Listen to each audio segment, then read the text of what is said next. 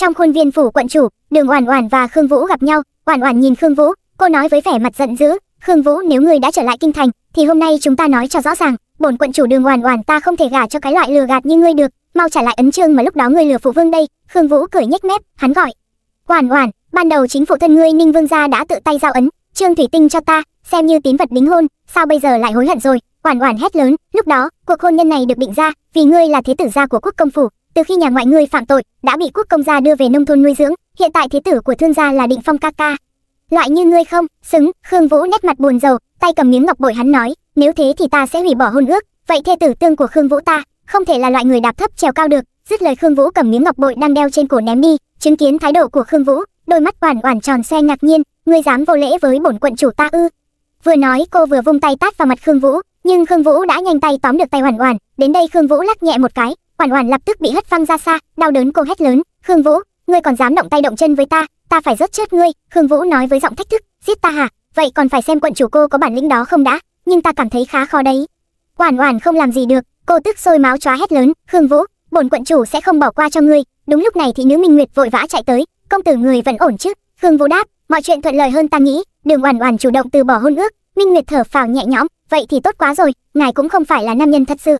Không thể lấy quận chủ được khương vũ đôi mắt buồn rầu kể lại mọi việc không đơn giản như vậy đâu ban đầu thương gia sợ bị nhà ngoại ta liên lụy đổi mẫu thân ta đang mang thai đi để ta một mình nơi thôn dã, bây giờ lại đón ta về chắc chắn là có gì đó. Minh nguyệt giải thích thật ra phu nhân để ngài giả làm nam nhi là vì muốn giải thoát ngài khỏi xiềng xích của kinh thành. Tự do tự tại sống vô lo vô nghĩ bây giờ đón người về nhưng lại không cho ngài mặt mũi không biết là lại có chú ý độc ác gì nữa. Khương vũ hơi cau mày loại chủ ý gì sẽ sớm được thấy thôi. Bỗng đâu đó một tiếng gọi vang lên khương vũ người này chính là thương khách tùng thương quốc công ông nói ta đã đưa thiết danh của con vào cung rồi, để công chúa định quốc chọn rể khương vũ hốt hoảng, công chúa định quốc, khương vũ nghĩ bụng, dù ta không ở kinh thành, nhưng cũng nghe thấy danh tiếng của công chúa định quốc, cô ấy là muội muội được đương kim thánh thượng nuông chiều nhất, tính tình kiêu căng ngạo mạn, thích động tay động chân, có tin đồn rằng nàng ta khắc phu, ai lấy nàng ta thì cũng chỉ được ba bay hai mốt ngày là ngõm, có những người vừa cưới xong chưa kịp làm gì đã về châu rơi rồi. Khương vũ khoanh tay nói tiếp, bảo rồi, tin lớn như hủy bỏ hôn ước với đường oản oản mà quốc công vẫn im lặng, hóa ra là đợi điều này, thương gia vì không muốn đẩy con cháu trực hệ vào hố lửa nên đẩy lên đầu ta, ha ha, công gia tính toán cũng giỏi ra phết nhỉ. Thương quốc công nét mặt nghiêm nghị, hỗn xược, tên người vẫn trong gia phả thương gia, bây giờ được đón về thì phải cống hiến cho gia tộc. Không đến lượt ngươi quyết định, thành thật mà tham gia lễ tuyển phu của công chúa định quốc cho ta. Khương vũ căm phẫn nắm chặt nắm đấm trên tay, anh nghĩ bụng, không buông tha ta, khương vũ ta sẽ không bao giờ làm con rối cho người khác điều khiển đâu. Khương vũ cùng minh nguyệt rời bước, hai người đang đi trên đường, minh nguyệt bỗng nói, một quận chủ vừa đi, thì lại có một công chúa đến. Công tử nên làm thế nào đây? Hơi rắc rối nhưng chuyện tuyển rể vẫn chưa quyết định có thể sẽ có thay đổi. Khương vũ nghĩ bụng. Khương vũ ngày chết của ngươi sắp đến rồi. Hai người đang đi bỗng phía sau một giọng nói tranh chua vang tới, dạy dỗ hắn một trận cho bổn quận chủ, một đám thuộc hạ loi nhoi tuân mệnh phi tới tấn công khương vũ. Khương vũ cười nhẹ nghĩ bụng. Đúng là âm hồn bất tán mà, thị nữ minh nguyệt vô cùng sợ hãi. Công tử, em trốn xong rồi, người có thể bắt đầu diễn. Từng âm thanh bước chân đều hướng về phía khương vũ. Ám khí bay vèo vèo về phía mình. Khương vũ nhẹ nhàng nhảy lên né tránh. Những âm thanh của ám khí phát ra trong gió nghe thật đáng sợ. Phía trước có một chiếc xe ngựa đang di chuyển, ám khí hướng về phía đó khương vũ hốt hoảng, không xong rồi, bỗng nhiên con ngựa bị dính một mũi reo nó loạn trọn rồi, cứ thẳng đường chạy không có phương hướng. Chiếc xe ngựa chạy làm náo loạn cả khu phố, nhìn thấy chiếc xe ngựa ai nấy đều hốt hoảng, mau chạy mau chạy, đi đừng có đẩy ta. Khương vũ bay lên không trung, ngồi xuống lưng ngựa mà quát, dừng lại cho ta. Khương vũ cố sức cứu chiếc xe ngựa thoát khỏi nguy hiểm. Mọi người đứng xem bàn tán, sức lực mạnh quá, đây chính là hạng vũ đại vương tái thế. Trở lại lúc này khương vũ đang cố gắng hết sức để cứu chiếc xe ngựa, trong đầu nghĩ, chết tiệt, tổ kịch cũng không nói là phải làm loại công việc thể chất này mọi người vẫn hò reo, phía bên trong xe một giọng nói nhỏ nhẹ vang lên, đại anh hùng, đại anh hùng. Khương vũ quay đầu trở lại nhìn xem ai nói. Khương vũ vô cùng ngạc nhiên, khi trên xe là một cô nương xinh đẹp tuyệt trần, đang từ từ bước xuống khỏi xe ngựa, đôi mắt long lanh trên đầu cô che một chiếc khăn, nhìn thấy một mỹ nữ đẹp như tiên dáng trần. Khương vũ nghĩ bụng, nàng ấy là công chúa sao? Cô ta bước xuống với nét mặt lạnh lùng, trên tay cô ta cầm một chiếc roi ra, cô ta vung chiếc roi ra đánh về phía trước, chiếc roi đánh thẳng vào mặt quận chủ đường oàn oàn khiến cô vô cùng đau đớn. Ánh mắt lạnh lùng, công chúa ra lệnh, quận chủ có tội thì cũng như dân thường trừng phạt, trên khuôn mặt khương vũ đang dính đầy máu. Khương vũ nghĩ bụng đường oản oản thân là quận chủ mà bị đánh te tua như vậy, không được phép khinh nhờn. Đây chính là hoàng quyền, đẹp đẽ, lạnh lùng, cao cao tại thượng, thật khó đối phó mà. Khương vũ bị hấp hồn bởi ánh mắt của công chúa. Hai người bốn mắt nhìn nhau, mặc dù đẹp nhưng lại quá nguy hiểm. Dù thế nào đi nữa thì cũng phải tìm cách thoát khỏi vụ tuyển phu này. Chỉ là chân của công chúa điện hạ hơi lớn chút, bỗng nhiên triệu cấu là chủ sự của hoàng thành kính lễ. Công chúa điện hạ, nô tài tới muộn, nô tài sẽ đi sắp xếp một chiếc xe ngựa mời ngài về cung, làm phiền ngài nghỉ ngơi ở phi vân các một lúc khương vũ lúc này vẫn đang chăm chú nhìn công chúa điện hạ đúng lúc này triệu cấu dẫn công chúa rời khỏi khương vũ thở phào nhẹ nhõm nghĩ bụng cứ cảm thấy công chúa điện hạ không thích hợp lắm nhưng lại không nói ra được là gì. Bỗng nhiên từ phía sau một tiếng gọi vang lên, "A Vũ, đúng là ngươi rồi, người này chính là Tiêu Vô Tâm, là thế tử Tiêu gia." Khương Vũ quay lại vui mừng.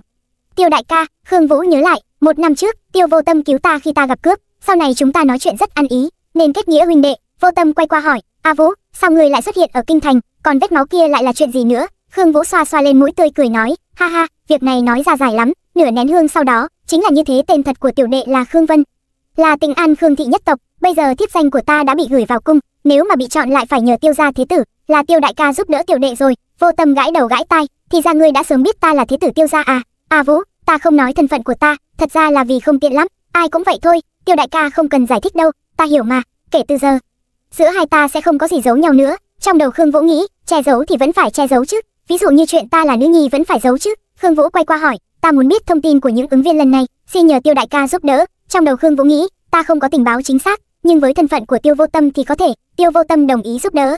Được, Khương Vũ chắp tay cảm ơn Tiêu Vô Tâm, ta biết huynh trưởng có nghĩa khí nhất mà, Tiêu đại ca, thời gian không còn sớm nữa, ta đi trước nhé, có tin tức gì thì liên hệ ta. Vô Tâm nghĩ bụng, tiểu đệ này đúng là thâm tàng bất lộ mà. Lúc này tên lính đi theo bảo vệ Vô Tâm quỳ xuống, "Thế tử, ngài định giúp Thương gia nhị thiếu thật ư? Chỉ sợ sẽ đắc tội Khương gia." Hắn nói.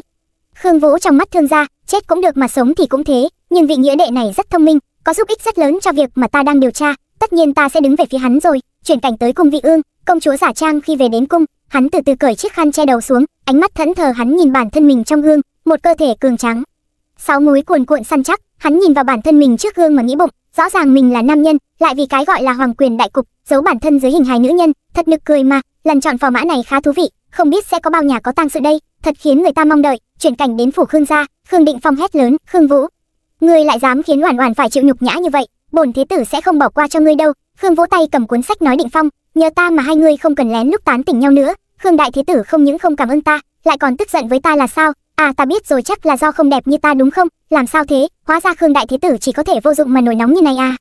Không biết ngại ư? Khương Dịnh gằn giọng tức tối, ngươi người đợi đó cho ta, ta sẽ có cách đối phó với ngươi. Khương Vũ nghĩ bụng, nếu không phải nương nó không được xảy ra xung đột với Khương Vũ, trong khoảng thời gian này ta đã giết hắn ngay lập tức rồi. Minh Nguyệt quay qua hỏi Định Phong, công tử, sao ngài lại biết hắn chỉ nói ngoài miệng mà không dám làm gì? Khương Vũ nói nhỏ. Khương Định Phong là người không có não, nhưng mẹ hắn, Tiêu phu nhân thì có, nếu ta xảy ra chuyện gì, chả lẽ để con trai yêu quý của bà ta gả cho công chúa sao? Minh Nguyệt thốt lên, hóa ra là thế, chẳng trách công tử gây ra chuyện lớn như vậy mà lại không có ai hỏi đến. Công tử Tiêu phu nhân vô cùng độc ác, ngài thật sự tin Tiêu vô tâm sao? Khương Vũ nói, ta cần hắn, hắn cũng cần ta.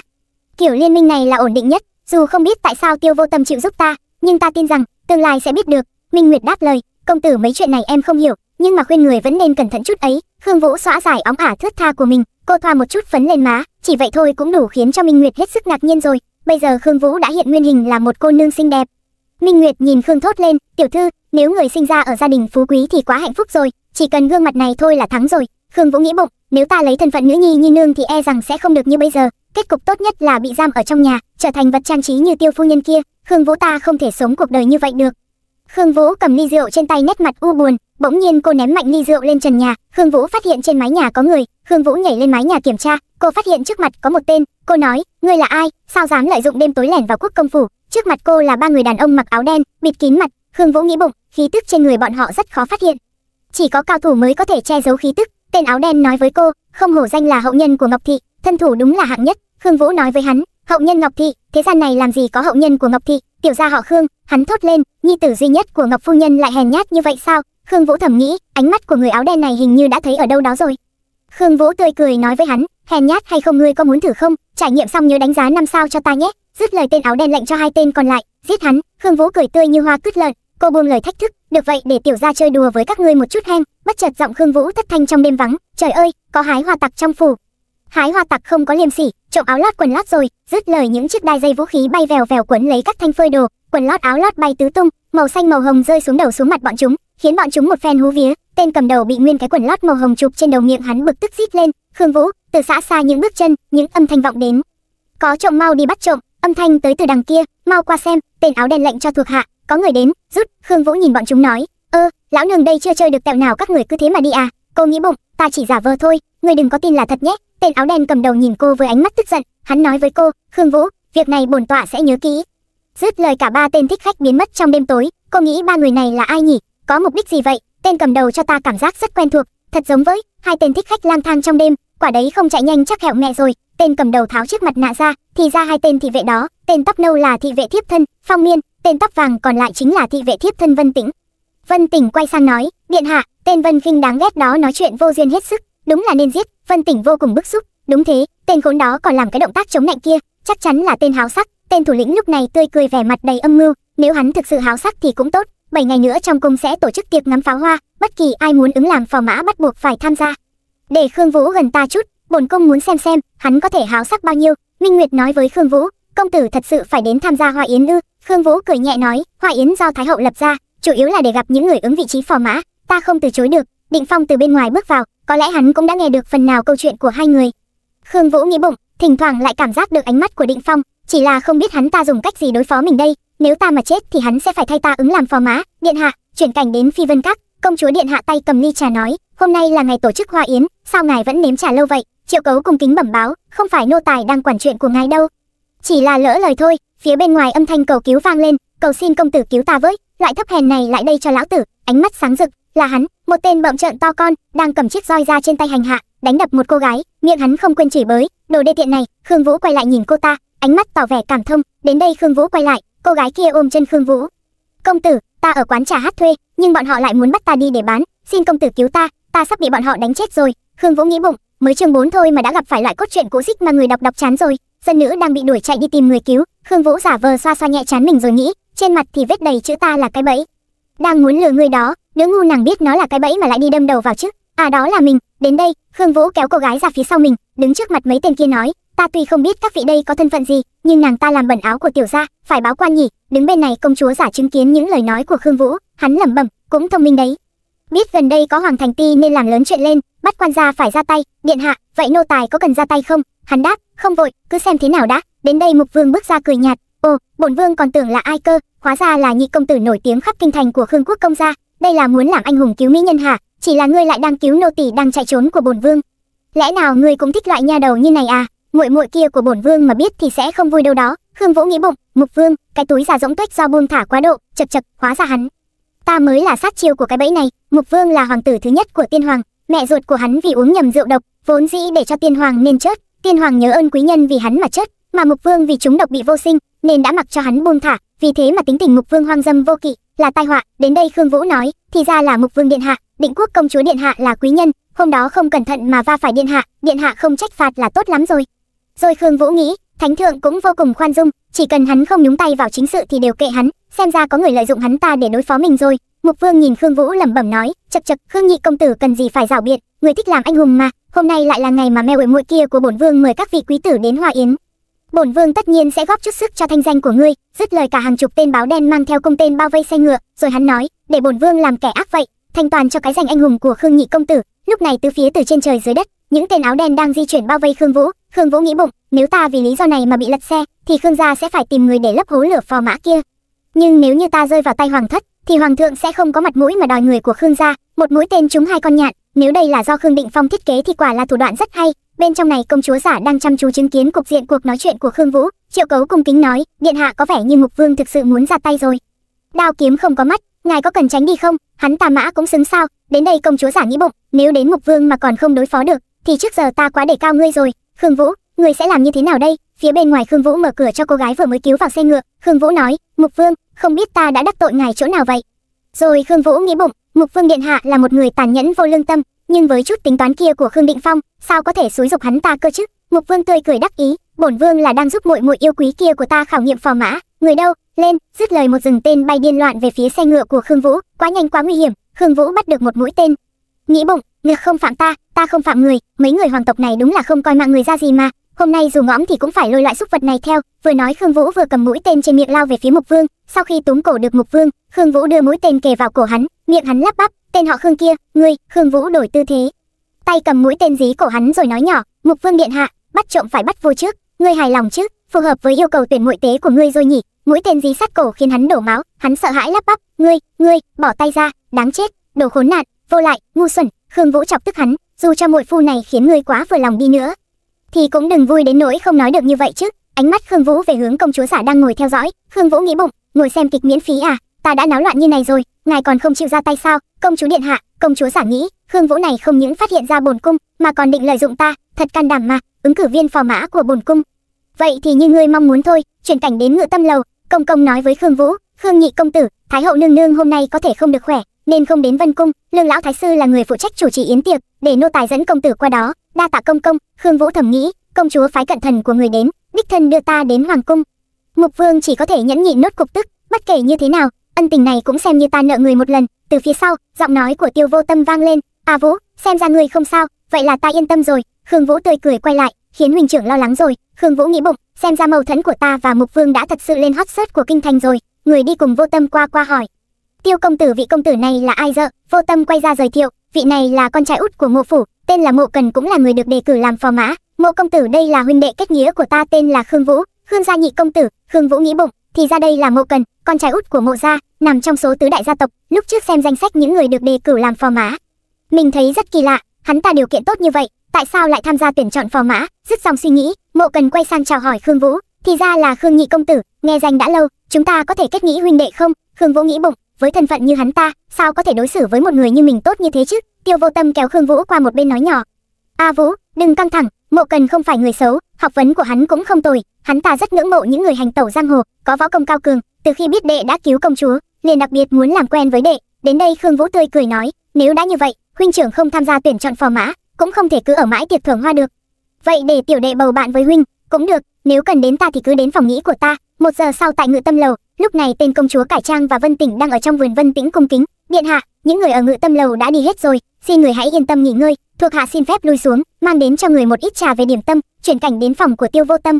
Không gian đang tĩnh lặng, bỗng nhiên vô tâm phát hiện ra có người đang đứng ở đâu đó nhìn mình. Hắn nghĩ bụng, có mùi của người, nhưng không biết là sống hay chết. Dứt lời hắn tung một đoàn khiến cảnh cửa vay ra gãy tan nát. Một nữ nhi mặc áo vàng hiện ra trước mặt hắn, miệng hắn hỏi ngươi là ai? Tên kia khẽ nghiêng người rồi đổ sập xuống đất. Hắn nghĩ, ta đoán đúng rồi. Hắn trốn ở đây bị ta công kích ngược lại. Không ngờ hắn dùng tư thế này để né chiêu. Cuối cùng vẫn bị trúng chiêu của ta. A ha ha, vô tâm từ từ bước lại gần thắc mắc. Hắn rốt cuộc là ai? Vô tâm lật người trước mặt lên xem. "Ngoá ơi thì ta là khương vũ. Hắn thở dài một tiếng. Hưng, khương vũ, tiểu hồ ly nhà ngươi xem ra là bị mắc phải bẫy của người khác rồi. Xem bộ dạng này có vẻ là đã trúng độc tình. Bỗng nhiên như nhớ ra điều gì đó, vô tâm nói vân dứt lời một bàn tay ôm chặt lấy hắn làm hắn tá hỏa. Hắn quát, buông tay ra nhanh lên. Khương vũ ôm chặt nhìn hắn cầu cứu. Không được đi. Rồi khương vũ nở một nụ cười với hắn. Bốn mắt nhìn nhau. Hắn không nói lời nào. Rồi vô tâm cố gắng bước đi, nhưng không thể bước đi nổi. Đôi mắt hắn giận dữ. Không phải đã nói rồi sao? Khương vũ nhìn hắn. Không được đi. Hắn nhìn chằm chằm vào khương vũ. Cái gì? Người muốn chết sao? Dứt lời vô tâm lôi cô nhảy xuống dưới hồ nước. Đôi mắt hằn học. Muốn chết bổn cung thành toàn cho ngươi. Đôi mắt mơ hồ khương vũ nhìn hắn chỉ thốt lên được một câu. Ư? Rồi lòng tự bảo lòng cố gắng trấn an. Nhịn, ta phải nhịn bởi vì khương vũ là con cháu của ngọc gia, bây giờ chưa phải là lúc chết. Đến đây hắn đưa tay điểm huyệt khương vũ, khiến cô ngất lịm đi. Hắn nhẹ nhàng ôm khương vũ, bế lên khỏi hồ nước. Khương vũ nhân cơ hội kéo mạnh áo hắn ra miệng thất thanh, cút ra, rồi khương vũ mở mắt, từng giọt nước tí tách rơi trên đôi má ửng hồng, đôi môi mấp máy thổn thức, bình tĩnh đi sao có thể đối với một nam tử. Trong cơn mơ hồ khương vũ xoa xoa má hắn nói, tiên chi hoa hoa ngươi thật là xinh đẹp. Đôi mắt nhắm hờ bình tĩnh, cầm miệng, rồi khương vũ làm lớn hơn khiến hắn vô cùng sợ hãi. Làm sao đây? Ta muốn hôn ngươi. Khương vũ đưa tay vuốt nhẹ bờ môi của hắn vô tâm hốt hoảng tột cùng, miệng thốt lên, ngươi, dứt lời. Khương vũ lập tức cho hắn ăn cháo chóa. Trong sự ngỡ ngàng của hắn, rồi hắn nghĩ bụng, kỳ lạ, cái cảm giác kỳ lạ quá. Đang đê mê trong sự ngỡ ngàng, bỗng nhiên hắn đẩy khương vũ ra mà thốt lên, láo sực, buông buông bổn cung ra. Khương vũ thỏ thẻ, ta cắn một miếng không đau, ngoan nạ, dứt lời đôi mắt vô tâm lim dim tận hưởng. Vừa đúng lúc này, vân tỉnh bước đến, gọi lớn, điện hạ, thuộc hạ về rồi. Nhìn thấy hai người đang quấn vào nhau, vân tỉnh hốt hoảng sợ hãi nghĩ bụng, hình như ta đến không đúng lúc dứt lời hắn chạy xịt khói khỏi phòng. Đúng lúc này hắn như bừng tỉnh bóp mạnh vai khương vũ đẩy ra, miệng cô thốt lên, đau, khương vũ bị bỏ lại trong hồ nước, ra khỏi hồ nước vô tâm nói, ở trong nước đợi cho bổn cung. Vân tỉnh lúc này giúp điện hạ mặc đồ. Vân tỉnh nói với hắn, điện hạ, quần áo thay xong rồi, thuộc hạ đi pha trà cho người. Một lát sau vân tỉnh mang khay trà đến. Vân tỉnh mở lời, điện hạ. Rồi vân tỉnh nghĩ bụng, sống lâu mới thấy điện hạ mà biết thẫn thờ. Vân tỉnh quay qua hỏi, điện hạ, người trong hồ xử lý thế nào đây? Ngâm trong hồ lâu không phải là chuyện. Hắn đáp bây giờ lôi hắn ra, sợ con hồ ly đó bị dục độc của bản thân đốt chết thôi. Vân tỉnh thắc mắc nghĩ bụng, dục độc, khương vũ trúng độc rồi ư, dứt lời hắn quay qua ném cho vân tỉnh một chiếc hộp rồi nói. Cho hồ ly đó cái này, rồi kéo người ra, vân tỉnh thắc mắc, đây là, hắn nói, đây chính là độc dược, dứt lời vân tỉnh vào đầu gãi tay. Vâng thuộc hạ đi ngay, vừa đi vân tỉnh vừa nghĩ bụng, độc dược gì chứ, rõ ràng đây là hoàn hồn đan, có thể giải hàng trăm loại độc dược mà điện hạ mang theo mình mà. Điện hạ đối xử với khương vũ không bình thường, đến đây vân tỉnh tá hỏa. Điện hạ không thấy người đâu nữa rồi. Hắn hốt hoảng quay qua hỏi ngươi nói cái gì. Chuyển cảnh sau khi khương vũ thoát khỏi hồ nước cô thắc mắc mặc dù không biết sao ta lại xuất hiện trong hồ nước lạnh này nhưng mà giải được độc của ta rồi, lần này thật là sơ suất, quay lại một tiếng trước, trên tiệc thưởng hoa, thái hậu với công chúa đều không xuất hiện, do lương thái sư làm người chủ trì. Tuy bầu không khí có chút áp bức, nhưng không xảy ra chuyện gì, sau khi kết thúc tiệc, công nhân chọn người đưa phò mã về phòng để nghỉ ngơi, trong phòng Khương Vũ uống trà nóng mà thị nữ đưa cho, và lại Khương Vũ còn uống một hơi hết sạch, nhưng không ngờ trong trà có xuân dược, sau khi uống xong toàn thân mềm nhũn, ý thức mơ hồ, dùng hết sức lực đi tìm Tiêu đại ca nhờ sự giúp đỡ. Hắn nghĩ lại cũng thấy có điều gì cấn cấn, không đúng, rõ ràng ta đến phòng của Tiêu đại ca, sao có thể ở đấy được nhỉ? Ủa, mà Tiêu đại ca đâu? Bỗng nhiên Tiêu Vô Tâm gọi, "A Vũ, cuối cùng cũng tìm được ngươi rồi." "Huynh trưởng, huynh." Vô Tâm cắt ngang, "Ở đây không phải nơi nói chuyện, ngươi theo ta về phòng rồi nói." Hai người về phòng, lại là loại tình cảm sao động này. Cảm giác kỳ lạ này bắt đầu khi A Vũ trúng độc đến tìm ta, huynh trưởng ta trúng xuân dược rồi, đôi mắt nhắm hờ, cơ thể nóng bừng những giọt mồ hôi lăn dài trên má Khương Vũ. Lúc này Tiêu Vô Tâm đỡ Khương Vũ, cái cảm giác nóng ran chạy khắp cơ thể, nước miếng không ngừng chảy ra, hơi thở thều thào gấp gáp. "A Vũ, không sao đâu, huynh trưởng sẽ xử lý." Nói rồi Vô Tâm bế Khương Vũ trên tay rời đi. Trong cơn mê miên man, Khương Vũ thều thào, "Ư, huynh trưởng, đưa ta đi, nơi không có người, yên tâm đi giao cho ta." Rồi Vô Tâm nghĩ bụng, "Ta điên thật rồi, sao đối với huynh đệ của mình, huynh trưởng, sao vậy? Không, không có gì, nhìn bộ dạng của ngươi, xuân dượt được giải rồi." Một lát sau, Khương Vũ tươi cười đứng trước mặt Vô Tâm, "Lần này nhờ có huynh trưởng, ta mới không bị sao." Vô Tâm đáp lời, "A Vũ đừng nói vậy, ta cũng có chỗ chăm sóc không chu đáo, vốn định cùng ngươi ngâm suối lạnh, nhưng lương thái sư gọi, nên ta chỉ có thể để ngươi lại một mình, cũng may ngươi không bị sao." Rồi Khương Vũ như nhớ ra điều gì đó, cô thắc mắc, "À đúng rồi huynh trưởng, chỗ suối lạnh đó khiến con người sinh ra ảo giác chăng?" Vô Tâm ngạc nhiên, "Tại sao lại nói vậy?" Rồi Khương Vũ nhớ lại, lúc ta ngâm nhớ mang máng hình như đang chén tiên chi hoa hoa, chén xong thì tốt hơn nhiều rồi. Rồi Khương Vũ nghĩ, mà kỳ lạ, sao đột nhiên lại nghĩ đến địch quốc công chúa nhỉ? Nhưng mà những thứ này không quan trọng, điều quan trọng nhất bây giờ là làm rõ, rốt cuộc là ai đã hạ dược ta, mục đích là gì? Nửa tiếng sau, đôi mắt đăm chiêu, công chúa giả của địch quốc đưa chén trà lên miệng. Hắn quay qua hỏi Vân Tỉnh, chuyển lời đến chưa? Vâng, thuộc hạ đã thông báo Khương Vũ nhanh chóng đến gặp điện hạ rồi, tiểu tử đó, cơ thể hồi phục rồi. Vân Tỉnh nói thêm, hắn ổn hơn rồi, lúc ta đi hắn với Tiêu Thế Tử có chút hừng hực, xem ra quan hệ của hai người họ cực kỳ tốt. Đôi mắt đăm chiêu hắn nói, vậy sao? Bỗng bên ngoài một giọng nói vang lên, công chúa điện hạ. Khương Vũ xin gặp. Lúc này tại ngự tâm lầu, công chúa địch quốc hắn đưa chén trà lên miệng bình thản uống. Khương Vũ bước vào, thảo dân tham kiến định quốc điện hạ. Khương Vũ nghĩ bụng, công chúa điện hạ thực sự trận ta làm phò mã sao? Nửa giờ trước, Vân Tỉnh nói, Khương nhị công tử, định quốc có lời. Khương Vũ tá hỏa, xin hỏi công chúa điện hạ tìm ta có chuyện gì? Chuyện hôn sự. Khương Vũ lắp bắp, hô hô, hôn sự, nét mặt buồn rầu. Khương Vũ nghĩ bụng, bỏ đi, binh đến sẽ chặn nước lấp đất. Chiếc mặt nạ dịu dàng ôn hào này bây giờ vẫn phải đeo vào, không thấy muộn. Điện hạ không phải không biết võ công sao, nhưng hắn đến gần ta lúc nào cũng không biết. Điện hạ trước mặt, thảo dân không dám láo sực, rồi điện hạ hắn quát. ngẩng đầu lên, Khương Vũ ngẩng đầu lên nhìn, cô nghĩ bụng, nhìn ở khoảng cách gần mới phát hiện ra, công chúa điện hạ cao vậy sao, mà còn áp bức, nhìn hình dáng có thể thấy hai chúng ta không hợp với nhau. Công chúa địch quốc hỏi, ngươi không muốn trở thành phò mã của bổn cung sao? Khương Vũ đáp lời, trở thành phò mã đương nhiên là được rất nhiều lợi ích, nhưng thảo dân chẳng qua chỉ là tên tầm thường không xứng với công chúa điện hạ. Hắn thốt lên, ồ vậy sao? Vậy hôm nay có tên dân thường vào chỗ ở của bổn cung, ngươi nói xem đáng bị tội gì, là chặt tay hay là chặt chân đây, hay là chặt cái đầu của tên thường dân đó? Khi hắn ghé sát người, Khương Vũ chợt phát hiện ra, mùi hương trên người điện hạ thơm quá, da thịt cũng trắng nõn nà, không biết sờ vào có cảm giác gì nhỉ? Bất chợt Khương Vũ tự trấn an, ta lại suy nghĩ mấy cái thứ hoang đường vậy rồi, quả nhiên bị sắc làm lú lẫn đầu óc mẹ nó rồi. Ôi, nhưng mà dấu đỏ trên cổ công chúa, sao giống vết hôn vậy? Công chúa chưa được gả ra ngoài, nhưng trên người lại có dấu hôn, nếu bị nàng ta phát hiện ra bí mật của ta, chắc chắn ta sẽ chết. Bỗng công chúa địch quốc bước lại, túm cổ áo Khương Vũ lên, hắn nghĩ bụng. Hồ ly hoang này, cuối cùng cũng biết sợ rồi. Khương Vũ hốt hoảng miệng lắp bắp, điện, điện hạ ta trừ ta chưa từng dám tiến vào chỗ ở của người, giống như Như Lang vô tình thấy tiên nữ tắm, hắn cũng không phải cố ý, đôi mắt lạnh lùng thốt lên, ồ, sao vậy, ngươi còn muốn học Như Lang dòm ngó tiên nữ, ép tiên nữ gã cho mình? Khương Vũ lắp bắp, thảo dân không dám, thảo dân. Thảo dân tự biết bản thân thấp kém, thật sự không dám ham muốn công chúa điện hạ. Hắn cười nhẹ nói với Khương Vũ, nếu bổn cung cho phép ngươi ham muốn thì sao? Đến đây thì đứt mẹ nó rồi, sao có thể chứ? Nàng ta nói lời này là ý gì chứ? Là như ta nghĩ sao? Lẽ nào công chúa cao quý nhìn chúng ta rồi? Thấy Khương Vũ đang đứng đơ như cây sơ không nói năng gì, hắn hỏi lại, ý ngươi sao? Khương Vũ lắp bắp, ta, ta, chết rồi, phải trả lời sao đây? Bỗng nhiên từ bên ngoài, Vân Tỉnh thông báo, công chúa có người tới tìm, vẻ mặt bực bội hắn nói, bảo hắn đợi ta ở đại sảnh. Khương Vũ tỏ vẻ vui mừng, được cứu rồi, hắn quay lưng bước đi, nhưng không quên quay lại nói với Khương Vũ, bổn cung nhớ lời ngươi nói, ngươi rất nguyện ý làm phò mã. Đến đây Khương Vũ chỉ còn biết nuốt nước mắt vào trái tim. Cô nghĩ, không có vui vẻ đáp ứng chính là từ chối, đây không phải là phép tắc cơ bản của người trưởng thành sao? Sao không hiểu vậy hả? Vừa dứt lời giọng nói vô tâm gọi với vào, "A Vũ, sao vậy? Định Quốc điện hạ có gì làm khó ngươi sao? Ta đã tìm lý do nhanh nhất để Lương Thái sư đi tìm Định Quốc công chúa, để bàn nghị sự rồi, đa tạ huynh trưởng quan tâm, còn về Định Quốc điện hạ, nếu nàng ta nói nhìn chúng ta rồi, có tính là làm khó không? Vô tâm hốt hoảng hóa hốc mồm lắp bắp, cái gì? Nàng ta nhìn chúng ngươi rồi.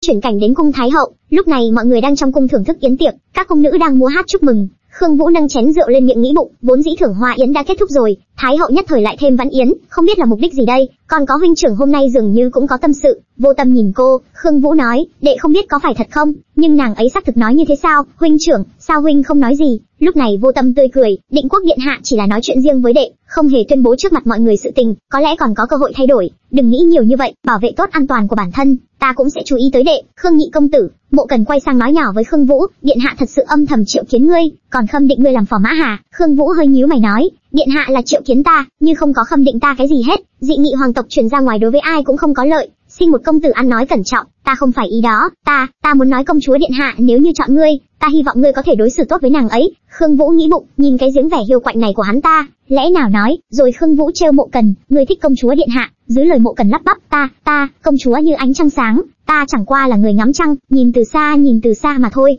Khương Vũ há hốc mồm thắc mắc, Mộ Cần quả nhiên thầm mến định quốc công chúa, chẳng trách, rõ ràng biết sẽ có nguy hiểm tới tính mạng, cũng muốn tham gia tuyển chọn phò mã, trên người công chúa điện hạ có dấu hôn, rất có khả năng là nàng ta đã có tình nhân, chẳng trách công chúa điện hạ lại có ý chọn mình làm phò mã, nàng ta chính là muốn tìm người không có bối cảnh, không bám lấy nàng ta, chết cũng không đáng tiếc làm phò mã, làm lá chắn cho tình nhân ngầm của nàng ta. Khương Vũ nói, ngươi rốt cuộc từ đâu nghe nói, ta chính là người được chọn làm phò mã. Mộ Cần đáp, ta là từ hạ nhân bên đó nghe được chuyện này đấy, mọi người đều truyền tay nhau như vậy mà. Khương Vũ nghĩ, rốt cuộc là kẻ nào to gan lớn mật như vậy, dám lan truyền lung tung lời đồn hoàng tộc thế. Chuyển cảnh, lúc này công chúa điện hạ địch quốc đang tắm, Vân Tỉnh tầm lễ phục đứng nói, điện hạ, chuyện người giao thuộc hạ đã làm ổn thỏa rồi. Hắn hỏi, hiệu quả thế nào? Hiện giờ mọi người đều nghị luận, nói Khương Vũ là phò mã mà người khâm định, người thật sự định chỉ định Khương Vũ làm phò mã rồi sao? Hắn nói, thứ nhất, Triệu Cấu nói hắn là hậu nhân của Ngọc gia, vẫn có giá trị lợi dụng, tạm thời không thể giết, nhưng bổn cung đêm đó đã thử thăm dò hắn ta, hắn không chịu cho bổn cung sử dụng, vậy chỉ có khiến Khương Vũ trở thành bia ngắm đến mức đường cùng, chủ động nương nhờ bổn cung thôi. Thứ hai, hắn dám cùng Tiêu Vô Tâm, mưu đồ không làm phò mã của bổn cung, bổn cung cứ không để hắn được như ý, bổn cung là người mà hắn có thể lựa chọn à? Vân Tỉnh nghĩ, lời này của điện hạ, sao có vẻ hơi chua chua nhỉ? Rồi Vân Tỉnh nói tiếp, dù sao, nhiều năm nay, các công tử không muốn làm phò mã, không chỉ một hai người, điện hạ hà tất đặc biệt nhắm vào Khương Vũ sao? Hắn đứng dậy nói, ngươi nghĩ cái gì vậy? Hầu hạ Vũng cung thay y phục, Vân Tỉnh tá hỏa khi nhìn thấy hắn, trên người trên cổ đầy rẫy những vết đỏ, Thấy vậy hắn quay lại hỏi Vân Tỉnh, ngươi nhìn cái gì? Cổ của bổn cung làm sao à? Vân Tỉnh lắp bắp, không, không có gì. Hắn nói tiếp, ngay cả trong phòng có côn trùng cắn ngươi cũng không biết, cung nhân nhận nhẹp là chỉ biết ăn không biết làm à? Vân Tỉnh vờ ho một tiếng mở lời, chủ tử, đây không phải là vết côn trùng cắn, mà đây là vết tích hôm nay người bị Khương Vũ dùng miệng hút ra đấy, thường gọi là dấu hôn, chỉ là y bào của người cổ cao nên không chú ý, thông thường xuất hiện dấu vết thế này, biểu thị nữ tử này là hoa đã có chủ người, nhất định đừng để người khác nhìn thấy. Nghe đến đây hắn hét lớn, bổn cung nhất định phải giết chết con hồ ly vô sĩ đó. Chuyển cảnh đến phủ thái hậu, lúc này công chúa định quốc cho gọi Khương Vũ đến, Khương Vũ lặng lẽ bước theo sau. Khương Vũ nghĩ, Ngụy Thái sư tìm Thái hậu có chuyện thương nghị, cuối cùng Thái hậu vẫn không xuất hiện, kết quả uống nhiều nữa, không quản nữa, thưởng hoa yến bức bối này, cuối cùng cũng kết thúc rồi. Đến đây thái giám mở lời, công tử, mơ ngài đợi một chút, có người muốn gặp ngài. Khương Vũ nghĩ bụng, đây căn bản không phải được xuất cung. Bỗng từ đâu đó vang lên tiếng gọi, Khương Vũ, Khương Vũ. Trước mặt Khương Vũ là công chúa địch quốc, hắn quay sang hỏi, người biết tội chưa? Khương Vũ tá hỏa suýt không đứng vững, cô ngạc nhiên, địch quốc công chúa điện hạ. Công chúa địch quốc bước đến nhanh như một cơn gió đỡ lấy eo Khương Vũ, bốn mắt nhìn nhau trong sự ngỡ ngàng của Khương Vũ. Hất chợt Khương Vũ đứng xịt keo tại chỗ một lát, công chúa địch quốc bỗng nhiên bừng tỉnh, đôi mắt sáng rực, hắn nghĩ, sao eo của con hồ ly này lại mềm thế nhỉ? Khương Vũ hốt hoảng lùi lại, không cẩn thận đâm đầu vào mắt của hắn khiến trước mắt hắn là cả bộ màn đêm u tối. Khương Vũ thất thanh, điện hạ, cẩn thận, loạn choạng hắn kéo Khương Vũ ngã xuống đất. Lúc này, thời gian nhưng ngưng động, Khương Vũ ngồi đè lên người hắn, bốn mắt nhìn nhau không rời. Miệng Khương Vũ lắp bắp, điện, điện hạ công chúa, điện hạ, người, ta làm ngài đau rồi sao? Khương Vũ lúc này nghĩ bụng, chết mẹ rồi, lần này thì tiêu rồi, quả này mình sắp được đi ăn cơm hợp rồi, sắp bị chém đầu cả nhà rồi. Rồi Khương Vũ nhìn hắn, đôi mắt có chút thẹn thùng của hắn khiến Khương Vũ không khỏi thắc mắc, nói lại thì cái dáng vẻ này của công chúa điện hạ thật mê người mà. Nghĩ đến đây Khương Vũ đưa tay về phía hắn, bỗng nhiên hắn túm chặt lấy tay Khương Vũ, miệng quát lớn, hỗn xược, ngươi muốn làm cái gì? Khương Vũ tự chấn an cười, ha ha, tại hạ là lo lắng cho an nguy của công chúa, muốn xem thử mũi người có còn thở không? Hắn lập tức hỏi lại, có phải không? Chứ ngươi còn muốn đè bổng cung bao lâu nữa? Dứt lời Khương Vũ vội vàng rời khỏi người của hắn. Đến đây Khương Vũ thầm hát bài con sông quê. Khương Vũ quay mặt đi nghĩ bụng, nam nữ thụ thụ bất thân, mình, mình thân là nam tử, đi đè một nữ tử như thế này, sợ không thể không cưới công chúa điện hạ rồi ha. Hắn ngồi dậy quát lớn, Khương Vũ người có ý gì? Rồi hắn nghĩ, tên hồ ly này cách xa 300 dặm với bổn cung, thế này là chê bổn cung sao? Khương Vũ lắp bắp, ta, ta điện hạ thứ tội, hắn nói, còn không lại để đỡ bổn cung. Khương Vũ phi tới nhanh như một cơn gió, Đến đây hắn nghĩ bụng, bổn cung khiến hắn chán ghét như vậy sao? Khương Vũ nghiến răng nghiến lợi, quỳ dạp xuống đất miệng hốt hoảng, điện hạ thứ tội, tại hạ có lời muốn nói, điện hạ, ta tự biết mình xuất thân không tốt, cũng không muốn dùng mạng làm giá y cho thương gia, mẫu thân vì ta mà chết, ta từ khi sinh ra, chỉ muốn ở quê sống một cuộc sống bình an qua ngày, vẫn mong điện hạ thành toàn, trong đầu Khương Vũ khẩn cầu, xin đại tỷ người tha cho ta đi, nghe những lời này, hắn khẽ thở dài nói với Khương Vũ, những lời này trái lại thành thật hơn chút, chỉ là những chuyện không như ý muốn, trên đời này rất nhiều, Khương Vũ nói tiếp, ta biết, nên ta làm đủ loại chuyện cũng chỉ là tận lực mà thôi, hắn đáp, nếu ngươi đã biết phải tận lực, kết cục cuối cùng là nghe theo số phận, vậy thì hãy cẩn thận chọn khoảng trời ngươi muốn đứng, đứng đúng rồi, mới có lúc ngươi được nhìn thấy ánh bình minh, nếu như ngươi đứng sai, cái giá phải trả chỉ sợ ngươi gánh không nổi, nên, lúc này Khương Vũ thắc mắc, vị điện hạ này, sao lần này cũng thích áp sát mình như vậy chứ? Nên bổn cung nói cái gì thì là cái đó, thứ bổn cung muốn, chưa có thứ gì không có được cả, ngươi Khương Vũ, bổn cung muốn chắc rồi, nên ngươi hãy suy nghĩ kỹ những gì ta vừa nói. Chuyển cảnh, sau khi gặp công chúa địch quốc xong, Khương Vũ trở về phủ, vừa nhìn thấy Khương Vũ Minh Nguyệt vui mừng, tạ ơn trời đất, công tử cuối cùng cũng về rồi, thưởng hoa yến hôm nay thế nào? Khương Vũ quay qua, không tính là quá hay, cũng không tính là quá tệ, nói vậy là ý gì chứ? Đến đây Khương Vũ nghĩ lại, vốn tưởng rằng công chúa điện hạ nhìn chúng mình, vị trí phò mã này không thoát được, không ngờ sau khi ra khỏi hành cung, có người không ngờ tới đang đợi mình, rồi thái giám bước tới, Khương nhị công tử, Ngụy thái sư muốn gặp người, mời theo nô.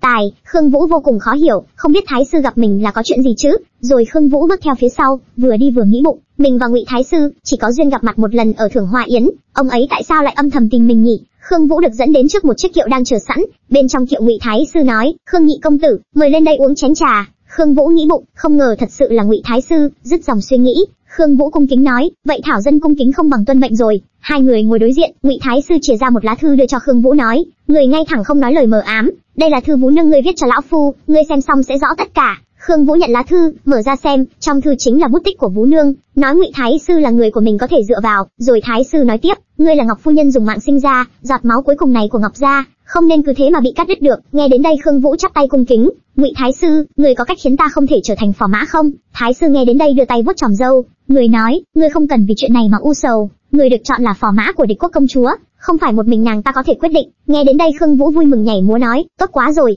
vậy ta yên tâm rồi. Khương Vũ nghĩ bụng, Thái sư là nguyên lão tam triều, ở trước mặt thái hậu và hoàng thượng cũng có thể lên tiếng được. Dứt lời Ngụy Thái sư lôi trong người ra một sấp giấy nói, đúng rồi, những thứ này đều là năm đó, nhưng ngươi để ở chỗ ta, là một phần nhỏ của hồi môn của nàng, giờ đây vật về nguyên chủ, mẫu thân ngươi là nữ nhi duy nhất của Ngọc gia, lại là đích xuất, năm đó, dường như của hồi môn bỏ ra nửa cái nguyên soái phủ, giờ đây chỉ còn lại chút này thôi, từ nay về sau, ngươi và ta liên hệ, dùng đường đi trong những cửa tiệm này, đừng ở trước mặt người ngoài, để lội tin tức, Khương Vũ cung kính đáp, dạ, đa tạ Ngụy Thái sư, cầm tập của hồi môn trên tay, Khương Vũ nghĩ bụng, đống tiền này, chắc là một phần tiền riêng nương mình cất, còn phần lớn của của hồi môn, tất nhiên là bị Khương gia chiếm rồi, sẽ có một ngày, mình sẽ khiến bọn họ phải nôn hết toàn bộ số của hồi môn đã chiếm ra. Trở lại hiện tại, Minh Nguyệt nghĩ bụng, chẳng trách công tử vừa về đến kinh thành, đã bị người ta nhìn trúng, Ngọc gia cho dù sớm đã suy vong nhưng vẫn có lãi. Khương Vũ nhớ lại, lần trước, nam tử yêu khí hắc ám đó, đôi mắt lạnh lẽo âm u, mình tới giờ vẫn chưa quên được. Khương Vũ nói với Minh Nguyệt, Ngọc gia mặc dù suy vong nhiều năm như vậy, nhưng môn đệ của ngoại tổ phụ của mình ở đây, có người muốn lợi dụng mình, đích huyết còn lại của Ngọc gia, làm vài tác phẩm gì đó cũng không kỳ lạ, mặc dù không biết những người trong tối nhìn chằm chằm vào mình muốn làm gì, nhưng chỉ cần chúng ta cẩn thận đề phòng, thì chẳng cần lo lắng. Có điều, cho dù chúng ta bây giờ ở Khương phủ, cũng nên cho đám súc sinh thích âm thầm hại người một chút giáo huấn. Nhớ lại sáng nay Mục Vương ngạo mạn đó, ta liền tức điên lên. Minh Nguyệt hỏi, công tử người định làm thế nào? Khương Vũ đáp, Mục Vương sẽ không vô duyên vô cớ nhắm vào ta, chắc chắn Khương Định Phong không thoát khỏi liên can. Nếu hắn cứ muốn chống đối ta vậy, đừng trách ta không khách khí. Rồi Khương Vũ quay qua nói nhỏ nói to với Minh Nguyệt, chúng ta thế này, sau đó thế đó, Minh Nguyệt vui vẻ, dạ, làm theo lời công tử nói, chuyển cảnh đến phủ của công chúa địch quốc đang ở, bàn tay hắn mân mê, rồi hắn nhớ lại, Khương Vũ hắn ra rẻ trơn bóng mịn màng như thế này, không có cọng lông nào, hắn chẳng phải nam nhân sao? Chuyển cảnh đến Thanh lâu quán, lúc này, Minh Nguyệt nói với Khương Vũ, công tử, chúng ta đã đến Thanh lâu ăn cơm liên tiếp ba ngày rồi, người không sợ sẽ bị người khác bắt được và nắm thóp sao? Khương Vũ đáp, không làm ra chút động tĩnh thì bọn họ sao có thể ra tay được chứ? Bỗng từ cửa bước vào một cô gái áo hồng xinh đẹp, vẫy tay chào, tiêu công tử, nào Nguyên Nhi kính người một ly rượu. Nhìn thấy cô ta như vậy, Khương Vũ biết được ý đồ của cô ta, đã cố ý dùng tên giả mà khổ nỗi cái tên giả đó lại là của Tiêu đại ca nữa chứ, đúng thật ba láp ba xà mà, ả dụ ta uống rồi thịt ta hả, được để xem ai là gà ai là thóc. Khương Vũ quay sang nói, Minh Nguyệt ngươi cũng uống chút đi, Minh Nguyệt như hiểu được chủ ý của Khương Vũ, cô nhanh nhảu, công tử được thôi, dứt lời Khương Vũ và Minh Nguyệt cạn ly, vừa uống xong, Khương Vũ giả vờ xoa xoa đầu, rượu nếp cái hoa vàng này thật là phê như con tê tê, phê đến tận óc, mới uống có vài ly mà đã cảm thấy đầu óc quay cuồng, chóng mặt, Minh Nguyệt cũng nói, tôi cũng chóng mặt, dứt lời Minh Nguyệt đổ gục xuống bàn, Khương Vũ lờ đờ hỏi Nguyên Nhi, cô, cô đi đâu vậy? Nàng ta có chỗ của riêng mình, giống như ngươi cũng có chỗ cho ngươi. Lúc này Mục Vương xuất hiện, hắn dẫn theo hai tên thuộc hạ đứng nhìn hai người. Khương Vũ nhìn Mục Vương ngạc nhiên, thì ra là Mục Vương điện hạ, mấy ngày rồi không gặp, xem ra ngài tiểu tụy hơn rồi, là hai ngày nay lại phóng túng quá độ rồi sao? Mục Vương quát lớn, dân đen, chút nữa bổn vương sẽ sai người cắt lưỡi của ngươi xuống, rồi tặng cho địch quốc. Khương Vũ nói, ta thật sự không hiểu, ngài và công chúa địch quốc, rốt cuộc có thâm thù đại hận gì, người không đi tìm công chúa tính sổ, đi tìm tôi làm gì? Mục Vương tức tối hét lớn, ai bảo ngươi là phò mã yêu thích của ả tiện nhân đó? Bổn vương và Minh Vương đều có sức khỏe không tốt, dựa vào cái gì mà Minh Vương lại được sự ủng hộ của ả ta,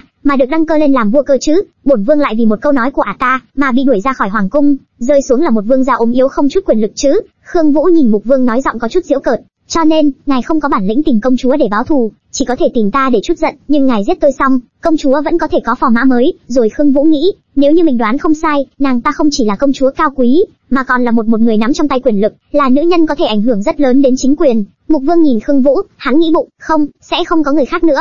Trong bao nhiêu năm trở lại đây, ngươi là người mà chính ả ta chỉ định, tuyển làm phò mã, bổn vương sẽ băm ngươi thành bùn tặng cho ả, ả ta nhất định sẽ đau thấu tâm can. Khương Vũ nói với Mục Vương, nhưng điện hạ người chỉ dẫn có bốn người, chắc chắn có thể băm ta thành nhiều mảnh chứ. Mục Vương hét lớn, bổn vương sớm đã bảo ả kỹ nữ đó, bỏ nguyên cho cốt tán vào rượu rồi, không cần dùng đến bốn người, chỉ cần một mình bổn vương cũng có thể băm ngươi thành nhiều mảnh. Bỗng nhiên Mục Vương dừng lại, hắn thả tay Khương Vũ ra, miệng lắp bắp, đợi đã, không đúng, ngươi đã trúng nguyễn cốt tán, tại sao lại không bị ngất đi, mà vẫn còn tỉnh táo ngồi đây trả treo với ta chứ? Nhìn dáng vẻ còn rất chi là sung sức như vậy. Dứt lời cả Minh Nguyệt và Khương Vũ đứng dậy, Khương Vũ nói, người bây giờ mới phát hiện ra sao, nguyễn hồn tán này, đối với những người trong giới giang hồ mà nói, chỉ là chuyện nhỏ mà thôi. Minh Nguyệt thêm vào, đúng vậy, nãy ta chỉ giả vờ ngất thôi, hình như ngài đã xem thường chúng ta quá rồi. Đến đây Mục Vương tức giận xịt khói, Hắn hét lên, người đâu, chém tên khốn nạn này cho bổn vương. Khi Mục Vương quay lại nhìn bốn tên thuộc hạ đang nằm một đống, tên nào tên này đang ngủ rất ngon lành, miệng chảy giờ chảy rãi, bọn họ không hề biết rằng mình Nguyệt được mệnh danh là bàn tay vàng trong làng hạ độc. Khương Vũ lúc này bước đến, một tay sách Mục Vương lên hỏi hắn,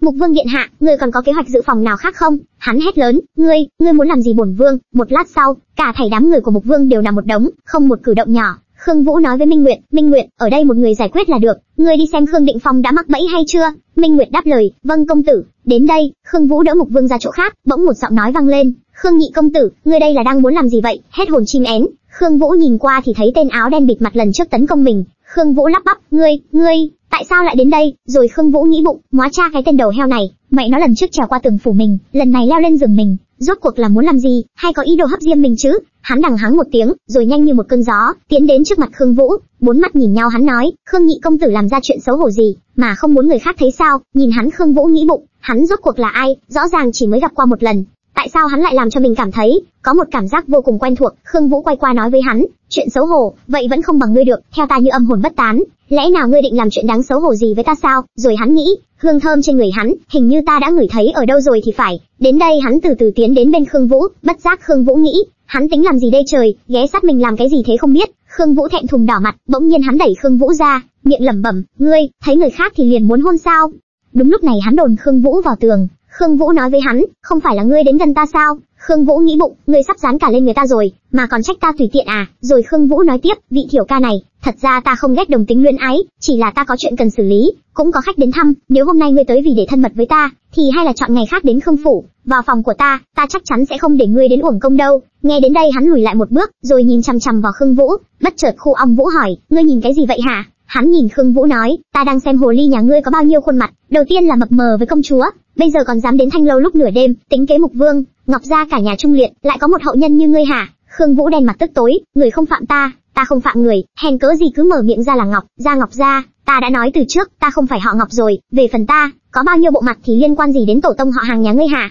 Khương Vũ thắc mắc, lần trước thử mình không được, mà vẫn chưa chết tâm, muốn mình để cho hắn lợi dụng đây mà. Đến đây Khương Vũ sù lông xịt khói, khuôn mặt hung dữ, thế nhưng hắn không hề sợ, ngược lại còn đưa tay nâng cầm Khương Vũ lên nói, đừng bướng bỉnh, hồ ly à, có lúc ngươi sẽ phải đến cầu xin bổn tọa, ngươi và ta, ngày sau còn dài. Khương Vũ không hiểu ngụ ý của hắn, lúc này trong đầu hắn nghĩ, một nam nhân như hắn, lại thơm như vậy, khiến ai cũng khoái khoái muốn gần gũi người người. Bỗng nhiên Khương Vũ bừng tĩnh, Khương Vũ vung tay tung một cú đấm vào mõm hắn, miệng không quên nói, đờ móa, ai ngày sau còn dài với ngươi cơ chứ? Bất ăn nói xà lơ lại nha cha nội, nhưng thật chớ trêu, cú đấm chưa tới đích thì bị ngăn lại, hắn nói với Khương Vũ, thích động chân động tay như vậy à, ngươi có khuynh hướng bạo lực gia đình đúng không? Khương Vũ nói, ngươi lại không phải vợ ta, quản cái gì? Rồi Khương Vũ nghĩ, ta không thể thát ra được, người này có nội lực vô cùng thâm sâu, hắn khẽ cười, hồ ly à, lần sau gặp lại nhé. Dứt lời hắn bay đi nhanh như một cơn gió, Nụ cười này, cười sáng lạn như vậy định dụ dỗ ai cơ chứ? Đang bay đi bỗng nhiên bị xịt khói, làm hắn ngã úp mặt xuống đất. Khương Vũ nhìn hắn nghĩ bụng, mặc dù đã bị trì hoãn một lúc, nhưng chắc vẫn còn kịp. Minh Nguyệt hốt hoảng chạy vào, miệng cô lắp bắp, công tử Khương Định Phong mang người tới đây rồi.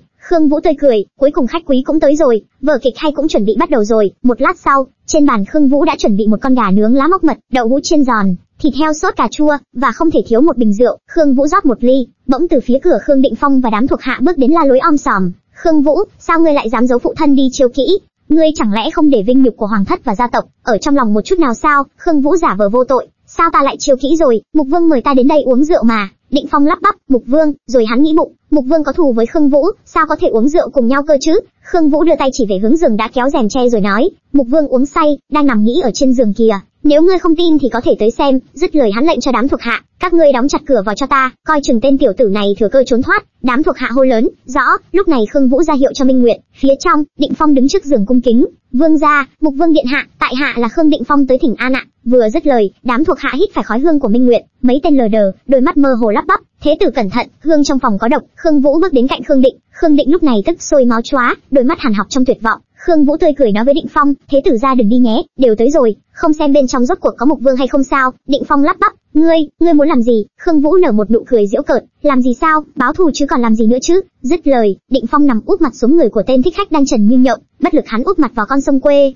Phía ngoài Minh Nguyệt nói vào, công tử, mấy tên thị vệ kia cũng ngất rồi. Khương Vũ đắc ý, kịch này sắp xếp xong xuôi rồi, mời người đến xem thôi. Bỗng từ đâu đó giọng nói vang lên, quốc công gia, chính là ở đây. Khương Vũ đứng hình, chết mẹ, sao phụ thân lại tới đây? Lẽ nào kế hoạch của mình có sơ suất sao? Chuyển cảnh lúc này Vô Tâm đã đến nơi Khương Vũ hẹn, giọng Vô Tâm trách móc, "A Vũ, sao muộn như vậy rồi mà còn hẹn ta uống rượu thế, lại còn đổi phòng, ngươi lại nảy ra ý gì rồi đấy phải không?" Khương Vũ tươi cười đáp, "Huynh trưởng, lát nữa mời huynh trưởng xem kịch hay." Hai người ngồi uống rượu, chén chú chén anh, nâng ly cụng ly, Khương Vũ nghĩ bụng, tuy phụ thân phái người tới, nhưng không làm ảnh hưởng đến kế hoạch của mình, tính toán thời gian, bọn họ cũng nên nhìn thấy cảnh đó rồi nhỉ. Bỗng nhiên bên ngoài có tiếng đạp cửa phòng đến rầm, Khương Vũ đứng bật dậy nhìn về hướng phát ra tiếng động nói, huynh trưởng, kịch hay bắt đầu rồi, chúng ta bây giờ qua đó đi. Lúc này, đường thúc cùng đám thuộc hạ của ông đạp cửa xông vào, không tin vào những gì đang nhìn thấy trước mặt, giọng ông lắp bắp, thế, thế tử, mục, mục, trong đầu ông thắc mắc, lúc trước, thế tử bảo mình tới đây bắt gian Khương Vũ, sao bây giờ lại thành ra như thế này rồi? Nhìn thấy ông, Khương Vũ vừa hỏi han, đường thúc sao ngươi lại ở đây, tới tìm ta sao? Khương Vũ nghĩ bụng, chắc là phụ thân nhận được tin tức, nên mới phái đường thúc tới đây xem. Lúc này, Khương Minh Vũ,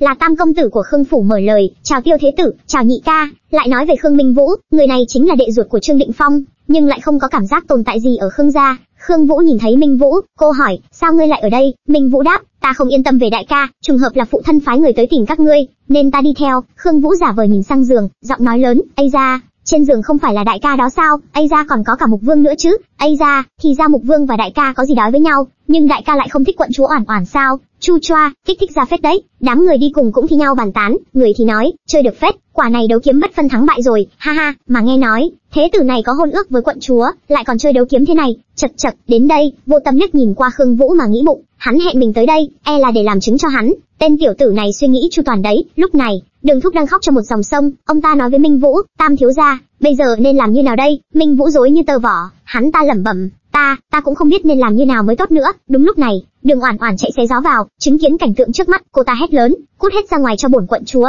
Khương Định Phong, ngươi vậy mà lại, lại thật sự lén lút với nam nhân sau lưng ta, đồ khốn không biết xấu hổ này. Ngươi có lỗi với ta, ta phải giết ngươi. Vừa nói, Oản Oản vừa cầm dĩa thức ăn, bình rượu trên bàn choảng vào mặt Định Phong. Đường thúc hốt hoảng, xin quận chúa bình tĩnh. Minh Vũ đỡ Oản Oản, trước tiên để ta đưa người về Ninh Vương phủ đã. Vô Tâm giả vờ nói với Khương Vũ, thật ra thì ta không biết tại sao Đường Oản Oản lại xuất hiện ở đây, đây là ngoài ý muốn. Khương Vũ chặt lưỡi, nhìn Minh Vũ đỡ Đường Oản Oản, như đoán ra được thủ đoạn của Minh Vũ, Khương Vũ nói nhỏ, hóa ra là vậy, thủ đoạn của lão tam còn thâm độc hơn ca ca của hắn nhiều. Khương Vũ chợt nghĩ, là Khương Minh Vũ gọi Đường Oản Oản tới, hắn mượn cái bẫy của mình, không chỉ hủy hoại danh tiếng của Khương Định Phong, mà còn khiến hắn ta mất đi vị hôn thê có quyền thế. Lúc này Đường chủ quay qua nói với Khương Vũ, nhị công tử, xin ngài về phủ với tiểu nhân ngay lập tức, quốc công gia đang đợi ngài. Trong đầu Đường chủ nghĩ, vẫn cứ cảm thấy vụ hôm nay có liên quan tới nhị công tử, thấy ông ta nói vậy, Khương Vũ đáp, được ta đi cùng các ngươi. Vô Tâm lúc này thấy vậy, hắn cũng lo lắng cho Khương Vũ, nên hắn nói, A Vũ, Khương Vũ trấn an, huynh trưởng, không sao, ta có thể tự ứng phó. Ngày hôm sau, tại phủ của công chúa địch quốc ở, đám thuộc hạ của hắn nói, điện hạ, ngày đó ở Thanh lâu, tất thảy mọi chuyện đều là cái bẫy do Khương Vũ đặt ra. Khương Vũ này, ở trong tổ tài lang Khương gia, cắn loạn một trận, ngược lại, lại để hắn cắn ra được một đường đầm máu, thú vị, quả thật thú vị. Lúc này tên thị vệ Vân Tỉnh thắc mắc, thú vị sao, sao mình lại không thấy vậy nhỉ? Hơn nữa, điện hạ có phải là quá để ý Khương Vũ rồi không? Bảo mình ngày nào cũng phải để mắt tới nhất cử nhất động của hắn, có cái quái gì để xem chứ, vậy nên, điện hạ thích Khương Vũ sao? Đúng là vậy, có phải nên chuẩn bị của hồi môn cho điện hạ rồi không? Không đúng, là chuẩn bị của hồi môn hay xính lễ đây? Vân Tỉnh nói tiếp, vậy là hôm nay, còn đi xem Khương công tử không? Hắn đáp với vẻ mặt hờn dỗi, không đi. Trong đầu hắn nghĩ, gả hồ ly này lại dám nói mình quyến rũ hắn ta. Bên này thì vệ phong niên nói thêm, nhưng thuộc hạ vừa nhận được tin mới nhất, Khương nhị công tử, hình như bệnh rồi, bỗng nhiên hắn khựng lại, bệnh sao? Đúng, hôm nay Khương Quốc Công đưa danh thiếp cho cuộc đi săn vào cung, không có tên Khương Vũ, nói là hắn không khỏe, dứt lời hai tên thị vệ thì thầm nhỏ to, Vân Tỉnh nói nhỏ, chẳng lẽ hắn giả bệnh để không tham gia cuộc săn mùa thu, do điện hạ tổ chức sao, để tránh bị nghi ngờ, không có dính líu gì đến điện hạ. Nghe hai tên thị vệ nói vậy, hắn tức sôi máu, đi gọi Khương Vũ đến đây cho bổn cung, hắn bệnh đúng không? Bổn cung đích thân đến trị bệnh cho hắn, chuyển cảnh đến Khương phủ, đến nơi hắn chợt phát hiện ra, gã hồ ly này quả nhiên đang giả bệnh. Thái y sau khi khám xong bẩm báo, điện hạ, Vi thần khám cho Khương Nhị công tử thì thấy, hắn chỉ bị dư ứng phấn hoa thôi, không có chuyện gì hết, hắn tỏ vẻ thất vọng, đôi mắt đăm chiêu, hừm. Sau khi được triệu kiến, Khương Vũ có mặt, cô quỳ xuống, thảo dân Khương phủ bái kiến điện hạ. Khương Vũ nghĩ bụng, lạ thật, thái y trong cung đến chữa bệnh cho mình, nhưng sau lưng, công chúa lại gọi mình vào cung. Công chúa điện hạ bình thản, ta nghe nói, cơ thể ngươi không được khỏe. Khương Vũ trên mặt nổi đầy nốt, cô nói, tạ ơn điện hạ đã quan tâm, thảo dân chỉ là bị dị ứng phấn hoa mà thôi, không sao hết. Khương Vũ nghĩ bụng, vốn định dựa vào bệnh để không đi cuộc săn mùa thu, không nghĩ tới trong cung lại phái người đến chữa cho mình, cũng may mình đã dùng một ít thuốc, dùng dị ứng phấn hoa để lừa. Hắn nói với Khương Vũ, ngẩng đầu lên, Khương Vũ ngẩng mặt lên đáp, triệu chứng dị ứng của thảo dân vẫn chưa hoàn toàn biến mất, nếu lỡ mạo phạm điện hạ thì xin ngài lượng thứ. Sau khi hắn nhìn xong thì đáp, triệu chứng này có vẻ hơi nghiêm trọng, vừa dứt lời hắn đưa tay định sờ lên mặt Khương Vũ, nhưng Khương Vũ né vội trong sự ngỡ ngàng của hắn, hắn vô cùng ngạc nhiên, rồi thu tay về, động tác lần sau nhanh và quyết đoán hơn, hắn véo má Khương Vũ vô cùng đau đớn, Khương Vũ lắp bắp, điện hạ, ta sai rồi, vừa nãy là ta không hiểu chuyện. Đến đây hắn hỏi, ngoài mặt có nốt đỏ ra, thì còn có triệu chứng khác không? Trong đầu Khương Vũ nghĩ, tay của công chúa điện hạ thật mát. Khương Vũ đáp, thỉnh thoảng sẽ bị hắt xì. Vừa nói xong, Khương Vũ hắt xì, nước miếng tuôn như mưa vào mặt hắn khiến hắn vô cùng hốt hoảng. Hắn vội vàng đưa tay lên che miệng cho Khương Vũ, hắn nghĩ bụng, rõ ràng, gà hồ ly này là nam tử, nhưng sao lại yếu ớt như nữ tử vậy nhỉ? Miên man suy nghĩ, bàn tay đang bịt miệng Khương Vũ quên không thu về, khiến Khương Vũ ngộp thở, Khương Vũ cắn một cái vào tay khiến hắn lập tức buông tay, miệng Khương Vũ lắp bắp, "Xin lỗi công chúa điện hạ." Lúc này hắn lệnh cho thị vệ lấy một lọ lãnh hương hoàn đưa cho nhị công tử, đừng để làm chậm trễ cuộc săn mùa thu. Vân Tỉnh đáp lời, "Vâng." Vân Tỉnh nhận lệnh, trong đầu không khỏi thắc mắc, dùng thứ tốt nhất lãnh hương hoàn để điều trị dị ứng, đúng là dùng dao trâu đi mổ gà mà, vừa khám bệnh lại vừa cho thuốc, rõ ràng mắc bệnh sạch sẽ, nhưng lại chạm tay vào vết phát ban của Khương Vũ, chắc chắn điện hạ. Đến đây hắn quay lưng bước đi nhưng không quên nói với Khương Vũ, người được chọn làm phò mã sẽ sớm được quyết định, người cầm thuốc trở về đợi tin tức đi. Khương Vũ buồn rầu đáp, tuân mệnh. Mười ngày sau, Khương Vũ đang ngồi trên cây hái hồng ngàn năm, bỗng nhiên Minh Nguyệt gọi, công tử, trong cung truyền tới tin tức, người được chọn làm phò mã đã có rồi. Khương Vũ quay qua hỏi, ai được chọn? Người đó là con trai út của mộ hầu gia, mộ cần. Khương Vũ hốt hoảng, ai cơ? Mộ cần á? Đến đây từ trên cao, Khương Vũ rơi tự do đến bịch xuống đất nát mông, vừa xoa mông, vừa đứng dậy thắc mắc, sao lại chọn hắn chứ? Không phải là vẫn luôn bảo phò mã là ta sao? Trong đầu Khương Vũ nghĩ,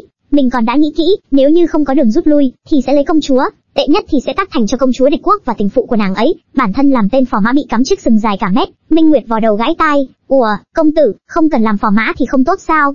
Khương Vũ lắp bắp ta, đột nhiên Khương Vũ đứng hình, ừ nhỉ, đây không phải là tin tức cực kỳ tốt ư? Nhưng mà vì sao? Thật ra, lấy công chúa cũng không phải là chuyện xấu. Minh Nguyệt cao mày, ta nói công tử nghe, ngài không bị làm sao đây chứ? Đừng nói với ta là ngài thích công chúa địch quốc rồi nhé. Khương Vũ cắt ngang, ngươi đang ăn nói xà lơ gì đấy? Rồi Khương Vũ nghĩ, mình là nữ, công chúa cũng là nữ, sao mình có thể thích nữ hài tử được chứ? Chỉ là bước mặt này đến quá nhanh quá nguy hiểm, nhất thời mình chưa thể nhảy số kịp, mà mình vẫn cứ cảm thấy mọi chuyện sẽ không hề đơn giản như vậy. Có lẽ đang đi hỏi lương thái sư xem xem, rốt cuộc đã xảy ra chuyện gì. Đang đứng nói chuyện, bỗng nhiên tên người hầu trong phủ nói tới, nhị thiếu gia, phu nhân mời ngài đi một chuyến.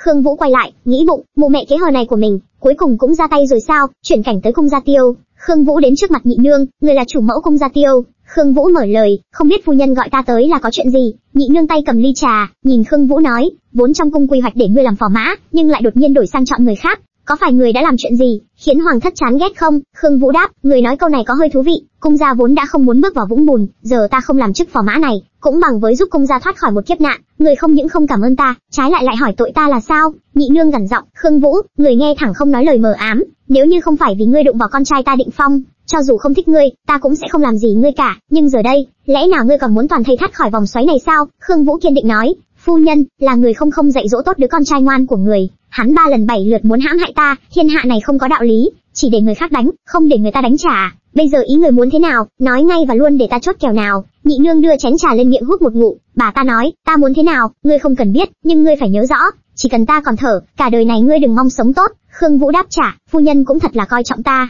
người thân là nương, bao che cho con cái cũng là lẽ thường, người muốn làm gì, ta cũng không ngăn được. Trong đầu Khương Vũ nghĩ bụng, Tiêu Nhị nương là thứ nữ Tiêu gia, lại làm chủ mẫu cung gia nhiều năm như vậy, cũng có chút tâm tư thủ đoạn, không ngờ lần này, bà ta lại tuyên chiến rõ ràng với mình. Đến đây bà ta nói tiếp, rất tốt, mấy ngày nữa chính là hội săn bắn mùa thu rồi, nếu thân thể ngươi đã tốt, vậy thì sớm chuẩn bị đi. Dứt lời Khương Vũ quay lưng bước đi, xem ra hội săn bắn mùa thu này, ắt sẽ xảy ra chút gì đó rồi. Thoát cái ngày hội săn bắn mùa thu cũng đã đến, các cung thủ đã tập trung về, họ dựng lều, cắm trại trong rừng. Lúc này, Khương Vũ và Triệu Cấu đang ngồi đánh cờ, hắn hỏi Triệu Cấu, Khương Vũ tới hội săn bắn mùa thu rồi chứ? Triệu Cấu vui vẻ đáp, tới rồi. Vừa nãy, thuộc hạ nhìn thấy, ngày ấy cùng con trai thứ tư của mộ gia, đem theo rượu và đồ ăn lên núi rồi. Dứt lời hắn hỏi, ngươi nói cái gì? Khương Vũ theo mộ cần lên núi, đúng vậy điện hạ, hắn tức tối nói, tuy thứ không có não này, lúc này lại dám ở chung với mộ cần, cũng không sợ mất cái mạng nhỏ à, giờ mộ cần đã trở thành phò mã rồi, có một số người muốn tính mạng của hắn, Khương Vũ, cái thứ ngu xuẩn này, theo bên cạnh mộ cần sao có thể không bị ảnh hưởng chứ, triệu cấu mở lời, Khương Vũ này có lẽ cho rằng, bản thân đã thoát thân khỏi phòng xoáy tuyển chọn phò mã rồi, mà nhất thời sơ ý, thuộc hạ bây giờ sẽ đưa người lên núi tìm, mộ cần chắc chắn là đã tới vọng Nguyệt Phong, nơi đó đường nhỏ gập ghềnh, Khương Vũ bọn họ nếu như bị phục kích, muốn chạy cũng chỉ có thể chạy xuống núi, ngươi đưa người đi từ đường ôn tuyển đi, triệu cấu cung kính đáp, dạ, thuộc hạ cáo lui, trong đầu triệu cấu thắc mắc, sao điện hạ lại quan tâm tới một quân cờ mà ngài ấy muốn lợi dụng như vậy? Bỗng nhiên hắn khua tập đập nát bàn cờ, hắn hàn học quát lớn, tại sao lại là mộ cần làm phò mã chứ? Vân Tỉnh lắp bắp sợ hãi, điện hạ bất giận, lần chọn phò mã này, thay đổi lại ý kiến của lương thái sư, lại thêm tự cung quốc công cũng có hành động, nên cuối cùng đổi thành con trai thứ tư của mộ gia. Hắn nghĩ bụng, vốn thái hậu hướng vào khương vũ vừa hay hợp ý của bổn cung, nhưng lần này, lương thái sư sao lại lâu chuyện bao đồng thế? Đến đây hắn nói tiếp, lúc trước triệu cấu khi điều tra thưởng hoa yến, giữa lương thái sư và khương vũ có gì khác thường không? Phong nguyên đáp, sư phụ đã điều tra rồi, nhưng không tra ra được gì cả. Lương Thái sư kiên chỉ nói không thích Khương Vũ vô lễ thô thiển, còn mang dòng máu của tội thần, không thích hợp làm phò mã, nên ở trước mặt bệ hạ, dốc sức phản đối. Hắn nói thêm, e là không phải đơn giản như vậy, tiếp tục điều tra cho ta, bao gồm cả cung quốc công, ông ta xưa nay xem thường thằng con trai này, lần này lại không nỡ để hắn lội vào vũng bùn này. Bổn cung muốn biết nguyên nhân, hai tên thị vệ đáp, dạ, thưa điện hạ. Lúc này, hắn mệt mỏi thở dài, đưa tay lên vỗ nhẹ vào đầu, rồi quay lưng bước đi, thấy vậy hai tên thị vệ đồng thanh gọi,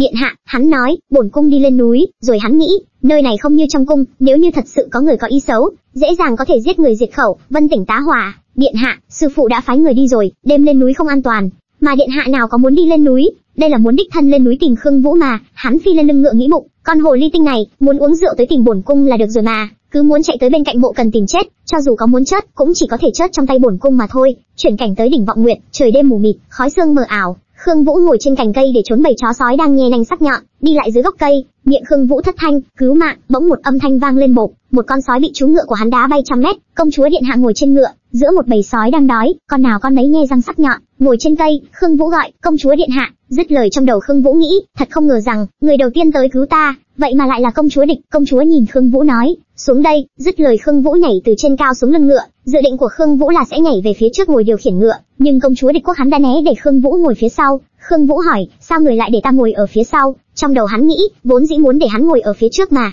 nhưng ngồi trên lưng ngựa, Khương Vũ nói, điện hạ, mạo phạm rồi, chuyện điều khiển ngựa vẫn nên để nam nhân như ta làm thì hơn. Công chúa địch quốc lúc này nghĩ lại, ngày hôm đó ở trong hành cung, hắn cũng ở gần như vậy. Khương Vũ thấy vậy thì nói, điện hạ, cơ thể người đừng cứng nhắc như vậy chứ, con gái ấy à, thỉnh thoảng hãy là một chút chim nhỏ yếu đuối, không cần phải cố chấp phòng vệ nam nữ đâu, ta cũng sẽ không nói ra đâu, yên tâm nhé. Nghe thấy vậy hắn quát lớn, câm miệng lại cho bổn cung, còn không mau đi đi. Khương Vũ cười đáp ý, tuân lệnh điện hạ, ngồi chắc nhé, lượn nào. Rồi Khương Vũ nói tiếp, với lại công chúa điện hạ, sao người lại biết ta ở đây? Bổn cung tới chân núi Thường Nguyệt, gặp được Mộ Cần, hắn nói ngươi đang gặp nguy hiểm. Khương Vũ nói thêm, Mộ Cần vẫn ổn chứ? Hai người trên ngựa, bốn mắt hướng về một phía.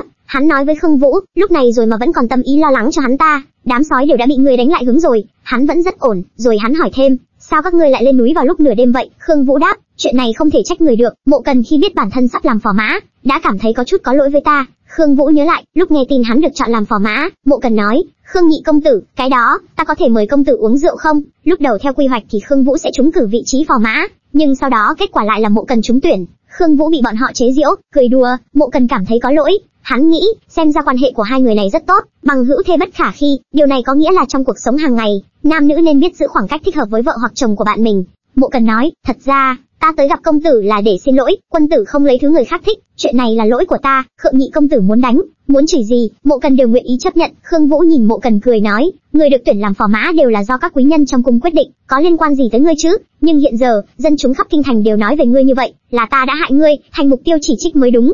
Khương Vũ vươn vai nói, bọn họ cứ việc bàn luận việc của bọn họ, ta sống cuộc sống của ta. Nghe được những lời này, Mộ Cần đôi mắt rực sáng, như thoát khỏi gánh nặng ngàn cân trong tâm trí. Khương Nhị công tử lòng dạ quảng đại, ta thực sự phải bái phục. Nếu Nhị công tử không khét bỏ, ta nguyện ý kết thành huynh đệ với công tử, chăm sóc lẫn nhau. Khương Vũ vui vẻ đáp, không thành vấn đề, ta lớn hơn ngươi, sau này phải gọi ta là Khương huynh nha. Mộ Cần hào hứng không kém, hắn ta lắp bắp, được, Khương huynh. Khương Vũ chợt nghĩ, Mộ Cần đối nhân xử thế chân thành thẳng thắn, ta cũng nguyện ý kết tâm giao với hắn. Sau đó hai người bọn ta đã tới trên núi, muốn vừa ngắm mỹ cảnh, vừa uống rượu ngôn hoan, kết quả vừa lên núi không lâu, đã gặp phải bầy sói hoang, bầy sói được huấn luyện bài bản, nhất định là có người đã cố tình gây ra chuyện này. Trở lại hiện tại, công chúa lúc này nói trêu Khương Vũ, xem ra người cũng không ngốc lắm. Khương Vũ đáp lời, điện hạ, đã là lúc này rồi mà người còn có tâm trạng khịa ta, con ngựa này tốt thật, không chỉ bình tĩnh khi gặp chuyện, mà lực chân cũng thật đáng kinh ngạc. Công chúa địch quốc nói, đó là tất nhiên, phá phong là bảo mã của Tây Thành cống nạp mà. Đúng lúc này cả hai người hốt hoảng thốt lên, vãi nồi, hàng vạn cục đá từ đâu bay tới tấn công hai người. Miệng thất thanh, cẩn thận, Khương Vũ thầm nghĩ bụng, kẻ lăn đá xuống căn bản không quan tâm đến sự sống chết của bầy sói,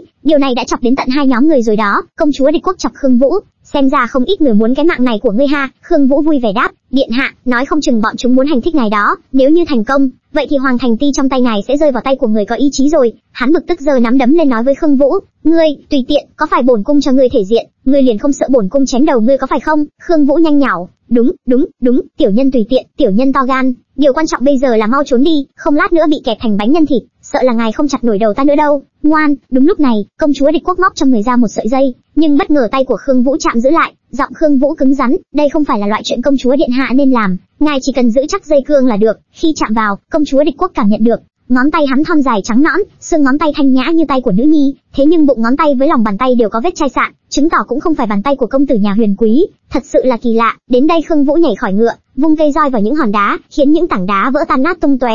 Bỗng nhiên hắn hét lên, phá phong, chú ngựa hú lên một tiếng rồi dừng lại. Bỗng nhiên từ tứ phía, những mũi tên xào xạc bay về phía hai người. Khương Vũ vừa tránh những mũi tên, miệng vừa nói, điện hạ yên tâm. Rồi Khương Vũ bế hắn ta trên tay nghĩ bụng, không muốn bị đâm thành nhím, thì chỉ có thể lặn xuống nước. Công chúa mặt hắn đỏ bừng, hắn hét lớn, ngươi làm gì vậy? Thả bổn cung xuống. Công chúa nghĩ, hắn vậy mà dám ôm ta như ông nữ nhân. Khương Vũ tươi cười, a hi hi, ngoan nào. Hắn nhìn Khương Vũ lẩm bẩm, ngươi đúng là đồ không biết xấu hổ. Vừa bế hắn né những mũi tên đang bay về phía hai người, Khương Vũ nói với hắn, ta đây là vị đại cục, ngươi nghĩ ngươi ngon quá hả? Không có đâu cha nội, khi ở ranh giới của sự sống và cái chết, nếu như mà nữ nhân quá ngang ngược, sẽ không còn gì thú vị nữa. Khương Vũ nghĩ bụng, thân hình của ta còn đẹp hơn vị công chúa điện hạ cứng nhắc này nhiều, ta như này có bị coi là chiếm tiện nghi của nàng ta không? Cảm thấy an toàn được chút, Khương Vũ quay qua hỏi, điện hạ ngài biết bơi không? Hắn tá hỏa, ngươi muốn làm gì? Hắn nghĩ bụng, mặc dù bị bao vây, nhưng với tu vi của bổn cung, lẽ nào lại bị ép đến mức phải nhảy xuống sông chứ? Dứt lời Khương Vũ lấy đà, nhảy xuống sông trong sự hốt hoảng sợ hãi của hắn. Một lát sau, hai người bị bõm lội vào trong bờ, hai cơ thể ai nấy đều ướt nhẹp, tâm trạng công chúa hắn ta rối bời. Khương Vũ kéo hắn lại, điện hạ, điện hạ, đợi đã, trước tiên phải quan sát xung quanh đã, nhớ đâu ở đây có mai phục. Vừa nói Khương Vũ vừa kéo áo vô tình làm rách chiếc áo của hắn, công chúa hắn ta vô cùng hốt hoảng, nhìn thấy da thịt hắn từ phía sau, Khương Vũ há hốc mồm, wow, ta có thà đức gì chứ? Khương Vũ nuốt nước miếng ưng ực, trong lòng thầm nghĩ, ta đang có suy nghĩ vô cùng nguy hiểm, xin đừng bắt trước, nếu như mà xé rách toàn bộ y phục của nàng ta xuống, liệu nàng có khóc không nhỉ? Đến đây hắn hét lớn, Khương Vũ, không sợ mai phục gì hết, bổn cung giết ngươi ngay bây giờ. Sau khi rời khỏi sông, Khương Vũ đốt một ngọn lửa sưởi ấm, nhìn ngọn lửa cháy trong đêm, Khương Vũ nghĩ bụng, có phải mình nói với công chúa gần đây có ôn tuyền, biết đây vị điện hạ đó thật sự sẽ quạo với mình không? Đều là nữ nhân, nhìn nàng ta thì đã sao, nàng ta có, mình cũng chả phải không có. Bỗng giọng nói vang lên cắt đôi dòng suy nghĩ của Khương Vũ, y phục hong khô chưa? Khương Vũ quay mặt đi rồi nói, khô rồi, khô rồi, ta đặt ở trên rìa đá. Điện hạ, ta nhắm mắt rồi đấy, người có thể yên tâm thay phục rồi. Công chúa nhìn Khương Vũ nghĩ bụng, bộ dáng ngốc nghếch của con hồ ly này, trái lại cũng không có đáng ghét như thế. Sau khi đã mặc xong y phục, hắn nói, ngươi có thể quay lại rồi. Khương Vũ quay lại nhìn hắn nghĩ bụng, có gì nói đấy, điện hạ thật sự là đại mỹ nhân xinh đẹp nhất đó. Khương Vũ bỗng nhiên nhớ lại, lần đầu tiên gặp hắn, nhìn thấy hắn Khương Vũ xịt máu mũi, phải để hắn nhắc, ngươi chảy máu mũi rồi kìa. Khương Vũ lấy tay lau chút huyết trên mũi, vừa lau vừa nói, nếu điện hạ ngâm xong rồi, ta cũng đi ngâm một chút. Rồi Khương Vũ nghĩ bụng, sao mình lại chảy máu mũi với một nữ nhân chứ? Nhìn thấy Khương Vũ chảy máu mũi, công chúa nghĩ bụng, nhìn nam nhân cũng có thể chảy máu mũi. Trong đầu con hồ ly này, cả ngày đều không biết hắn đang nghĩ những gì. Khương Vũ ngồi xuống thầm nghĩ, y phục của mình cũng ướt hết rồi, nhưng công chúa sẽ chẳng có lòng tốt giúp mình không y phục đâu. Dứt lời Khương Vũ từ từ bước xuống ngâm mình vào trong dòng nước, đôi mắt Khương Vũ nhắm hờ, quả nhiên ngâm nước nóng tắm, thật sự là cách tốt để giảm mệt mỏi. Đúng lúc này một bàn tay đặt lên vai Khương Vũ, Khương Vũ hốt hoảng, "Ngươi, ngươi làm gì đấy?" Bốn mắt nhìn nhau, nhìn Khương Vũ hắn nói, "Sợ ngươi chết chìm, ta qua đây xem thử." Khương Vũ chưa hết sợ hãi, ngồi thụp hẳn xuống dòng nước, "Ngươi có thể gọi ta mà." Khương Vũ nghĩ bụng, rốt cuộc nàng ta nhìn thấy bao nhiêu rồi, trên tay công chúa hắn ta cầm bộ y phục bước tới, ta đã hong khô áo choàng giúp ngươi rồi, gọi ngươi, mà ngươi không phản ứng. Khương Vũ lúc này vô cùng xúc động, ui cha, công chúa điện hạ lạnh lùng băng giá lại hong y phục cho mình. Khương Vũ lúc này vẫn đang cầm chặt lấy tay của công chúa địch quốc, miệng hắn nói, ngươi là định bóp gãy tay của bổn cung sao? Khương Vũ thả tay hắn ra rồi nói, nam nữ thụ thụ bất thân, điện hạ sao có thể tùy ý đụng chạm vào cơ thể của nam nhân, người không phải kiêng kỵ nhất. Hắn đáp trả, ngươi đã xé y phục của bổn cung rồi, lại cả đường ôm bổn cung tới tới lui lui, giờ lại nói những lời này, không cảm thấy hơi muộn rồi sao? Khương Vũ nét mặt buồn rầu nói, là ta không đúng, cảm ơn điện hạ hong khô y phục cho ta, điện hạ giờ đã có phò mã, vẫn mong người mau chóng rời đi. Khương Vũ nghĩ bụng, mặc dù bọn mình đều là nữ tử, nhưng mình không thể để lộ thân phận của mình được. Về phần công chúa hắn ta nghĩ bụng, mình và hắn đều là nam tử, có gì đáng tránh chứ? Nhưng khó có thể nhìn thấy dáng vẻ hắn quẫn bạch, chi bằng trêu chọc hắn chút. Dứt lời hắn nói với Khương Vũ, phò mã không phải người ta muốn, người mà ta muốn đang ở trước mắt ta nè. Đến đây, Khương Vũ nghe như sét đánh ngang tai, lời này của nàng ta, lẽ nào là nói, chuyển cảnh, lúc này Đường Oản Oản và Khương Minh Vũ đang đứng trong khu rừng, Oản Oản bực tức nói, không ngờ Đường Thánh Ninh lại đi cứu Khương Vũ, nhưng cũng tốt, để bọn chúng đều bị sói ăn thịt mới vui. Trong đầu cô ta nghĩ, Đường Thánh Ninh lúc đầu đánh mình một roi đó, mình tuyệt đối sẽ không dễ dàng bỏ qua đâu. Minh Vũ bất giác cầm tay Oản Oản hỏi, sói gì cơ? Oản Oản quận chủ, chúng ta chẳng biết gì, hôm nay tới đây, chẳng qua là ngươi đưa ta lên ôn tuyển ngắm cảnh mà thôi. Oản Oản hốt hoảng, hả? Ngươi nói là, rong đầu à ta nghĩ bụng, tại sao hắn rõ ràng đang cười, nhưng mình lại cảm thấy hoảng loạn sợ hãi nhỉ? Minh Vũ nói tiếp, Oản Oản quận chủ,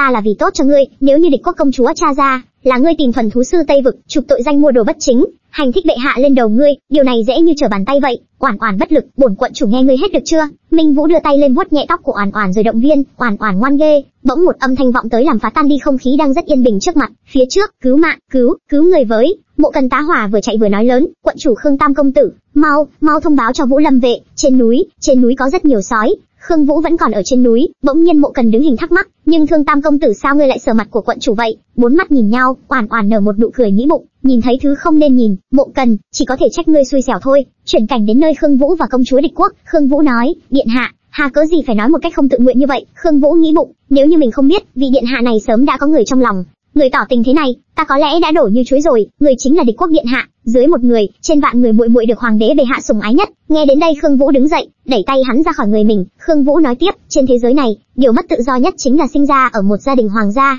số mệnh không do bản thân mình nắm giữ. Mình chưa bao giờ thấy cô ấy có dáng vẻ trông cô đơn và bất lực đến vậy. Nàng ấy rõ ràng là trong lòng đã có người thương, nhưng lại phải gã cho Mộ Cần. Nếu như họ thành thân, thì sẽ là bi kịch cho cả ba người. Khương Vũ nói tiếp, điện hạ, Mộ Cần là một người tốt, nếu như người không bằng lòng kết hôn với ngài ấy, tại sao lại không nói rõ với thái hậu và hoàng thượng, muốn lựa chọn một người khác cơ chứ? Công chúa nói tiếp, nếu như thật sự có thể đổi ứng cử viên phò mã, ngươi có bằng lòng làm mã của ta không? Khương Vũ nghe thấy những lời này liền bị dọa hết hồn chim én, miệng lắp bắp, không, dứt lời Khương Vũ bị trượt chân té nhào xuống nước, cũng may công chúa nhanh tay đỡ được, bốn mắt nhìn nhau, Khương Vũ lắp bắp, đa tạ điện hạ, điện hạ, đã đỡ ta, Khương Vũ nhanh chóng làm mấy ngụm nước sông, công chúa đứng dậy, miệng nói, bổn cung đi sưởi ấm trước, quần áo cứ để ở đây đi, dứt lời hắn quay lưng bước đi, Khương Vũ lúc này nghĩ bụng, rõ ràng cả hai người đều là nữ, tại sao mình lại bối rối vì sự tiếp xúc mơ hồ này, đặc biệt là cái cảm giác tê dại thực sự, khiến cho mình rất khó hình dung. Một lúc sau, Khương Vũ vẫn đang thẫn thờ với những tâm tư bên đống lửa, Khương Vũ mở lời, điện hạ, về việc phò mã, người vẫn nên suy xét cho cẩn thận, ta đã từng nói với bệ hạ, xuất thân của ta mẫn cảm, thật sự không muốn liên lụy lớn đến điện hạ,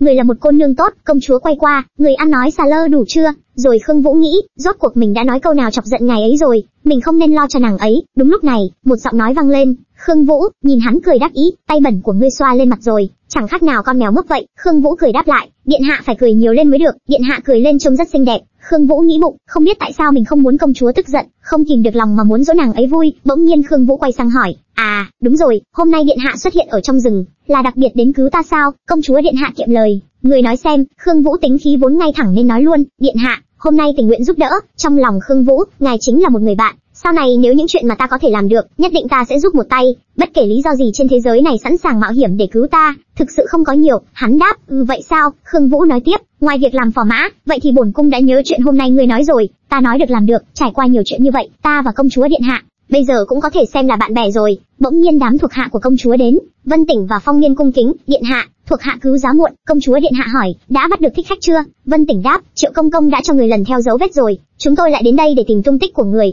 thuyền đã chuẩn bị sẵn sàng rồi. Khương Vũ nói thêm, các ngươi đã tìm thấy mộ tứ công tử chưa? Vân Tỉnh đáp lời, mộ tứ công tử rơi xuống núi vẫn chưa rõ tung tích.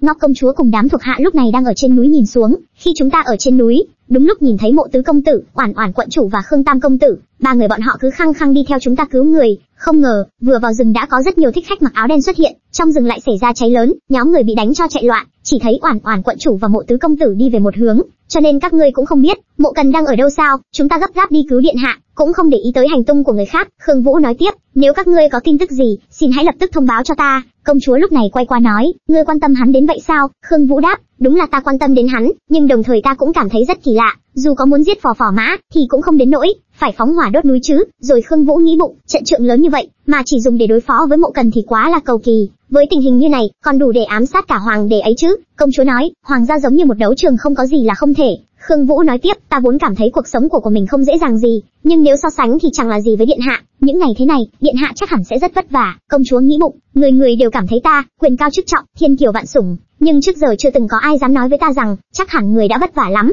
Khương Vũ, hắn dường như đã coi ta như người bạn bình thường rồi. Đến đây, bỗng vang lên tiếng gọi, Khương Vũ, Khương Vũ ngó dọc ngó ngang, chợt nhận ra đó là tiếng của Mộ Cần. Khương Vũ vội vàng chạy về hướng có tiếng gọi, Mộ Cần đang gặp nguy hiểm, công chúa lệnh cho Vân Tỉnh. Bắt lấy hắn, dứt lời, Khương Vũ đã bị Vân Tỉnh tóm được, bị điểm huyệt đạo làm đứng yên bất động, Khương Vũ miệng thất thanh, người thả ta ra, không nhìn thấy Mộ Cần đang trong gặp nguy hiểm hay sao? Hắn là từ công tử Mộ ra đấy, Vân Tỉnh đáp lời, đây là mệnh lệnh của điện hạ, ngươi ngoan ngoãn nghe lời chút, Khương Tỉnh trách móc, tại sao, ta phải đi cứu người, nếu không sẽ không kịp mất. Giọng nói của công chúa vang lên khiến Khương Vũ rơi vào trầm tư, bởi vì đã không kịp nữa rồi, trước khi Vân Tỉnh phát hiện ra Mộ Cần chìm trong biển lửa, dựa vào khinh công của hắn, đã chẳng thể nào cứu được, hơn nữa, ngươi chỉ có một thân một mình, ngươi nghĩ rằng, ngươi có thể làm được gì chứ? Khương Vũ hằn học, điện hạ, hóa ra người đã sớm biết mộ cần bị mắc kẹt, nhưng lại cố ý để Vân Tỉnh giấu ta, tại sao chứ? Công chúa nhìn Khương Vũ đáp, vì ngươi sẽ làm những chuyện ngu ngốc, không biết tự lượng sức mình như bây giờ. Khương Vũ thanh minh, điện hạ, ta làm những chuyện ngu ngốc thì cũng là chuyện của ta, xin người lập tức để Vân Tỉnh thả ta ra, người không cứu người, nhưng ta phải đi cứu người. Công chúa nhìn Khương Vũ, là ngươi đang trách bổn cung. Khương Vũ cao mày,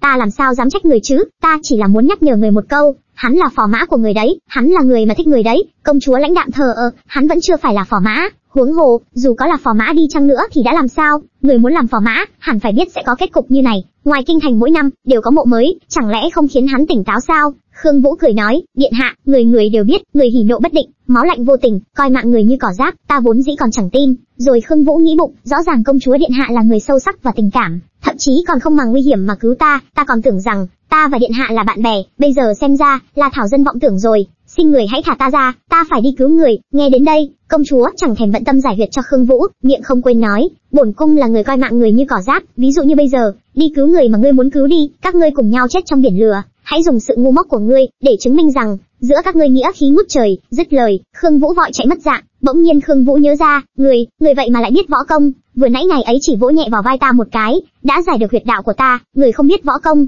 căn bản không thể làm được. Công chúa đáp, đúng thế. Rồi Khương Vũ nghĩ bụng, tối nay ta còn tưởng ngài ấy là một nữ tử yếu đuối, dùng toàn lực bảo vệ ngài ấy, hóa ra đây đều là sự tưởng tượng ngu ngốc của ta. Chuyển cảnh, lúc này Mộ Cần đang đứng trong biển lửa ngút trời, nhìn thấy viễn cảnh trước mặt, Khương Vũ nghĩ bụng, Mộ Cần, bây giờ không phải lúc bối rối bởi những chuyện này, mình phải mau chóng đi cứu hắn, ta tuyệt đối không thể để huynh đệ mới kết nghĩa của ta chết được. Nhìn viễn cảnh trước mặt, Mộ Cần đứng thẳng dựa vào gốc cây, một cây kiếm xuyên ngang ngực cắm vào thân cây, Khương Vũ trấn an, "Mộ Cần, ngươi cố gắng thêm chút nữa, ta lập tức đến cứu ngươi đây." Vừa nói, Khương Vũ vừa dốc sức dọn những cây gỗ đang cháy đỏ rực để lấy đường đi, chứng kiến tấm chân tình của Khương Vũ, Mộ Cần nói trong tuyệt vọng, "Đủ rồi, Khương Vũ, đừng tới đây, đã không kịp nữa rồi, ta chỉ có một tâm nguyện, huynh nhất định phải thay ta hoàn thành." Bất lực, Khương Vũ ngồi dưới gốc cây ôm mặt khóc, Khương Vũ nghĩ bụng, Mộ Cần huynh đệ mà mình mới vừa kết nghĩa, cứ như vậy mà ngõm trước mặt mình sao? Bỗng có tiếng bước chân tiến về phía Khương Vũ, công chúa và thuộc hạ bước đến, công chúa mở lời, Mộ Cần không còn nữa, ngươi cũng muốn chết theo hắn sao? Khương Vũ căm hận, điện hạ, ngài có biết tâm nguyện lúc sắp ra đi của Mộ Cần là gì không? Tâm nguyện của hắn thì có liên quan gì đến bổn cung?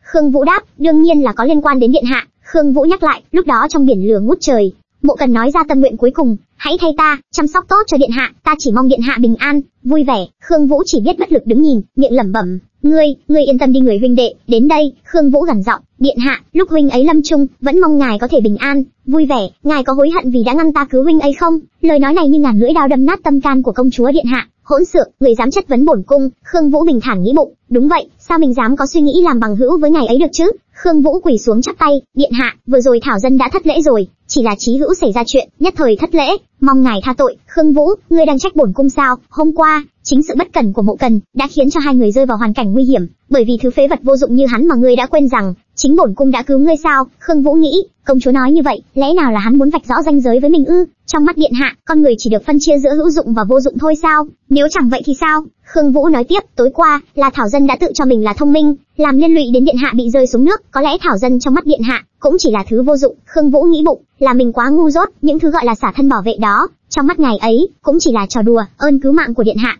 Thảo dân nhất định sẽ khắc cốt ghi tâm. Công chúa bước đến nâng cầm Khương Vũ lên, nhắc lại, khắc cốt ghi tâm ư? Công chúa nhìn Khương Vũ nói tiếp, Khương Vũ, ngươi nghĩa khí như vậy, đừng quên những gì tối qua ngươi đã nói với ta, nếu bổn cung yêu cầu, ngươi chắc chắn sẽ làm theo, làm sao một người như điện hạ lại cần đến một người vô dụng như Thảo dân được chứ? Công chúa tỏ vẻ tức giận, vô dụng hay hữu dụng, bổn cung nói mới tính. Ngươi nói ba lắp ba sảm không tính, bổn cung muốn ngươi làm cho ta ba việc, tất cả đất đai và con người trong thiên hạ đều phải phục tùng nhà vua và các bậc vương giả. Nếu như Thảo dân có đủ khả năng, thì sẽ nghe theo sự phân phó của ngài. Công chúa nhìn Khương Vũ, ngươi đứng dậy trước đi. Đúng lúc này, Triệu Công Công đến, bước theo sau ông là một hàng dài binh lính. Triệu bước đến trước mặt công chúa quỳ xuống, bái kiến điện hạ, thích khách đều đã được xử lý sạch sẽ rồi. Thuộc hạ tắc trách khiến điện hạ hoảng sợ, quả nhiên không ngoài dự liệu của bổn vương, làm lớn như này khiến cháy cả một khu rừng, nhất định là trong cung đã có nội gián. Triệu Cấu cung kính nói, điện hạ dự liệu như thần, thuộc hạ mới có thể kịp phòng bị trước. Khương Vũ nghe thấy vậy thì nghĩ bụng, thì ra tất cả mọi chuyện ngài ấy đều nắm trong lòng bàn tay. Lần này, thích khách không chỉ nhắm vào phò mã của địch quốc công chúa, mà hơn thế nữa là nhằm vào công chúa địch quốc mà đến.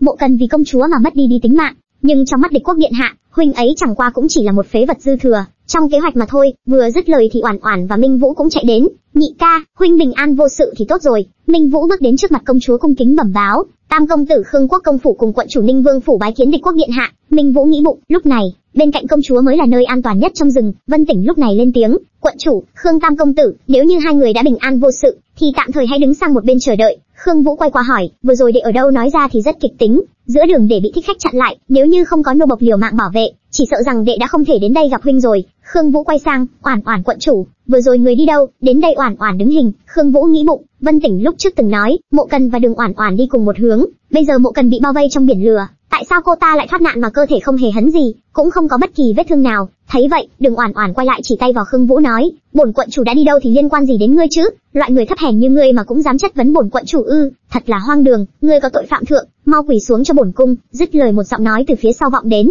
hỗn xược, vừa nói cô ta vừa bị công chúa đá vào chân, Oản Oản quỳ xuống, Vân Tỉnh nói, công chúa đang ở đây, làm gì đến lượt ngươi lên tiếng, phát ra những lời cùng ngôn, Oản Oản bực tức khuôn mặt tối sầm, lần trước, cô ta dùng roi ra đánh mình, bây giờ lại phạt quỳ trước mặt mọi người, ta xuất thân cao quý, hai lần bị sỉ nhục, đều là do cô ta gây ra, tại sao cô ta không chết đi chứ? Công chúa nói lớn, ta hỏi lại lần cuối, cái chết của Mộ Cần có liên quan gì đến ngươi không? Oản Oản trừng mắt, không có, rồi ả nghĩ bụng, Khương Minh Vũ từng nói, bất luận là có chuyện gì, cũng phải khẳng định chuyện này không có liên quan gì đến mình, tuyệt đối không thể để cho Khương Vũ biết, nguyên nhân thật sự dẫn đến cái chết của Mộ Cần, lúc ngọn núi bắt đầu cháy, mình và Mộ Cần quả thật là đã ở bên nhau, sau đó bị thích khách đuổi kịp, thích khách muốn truy tìm tung tích của công chúa nên đã bắt giữ mình và Mộ Cần. Mộ Cần mặc dù trọng thương nhưng nhất định không nói, mình vì để giữ lại mạng sống, đã nói cho thích khách biết phương hướng của công chúa, sau khi thích khách rời đi, Khương Minh Vũ mới đuổi đến, nếu như để Mộ Cần tiếp tục sống, chắc chắn sẽ nói với mọi người chuyện mình đã bán đứng công chúa, vì để che giấu tất cả mọi chuyện, Khương Minh Vũ đã ra tay giết chết Mộ Cần, để đám cháy nuốt chửng hắn ta. Khương Vũ bức xúc nói, quận chủ, tốt nhất là người không có liên quan gì đến cái chết của Mộ Cần.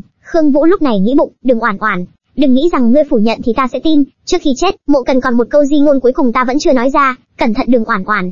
Khương Vũ buồn rầu, nắm chặt bàn tay, trách bản thân thấy chết mà không thể cứu, trong lòng gợn sóng, trước khi huynh ấy chết mà vẫn còn lo lắng cho mình, người lương thiện như vậy, ai nợ mạng của huynh ấy, thì ta nhất định sẽ đòi lại. Công chúa quay qua nói với Khương Vũ, còn đang nghĩ gì vậy, mọi chuyện đã qua rồi, cũng nên sống núi thôi. Khương Vũ quay lại cung kính, công chúa điện hạ, mời ngài đi trước. Trong đầu công chúa điện hạ nghĩ, được lắm Khương Vũ, nhà ngươi, đây là hạ quyết tâm muốn giữ khoảng cách với ta ư? Có điều, trên thế giới này, không có ai mà bổn cung không có cách thu phục được. Khương Vũ, ngươi sớm muộn gì cũng là người của bổn cung. Ba ngày sau, tại phủ công chúa địch quốc, công chúa đang ngồi viết thư, Vân Tỉnh ngồi bên cạnh ngó qua nhìn nghĩ bụng, chuyện đó có cần phải nói cho điện hạ biết không? Bất giác công chúa dừng bút, ngẩng đầu lên hỏi, Vân Tỉnh, bổn cung đẹp như vậy sao? Vân Tỉnh đang cầm nghiên mực trên tay, khi nghe hỏi vậy, Vân Tỉnh ho nhẹ một tiếng rồi nói, điện hạ là đẹp nhất, thuộc hạ không cố ý làm phiền điện hạ, chỉ là vừa rồi nghe được một số tin đồn, công chúa nét mặt thờ ơ, nói đi, đừng ngại, Vân Tỉnh nét mặt buồn rầu nói, bên ngoài mọi người đều nói cái chết của Mộ Cần là do điện hạ và Khương Vũ gây ra, bởi vì điện hạ trung tình với Khương Vũ, cho nên hai người mới cấu kết hãm hại Mộ Cần, phu quân chính thức của ngài. Bỗng nhiên công chúa đấm một phát vào mồm Vân Tỉnh, khiến hắn kêu la đau đớn. Ai ra điện hạ, một mắt bầm thâm, Vân Tỉnh nghĩ bụng, cái gì mà cứ nói đừng ngại chứ, điện hạ đúng là lươn chúa mà, chỉ được cái nói mồm, hu hu, Phong Nhiên đứng bên cạnh nói, điện hạ, người tung tin đồn chuyện này, chính là Đường Oản Oản, vị tiêu phu nhân của Khương phủ, cũng là một trong số những người thêm dầu vào lửa. Công chúa điện hạ đáp lời, "Ừ." Phong Nhiên nói tiếp, "Điện hạ, có muốn bọn thuộc hạ ra tay, cho những người đã phao tin đồn nhảm về điện hạ, một bài học không?" Công chúa xua tay, "Không cần đâu." Mộc nhiên nói tiếp, "Không quan tâm sao? Vậy danh tiếng của điện hạ?" Công chúa nói tiếp, "Có phải là Khương Vũ rất có bản lĩnh đúng chứ? Mục Vương phủ, Ninh Vương phủ đều phải chịu tổn hại trong tay Khương Vũ, nghĩ lại thì ta cũng không cần phải ra tay. Đúng rồi, Khương Vũ cũng được xem là ân nhân cứu mạng của bổn cung, dùng danh nghĩa của bổn cung, đến Khương phủ tặng cho hắn ít rượu nếp cái hoa vàng mới của năm nay đi." Phong Nghiên đáp, "Vâng, điện hạ." Phong Nghiên chợt nghĩ, điện hạ làm thế này, không phải là đổ thêm dầu vào lửa sao? Thêm mắm thêm muối vào những tin đồn thất thiệt này ư? Công chúa lúc này vừa vẽ vừa nghĩ bụng, Khương Vũ, tính này thì cũng đến lúc mộ gia nên đến tìm ngươi gây rắc rối rồi. Bây giờ, xem ngươi phản ứng thế nào. Chuyển cảnh đến Khương gia, công tử người của mộ gia tới tìm người hỏi tội rồi. Người này chính là Mộ Thư, là con trai trưởng nhà mộ gia. Vừa bước vào cửa, Mộ Thư đã gằn giọng hét lớn, đệ đệ ta Mộ Cần, bị ngươi hại chết cháy trên núi. Hôm nay ta đến, muốn đòi lại công bằng cho đệ ấy. Khương Vũ vô cùng quan ngại, lo lắng nhìn Mộ Thư. Khương Vũ chắp tay nói, Mộ Cần và ta là huynh đệ, ta không có hại huynh ấy. Chợt trong đầu Khương Vũ nhớ lại, dạo gần đây, bên ngoài đều là tin đồn, vu khống mình và công chúa. Mộ Thư vì thấy bất công cho đệ đệ đã chết của mình, nên mời đến đây tìm mình gây rắc rối. Mộ Thư nói tiếp, nhưng những gì oản oản quận chủ nói, hoàn toàn khác với ngươi, người tận mắt nhìn thấy, ngươi và địch quốc công chúa điện hạ cặp kè với nhau trong núi, thậm chí còn cùng nhau qua đêm, thê tử bằng hữu không được phép đụng đến. Ngươi đối xử với đệ đệ ta như vậy sao? Mộ công tử ăn nói cẩn thận, kẻo ta cắt lưỡi ngươi đấy. Ta và địch quốc công chúa trong sạch, ta tuyệt đối sẽ không vì ngày ấy mà hãm hại mộ cần. Đừng oản oản và ta có thù, lời nói của cô ta không đáng tin. Khương Vũ nghĩ, mình thực sự không muốn trở thành kẻ địch với người nhà mộ cần. Mộ thư hỏi lại, ngươi thực sự không có tư tình với công chúa sao? Ta và công chúa, đến đây, một tiếng gọi vang lên, Khương nhị công tử. Khương Vũ quay lại, Minh Nguyệt hớn hở bê khay rượu vào, vui mừng nói, người trong cung đến nói rằng, công chúa biết người có tính cách hào phóng, thích uống rượu, nên ban thưởng ít rượu ngon, mang đến đây cho người thưởng thức. Nghe đến đây, mộ thư tức học máu mồm, hắn chỉ tay vào Khương Vũ hét lớn, đây chính là sự trong sạch mà ngươi nói, là người khác hãm hại ngươi sao? Đến đây Khương Vũ đứng hình toàn tập, Khương Vũ xoa xoa đầu nói, nếu như ta nói, công chúa có thù với ta, các ngươi sẽ tin chứ? Khương Vũ thắc mắc, ngày ấy trong giây phút then chốt, lại mang rượu cho mình, chính là cố ý khiến mình khó xử. Dứt lời,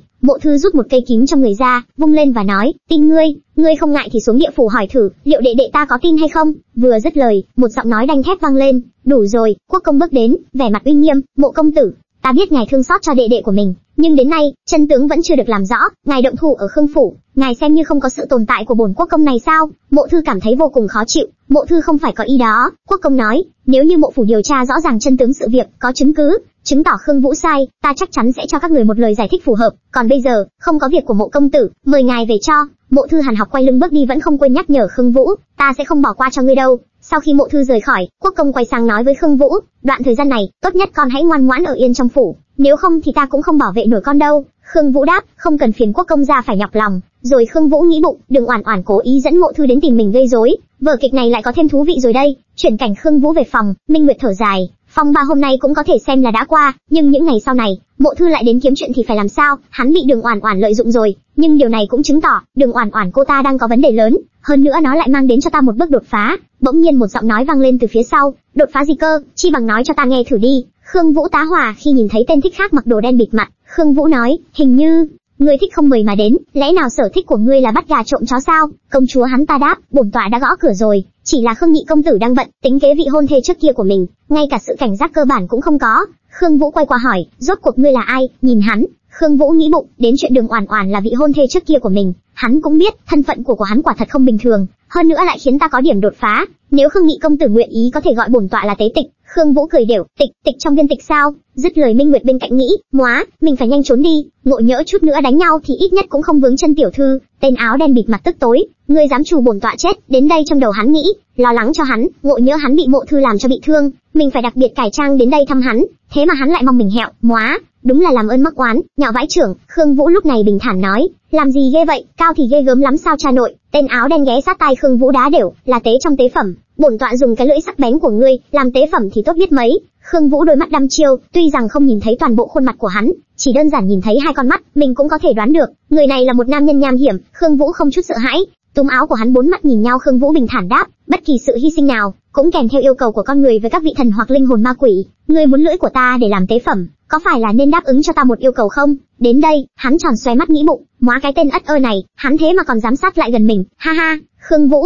ngươi thật thú vị. Đúng lúc này hắn khẽ nâng cầm Khương Vũ lên nói, ngươi muốn làm cái quái gì ta đấy? Khương Vũ tươi cười vui vẻ đáp, à ta, ta chỉ muốn, ta chỉ muốn cái tên yêu quái âm hồn bất tán, này vĩnh viễn biến đi cho khuất mắt ta, cứ lo nhoi trước mắt ta, khiến ta ngứa mắt, dứt lời Khương Vũ lấy hết sức lực ném hắn bay xa trăm mét, Khương Vũ thở phào một hơi, hứ, tiểu gia còn không xử đẹp được ngươi sao? Hắn nằm một đống bất động, đau đớn hắn kêu gào, Khương Vũ, sao ngươi lại đối xử với bổn tọa thế này? Có phải ngươi chê cuộc sống nhàn hạ quá rồi phải không? Nhìn hắn đang lơ lửng trên trần nhà, đầu lộn xuống phía dưới đất, Khương Vũ há hốc mồm, ngươi cầm tinh con nhện đấy hả? Rồi Khương Vũ nghĩ bụng, khinh công của tên này đã hoàn toàn ngoài sức tưởng tượng rồi. Nghe đến đây, tên áo đen vội vàng nhảy xuống đất, đỡ chiếc bàn trên đầu. Khương Vũ lắp bắp, rốt cuộc ngươi là ai, muốn làm gì? Nhìn Khương Vũ hắn nói, hà tất gì phải kích động như vậy, bổn tọa đến đây gặp ngươi, là muốn làm một giao dịch nho nhỏ với ngươi. Khương Vũ nhìn hắn thắc mắc, giao dịch gì? Ngươi nói ta nghe thử. Rồi Khương Vũ nghĩ bụng, dù con người hắn vô cùng đáng ghét, nhưng nếu như đây là một vụ làm ăn tốt, thì ta cũng có thể nhịn một chút. Dứt lời hắn lấy ra một miếng ngọc bội rồi nói, nếu như ngươi có nhu cầu, có thể dùng vật này, sẽ có được sự bảo hộ, cùng một đội quân hỗ trợ đủ mạnh, cầm trên tay. Khương Vũ hỏi, điều kiện là gì? Hắn đáp, điều kiện rất đơn giản, sau này, vào lúc cần thiết, ngươi phải cùng ta lấy một thứ. Khương Vũ thắc mắc, một thứ, ta nói cho ngươi biết, những thứ tán tận lương tâm, phá trời hại đất, lật đổ triều đình đều không được nha. Hắn cười, ngươi khá cảnh giác đó chứ, yên tâm, thứ mà ta muốn ngươi lấy, tuyệt đối không liên quan tới mấy chuyện đó. Khương Vũ thắc mắc, vậy là thứ gì? Có phải là thứ liên quan tới nhà ngoại tổ ta không? Dứt lời Khương Vũ nghĩ bụng, lần đầu tiên hắn gặp ta, đã nhắc tới dòng máu ngọc gia của ta. Hắn nói tiếp, khi đến thời điểm thích hợp, bổn tọa sẽ nói cho người biết. Đến đây hắn chìa bàn tay ra trước mặt Khương Vũ, dứt lời Khương Vũ chìa bàn tay của mình ra bắt tay với hắn, được thành giao, rồi hắn kéo Khương Nguyệt bước sang một bên. Trước khi này, ngươi bớt trêu hoa gẹo Nguyệt lại, tránh trước khi bổn tọa cần tới, ngươi đã bị duyên nợ bức chết. Hắn nói tiếp, vậy thì ta trêu đùa ngươi là được rồi. Khương Vũ không kém, lần đầu tiên gặp, ta đã nói rồi, ta không ngại đồng tính luyến ái, nam nữ thông sát đâu. Nghe đến đây, hắn cả thấy hơi ghê ghê, nếu xét về độ mặt dày, thì ngươi đứng đầu thiên hạ rồi đó.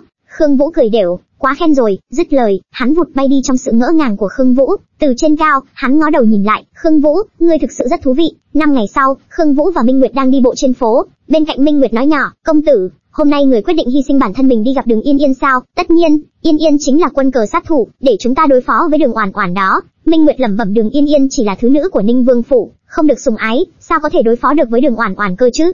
Chuyện gì cũng phải tính toán kỹ lưỡng, bước đầu tiên để lật đổ Đường Oản Oản là kéo à ta khỏi vị trí quận chủ. Tuy Đường Yên Yên là thứ nữ của Ninh Vương phủ, nhưng khiêm tốn, lương thiện hơn Đường Oản Oản, thường xuyên làm từ thiện, phát cháo cho dân nghèo. Thời gian trước, ta đem một phần tiền kiếm được, đầu tư vào việc phát cháo từ thiện của Đường Yên Yên, để nàng ta có thể cứu giúp được nhiều người hơn, nàng ta cũng được nhân dân kính trọng, gọi là tiên cô. Công tử muốn giúp Đường Yên Yên lấy được danh tiếng tốt, thay thế cho Oản Oản quận chủ, nhưng từng đó cũng không đủ, dù sao thì quận chủ cũng là hoàng mệnh đó. Hai người đi một hồi cuối cùng cũng gặp được Đường Yên Yên, nhìn thấy Khương Vũ, Yên Yên đang nấu cháo vui vẻ nói, công tử đến tìm ta sao? Khương Vũ mở lời, Yên Yên cô nương gần đây công việc có thuận lợi không? Nhờ có phúc của công tử, hiện giờ bách tính đều công nhận ta, còn vị đích tỷ kia của ta lại càng thường xuyên tới làm phiền ta. Đừng vội, rất nhanh thôi, ta sẽ đem chức vị quận chủ của nàng ta cho ngươi. Yên Yên nghe được những lời này từ Khương Vũ, cô ta vô cùng xúc động, cảm ơn thương nhị công tử. Phía bên này, Vân Tỉnh đang đứng quan sát nhất cử nhất động của hai người. Hắn nghĩ, điện hạ bảo ta phải bẩm báo từng lời nói, hành động của Khương Vũ, chuyện này có nên bẩm báo lại không nhỉ? Chuyển cảnh đến phủ công chúa, xin chào nhị tiểu thư, Khương nhị công tử, ta được thái hậu triệu vào cung, sao huynh cũng tới đây? Khương Vũ tươi cười đáp, vì thái hậu cũng triệu ta đến. Khương Vũ nghĩ bụng,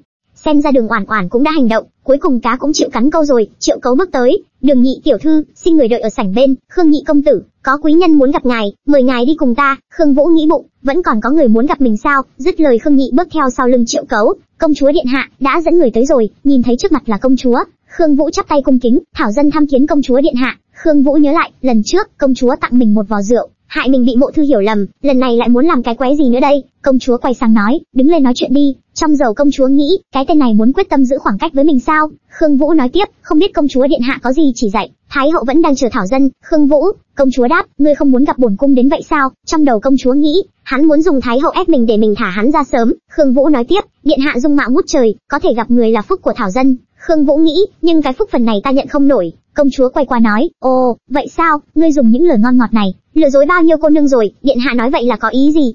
Công chúa nói tiếp, ta nghe nói, gần đây ngươi rất thần thiết với đường yên yên, tin đồn đã lan tới tận cung rồi, Vân Tỉnh nói nhỏ với công chúa, điện hạ, gần đây Khương Vũ rất thân thiết với đường yên yên đó, mỗi ánh mắt đều chứa đầy tình cảm, công chúa ngắt lời, đủ rồi, hắn nghĩ, Khương Vũ hóa ra không phải người không gần nữ sắc, mà ngươi không gần bổn cung, công chúa quay qua nói với Khương Vũ, ngươi và đừng Yên Yên phát cháo từ thiện, là ngươi muốn lấy nàng ta sao? Khương Vũ bặm môi, công chúa điện hạ, người theo dõi ta sao? Hắn đáp, nếu không muốn người khác biết thì đừng làm. Hắn đặt tay lên vai Khương Vũ gần giọng, Khương Vũ, tốt nhất ngươi nên thành thật một chút, đừng tưởng ta không chọn ngươi làm phò mã, là ngươi có thể tránh được. Thứ bổn cung muốn, từ trước đến nay, không gì là không thể, hiểu chứ? Khương Vũ há hốc mồm ngạc nhiên, cô ta không muốn buông tha cho mình sao? Công chúa quay lưng bước đi miệng không quên nói, được rồi, ngươi đi đi, đừng để thái hậu đợi lâu. Thảo dân xin phép cáo lui, sau khi Khương Vũ đi, công chúa lệnh cho Vân Tỉnh, Vân Tỉnh phái người tới chỗ Thái hậu thăm dò, nếu có người làm khó Khương Vũ, báo ngay lại cho ta, chuyển cảnh đến cung Thái hậu, Khương Vũ, mộ thư tố cáo ngươi, hôm đi săn mùa thu, ngươi đã dụ mộ cần lên núi, gặp thích khách làm mộ cần bị thiêu sống em ngươi có thừa nhận chuyện này không? Thảo dân không nhận, Thái hậu quay sang hỏi mộ thư, ngươi có bằng chứng chứng minh Khương Vũ đã giết mộ cần không? Mộ cần đáp, khi tên sát thủ đó đốt núi, đừng Oản Oản và Ninh quận chúa cũng có mặt, nhắc đến tên mình, Oản Oản liền nói,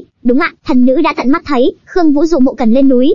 Sau đó mộ cần bị đàn sói hoang truy đuổi, thần nữ đã cứu mộ cần, chính mộ cần nói với thần nữ rằng, Khương Vũ đã thả sói hoang, muốn lợi dụng sói hoang cắn chết mộ cần. Những người bên cạnh thần nữ đều có thể làm chứng. Khương Vũ nhìn Oản Oản nói, Oản Oản quận chủ, nếu còn chứng cứ thì xin người cứ tiếp tục, đừng giữ lại. Oản Oản quay lại chỉ tay về phía Khương Vũ, sau khi hủy hôn với ta, người đã dụ dỗ thứ muội, làm ô uế thanh danh của muội ấy, thật hèn hạ. Yên Yên nghĩ bụng, thật là ngu xuẩn. Chúng ta đều xuất thân từ Ninh Vương phủ, tỷ ấy bôi nhọ mình, mình còn có thể đi đâu được nữa chứ? Yên Yên thấy Oản Oản nói vậy, đôi mắt ngấn lệ phân trần, mọi người đều biết, thần và Khương Nhị công tử biết nhau khi phát cháo từ thiện, mỗi lần gặp mặt đều đứng trước bàn dân thiên hạ, làm sao chúng thần có thể làm điều sai trái ở những nơi như thế chứ? Trưởng tỷ, ta biết mình chỉ là con thứ, không nên cướp đi hào quang của tỷ, nhưng tỷ cũng đừng bôi nhọ danh dự của ta như thế chứ. Khương Vũ chắp tay cung kính, Thái hậu nương nương, xin người cho phép thảo dân nói đôi lời. Thái hậu đáp, nói đi. Dứt lời, Khương Vũ nét mặt nghiêm nghị quay qua nói lớn, đừng oản oản, cô diễn đủ chưa hả? Cô đã ăn nói ba láp ba sảm lâu như vậy rồi, ta cũng không muốn tiếp tục phí lời với cô nữa. Oản oản đến đây câm nín, miệng ả thốt lên, ngươi, Khương Vũ nói tiếp, cô nói những người bên cạnh cô đều có thể làm chứng sao? Được, vậy để những người bên cạnh cô nói xem. Rốt cuộc đã xảy ra chuyện gì? Dứt lời, có hai tỷ nữ bước lên, một người nói, nô tỳ Đình Sương, là người hầu của Oản Oản quận chủ từ nhỏ, nô tỳ muốn tố cáo Oản Oản quận chủ. Nghe đến đây Oản Oản như sét đánh ngang tai, đôi bàn tay đưa ra, Đình Sương nói tiếp, nô tỳ muốn tố cáo Oản Oản quận chủ, chính cô ấy đã hại chết Mộ Cần công tử. Oản Oản bực tức, Đình Sương, con tiện tỷ này, ngươi đang nói lung tung cái gì vậy? Đình Sương nói tiếp, hôm đó, thích khách phóng hỏa đốt núi, chúng tôi chạy cùng Mộ Cần công tử, thích khách chặn đường chúng tôi, tôi ép chúng tôi phải nói ra vị trí của công chúa. Mộ Cần công tử thả chết không chịu khuất phục, không chịu khai ra, quận chủ vì bảo vệ tính mạng của mình, đã bán đứng công chúa, sau đó quận chủ rời đi, thích khách mới đâm mộ công tử ở gốc cây, để ngài ấy bị lửa thiêu mà chết, oản oản tá hỏa, đủ mé, rõ ràng là Khương Minh Vũ là người đâm bộ cần vào gốc cây, Đình Sương thế mà phủi hắn đi một cách sạch sẽ, Khương Vũ nói lớn, đừng oản oản, cô còn gì để nói nữa không, hay là cô còn có đồng lõa? Oản oả hốt hoảng, ta, ta không thừa nhận, không phải ta, à nghĩ bụng, mình không thể khai ra Khương Minh Vũ được, ngộ nhỡ mình xảy ra chuyện gì, hắn nhất định sẽ cứu mình, hừm, không phải cô, không phải ta, Khương Vũ chỉ dựa vào tiện tỷ bị ngươi mua chuộc này thì có thể tố cáo, người đường đường là quận chủ như ta sao? Tào Lao bí đao, Khương Nhị công tử không mua chuộc nô tỳ, ngài ấy chỉ nói với nô, nếu như lừa gạt thái hậu, một khi bị phát hiện, loại thấp kém như nô tỳ thì chỉ có kết cục là chu di cửu tộc, ta không nhận, đừng oản oản, nếu như một mình Đình Tuyết không thể chứng minh hành vi của ngươi, vậy thì ta vẫn còn một nhân chứng khác, dứt lời Thái hậu nói, dẫn Tu Trúc lên đây, dứt lời Tu Trúc được dẫn lên gặp Thái hậu, bái kiến Thái hậu, thần là Tu Trúc, người hầu cận thân của Mộ Cần công tử. Mộ Thư nhìn thấy Tu Trúc thì vô cùng hốt hoảng, Tu Trúc sao ngươi lại ở đây, không phải ngươi đã mất tích trong vụ vụ hỏa hoạn rồi sao? Đại công tử, lúc đó, tứ công tử mời Khương Nhị công tử lên núi ngắm trăng, sai nô tỳ xuống núi mua chút đồ ăn với ít rượu ngon lên nhắm rượu, sau đó ta nghe nói trên núi xảy ra hỏa hoạn, tứ công tử bị vậy ta mới gấp rút lên núi, nhưng ta đi lạc đường, bị sặc khói suýt chết, ta ngất đi, không thể cứu được tứ công tử. Sau này, Khương Vũ công tử tìm thấy nô tỳ, chữa khỏi vết thương của nô tỳ, nên nô tỳ mới có thể gặp người. Nghe đến đây Mộ Thư mới hiểu mọi chuyện, hắn quay qua hỏi Khương Vũ, là tiểu tứ mời Khương Vũ lên núi, chứ không phải là Khương Vũ lừa tiểu tứ lên núi sao? Hắn nghĩ bụng, Đường Oản Oản vẫn luôn nói là Khương Vũ lừa đệ đệ mình lên núi, tứ công tử luôn tán thưởng Khương Vũ công tử, là người có tính cách cởi mở, có phong cách hiệp sĩ giang hồ, bọn họ âm thầm xem nhau là huynh đệ. Nghe đến đây, Mộ Thư vô cùng tức tối, cảm thấy giận bản thân và xấu hổ vì đã không điều tra kỹ, đã nghĩ oan cho Khương Vũ, bỗng Mộ Thư hét lớn kèm theo là một cước tát thẳng vào mặt Oản Oản, ta từ trước đến nay không đánh nữ nhân, nhưng Đường Hoàn Đoản, ngươi dám lừa ta, thật khổ quá mà, con à tiện nhân này, Oản Oản bị đánh một cú như trời giáng vào mặt khiến à kêu gào trong đau đớn. Khương Vũ chứng kiến toàn bộ sự tình, cuối cùng cũng sáng tỏ, Khương Vũ không nói một lời nào, Mộ Thư chắp tay, Thái hậu nương nương, đừng oản oản hại chết đệ đệ của thần, lại lừa gạt, lợi dụng thần, dây chính là nỗi ô nhục của mộ gia, cúi xin Thái hậu phế truất vị trí quận chủ của cô ta, phạt cô ta thật nặng. Thái hậu bình tĩnh nói, đừng oản oản có tội, nhưng năm xưa hoàng đế đăng cơ, ngoại thần phạm thượng làm đoạn, Ninh Vương có công cứu giá, mà quận chủ lại chính là con gái mà Ninh Vương yêu thương nhất, nếu như tước bỏ chức vị quận chủ, thì ngươi bảo ta làm sao ăn nói với Ninh Vương đây? Oản oản vành mặt lên nghĩ bụng, năm đó Thái hậu vẫn là quý phi, ta đã được bà ấy nuôi dưỡng 5 năm, tiện nhân như ngươi làm sao có thể so sánh với ta được chứ? Tào Lao bí đao, Khương Vũ nói thêm, Thái hậu nương nương, muốn phế đi chức vị quận chủ quả thực còn phải nghĩ đến thể diện của công thần. Nhưng, Ninh Vương không chỉ có một cô con gái, vừa nói Khương Vũ vừa chỉ tay qua Yến Yến, tấm lòng yêu thương con gái của Ninh Vương là như nhau, chức vị quận chủ hoàn toàn có thể ban cho nhị tiểu thư Ninh Vương phủ, cô ấy là một người có đức hạnh, vô cùng xứng đáng với vị trí đó. Khương Vũ nghĩ bụng, trước kia mình giúp Đường Yên Yên tích đức, làm nhiều việc thiện, có được danh tiếng tốt chính là vì ngày hôm nay. Mộ Thư cười nhạt, hắn nói, nhị tiểu thư Ninh Vương phủ, quả thực phù hợp làm quận chủ hơn tiện nhân bị ổi này. Khương Vũ nghĩ bụng, chỉ cần Đường Oản Oản không phải là quận chủ, xử lý cô ta sẽ dễ dàng hơn nhiều. Nghe đến đây Thái hậu đứng dậy nói, Khương Nhị công tử quả nhiên là người có đầu óc vô cùng linh hoạt, có điều, chuyện này Ninh Vương sẽ đồng ý sao? Nghe đến đây Yên Yên lên tiếng, Yên Nhiên không dám tự cao tự đại, chuyện này quả thực là nên hỏi ý kiến của phụ vương. Oản Oản lúc này chưa hết đau, à đau từ bên trong ra bên ngoài, đau từ tâm hồn đến thể xác, à chỉ tay vào Yên Yến, tiện nhân như ngươi, phụ vương chắc chắn sẽ không đồng ý, ngươi muốn thay thế ta, tuyệt đối không thể nào. Khương Vũ đứng phía sau nói thêm, phái người đi hỏi thì sẽ biết thôi. Vừa lúc này, tùy nữ trong phủ Thái hậu dâng một bức thư, Thái hậu nương nương, đây là là thư do đích thân Ninh Vương viết, Thái hậu mở thư ra xem, nhìn dòng chữ trong thư, trưởng nữ vô đức, khẩn cầu Thái hậu xử lý công bằng, để thứ nữ Đường Yên Yên tiếp nhận chức vụ quận chủ. Oản Oản nghe đến đây, ả à không tin vào những gì mới vừa nghe, miệng ả à lắp bắp, không, không, không thể nào. Dứt lời Thái hậu ra lệnh, kéo xuống, nhốt vào cung hành ti, thi hành án. Dứt lời hai tên thị lôi ả ra khỏi cung điện. Khương Vũ nghĩ bụng, đừng oản oản, đây là cô nợ mộ cần, Vân Tỉnh đứng bên ngoài chứng kiến toàn bộ sự việc, hắn lẩm bẩm, Khương Vũ quả thực là có bản lĩnh, xử lý đường oản oản rồi, còn lôi kéo được cả mộ thư, chuyển cảnh đến phủ công chúa. Sau khi nghe được toàn bộ diễn biến sự việc công chúa nói, tên tiểu tử này chắc chắn là đang rất đắc ý, công chúa nghĩ bụng, vốn nghĩ hắn sẽ cần đến sự trợ giúp của bổn cung, thật không ngờ hắn lại có thể giải quyết một cách dễ dàng như vậy. Dứt lời Vân Tỉnh nói, à, đúng rồi điện hạ, thái hậu cho người đến hỏi, có phải người còn ứng cử viên phò mã nào khác hay không? Công chúa nhìn Vân Tỉnh đáp, lúc đầu bổn cung đã từng nói, muốn chọn Khương Vũ, bà ấy đã đồng ý rồi, thế quái nào sau này lại đột nhiên đổi ý chỉ, biến thành mộ cần, lần này ta lại đem tên của Khương Vũ để đề cử lên, Vân Tỉnh tá hỏa, điện hạ, nếu như lần này người lại chọn Khương Vũ làm phò mã, chỉ e rằng lại thu hút thêm nhiều người chú ý đến Khương Vũ, chuyện này chỉ càng làm Khương Vũ đối với ngài càng thêm bất mãn mà thôi. Công chúa vẫy vẫy tay, cứ làm theo lời của bổn cung. Vâng, công chúa đôi mắt đăm chiêu, hắn nghĩ bụng, Khương Vũ, lần này xem ngươi có trốn được không? Trở về, đôi chân Khương Vũ nặng nề, vừa bước đi vừa xót xa nghĩ, hôm nay, chân trước mình vừa nhận được tin tức, Đường Oản Oản chết bất đắc kỳ tử trong ngục, chân sau Khương Minh Vũ đã mời mình ăn tối, ở đây thực sự không có 300 lượng bạc. Dứt dòng suy nghĩ cũng là lúc Khương Vũ dừng lại, tên áo đen lại xuất hiện, Khương Vũ nói với hắn, nếu đã đến rồi, sao còn phải trốn trong bóng của ta, ngươi là thực ảnh ma bất thành à? Tên áo đen bước sát lại hỏi Khương Vũ, thực ảnh ma là cái quái gì vậy? Ta ở trong lòng ngươi không phải ma thì là quỷ, ngươi sợ bổn tọa như vậy sao? Thực ảnh ma ấy hả? Chính là quỷ quái trong truyền thuyết, đến khi già chết đi vẫn còn độc thân, thích trộm đồ lót của nữ tử, vậy mà dám mắng ta là biến thái, trộm đồ lót của nữ tử, ngươi chê mình sống đủ rồi sao? Khương Vũ lắp bắp, không dám. Tế tịch tiêu sái phi phàm, căn bản không cần trộm sẽ có người đưa đến cho ngài. Công chúa lại gần bóp miệng Khương Vũ nghiêm túc nói, ngươi có tin ta cắt lưỡi ngươi không? Khương Vũ nghĩ bụng, căn bản không thể thoát trước mặt công chúa. Khương Vũ không khác gì người qua đường giáp, không biết võ công. Tế đại nhân có ai nói ngài rất đáng ghét chưa? Khương Vũ cằn nhằn, có rất nhiều, nhưng bây giờ mộ của chúng cũng cao ba thước rồi. Đầu ngón tay của Khương Vũ có vết chai mỏng, có một loại cảm xúc kỳ lạ. Khương Vũ cũng không phải dạng vừa đâu, liền sờ tay vào ống tay áo của hắn, do bất ngờ nên hắn đành buông Khương Vũ ra, ngươi định làm gì chứ? Khương Vũ cười đắc ý, tay của Tế đại nhân cảm giác rất tốt nha, hắn bó tay với tên Khương Vũ này rồi, Khương Vũ, Khương Vũ lại tiếp, Tế đại nhân có một làn da mịn, thịt mềm hơn cả cô nương, ngươi không phải là nữ nhi đó chứ? Nét mặt hắn lúc này cứng đơ, Khương Vũ thấy hắn im lặng mới giật mình, móa, không ổn rồi, hình như mình đã chọc tức hắn rồi thì phải. Khương Vũ giả vờ vui vẻ, miệng bi bi bô bô, được, được, ta là nữ, ta là nữ, đại nhân rộng lượng, ngài đừng giận, hắn nghiêm mặt nói, lần sau đừng để bổn tọa nghe thấy ngươi nói ta giống nữ tử, hiểu chứ? Nếu không ta sẽ lột ra, dóc thịt con hồ ly nhà ngươi. Hắn nghĩ, dáng vẻ của Khương Vũ thế này, ngược lại có vài phần quyến rũ phong tình. Khương Vũ nói tiếp, ta chia sẻ bí mật lớn nhất của ta cho ngươi, mà ngươi không có chút cảm kích nào cả sao?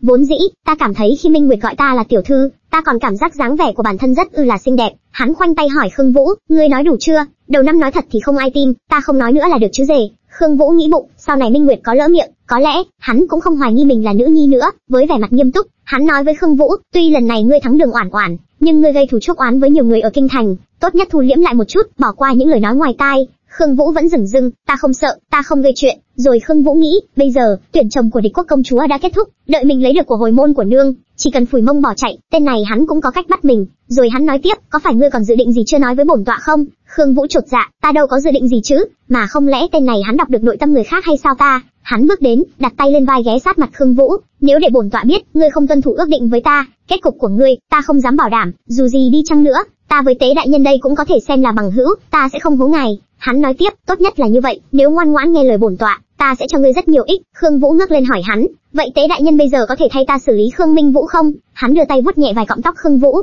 nếu ngươi muốn, bổn tọa sẽ giúp ngươi xử lý hắn, tránh gây rắc rối cho ngươi. Khương Vũ quay qua nói, tế đại nhân không sợ đắc tội với thương gia sao? Hắn chống tay tỏ vẻ thờ ơ, một thương gia nhỏ bé như con kiến, có là cái thá gì chứ? Khương Vũ nghĩ bụng, trông cái bộ dạng này thật sự không để thương gia trong mắt, giết chết thì giết như vậy, thật khí phách. Ý tốt của tế đại nhân, ta xin ghi nhận, có điều ta không cần. Đối đáp rồi, ta thật sự không thể nợ nhân tình của ngài, chuyện này vẫn tự bản thân làm sẽ tốt hơn, nợ ân tình của yêu ma này không biết lấy gì mà trả, bổn tọa cũng rất mong chờ biểu diễn của ngươi có tốt không, nếu kịch diễn bị hỏng, bổn tọa sẽ chống đỡ giúp ngươi, ngươi thấy thế nào?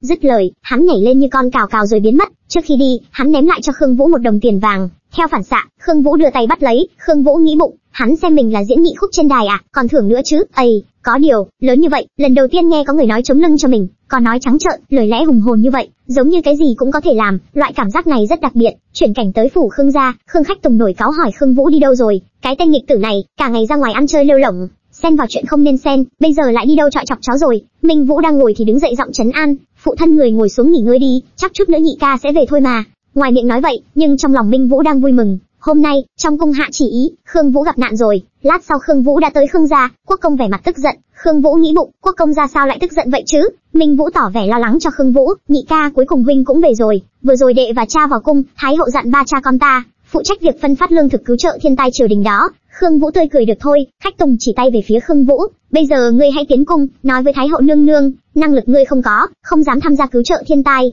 Nghe đến đây, Khương Vũ thẳng thừng từ chối lời nói của khách tùng.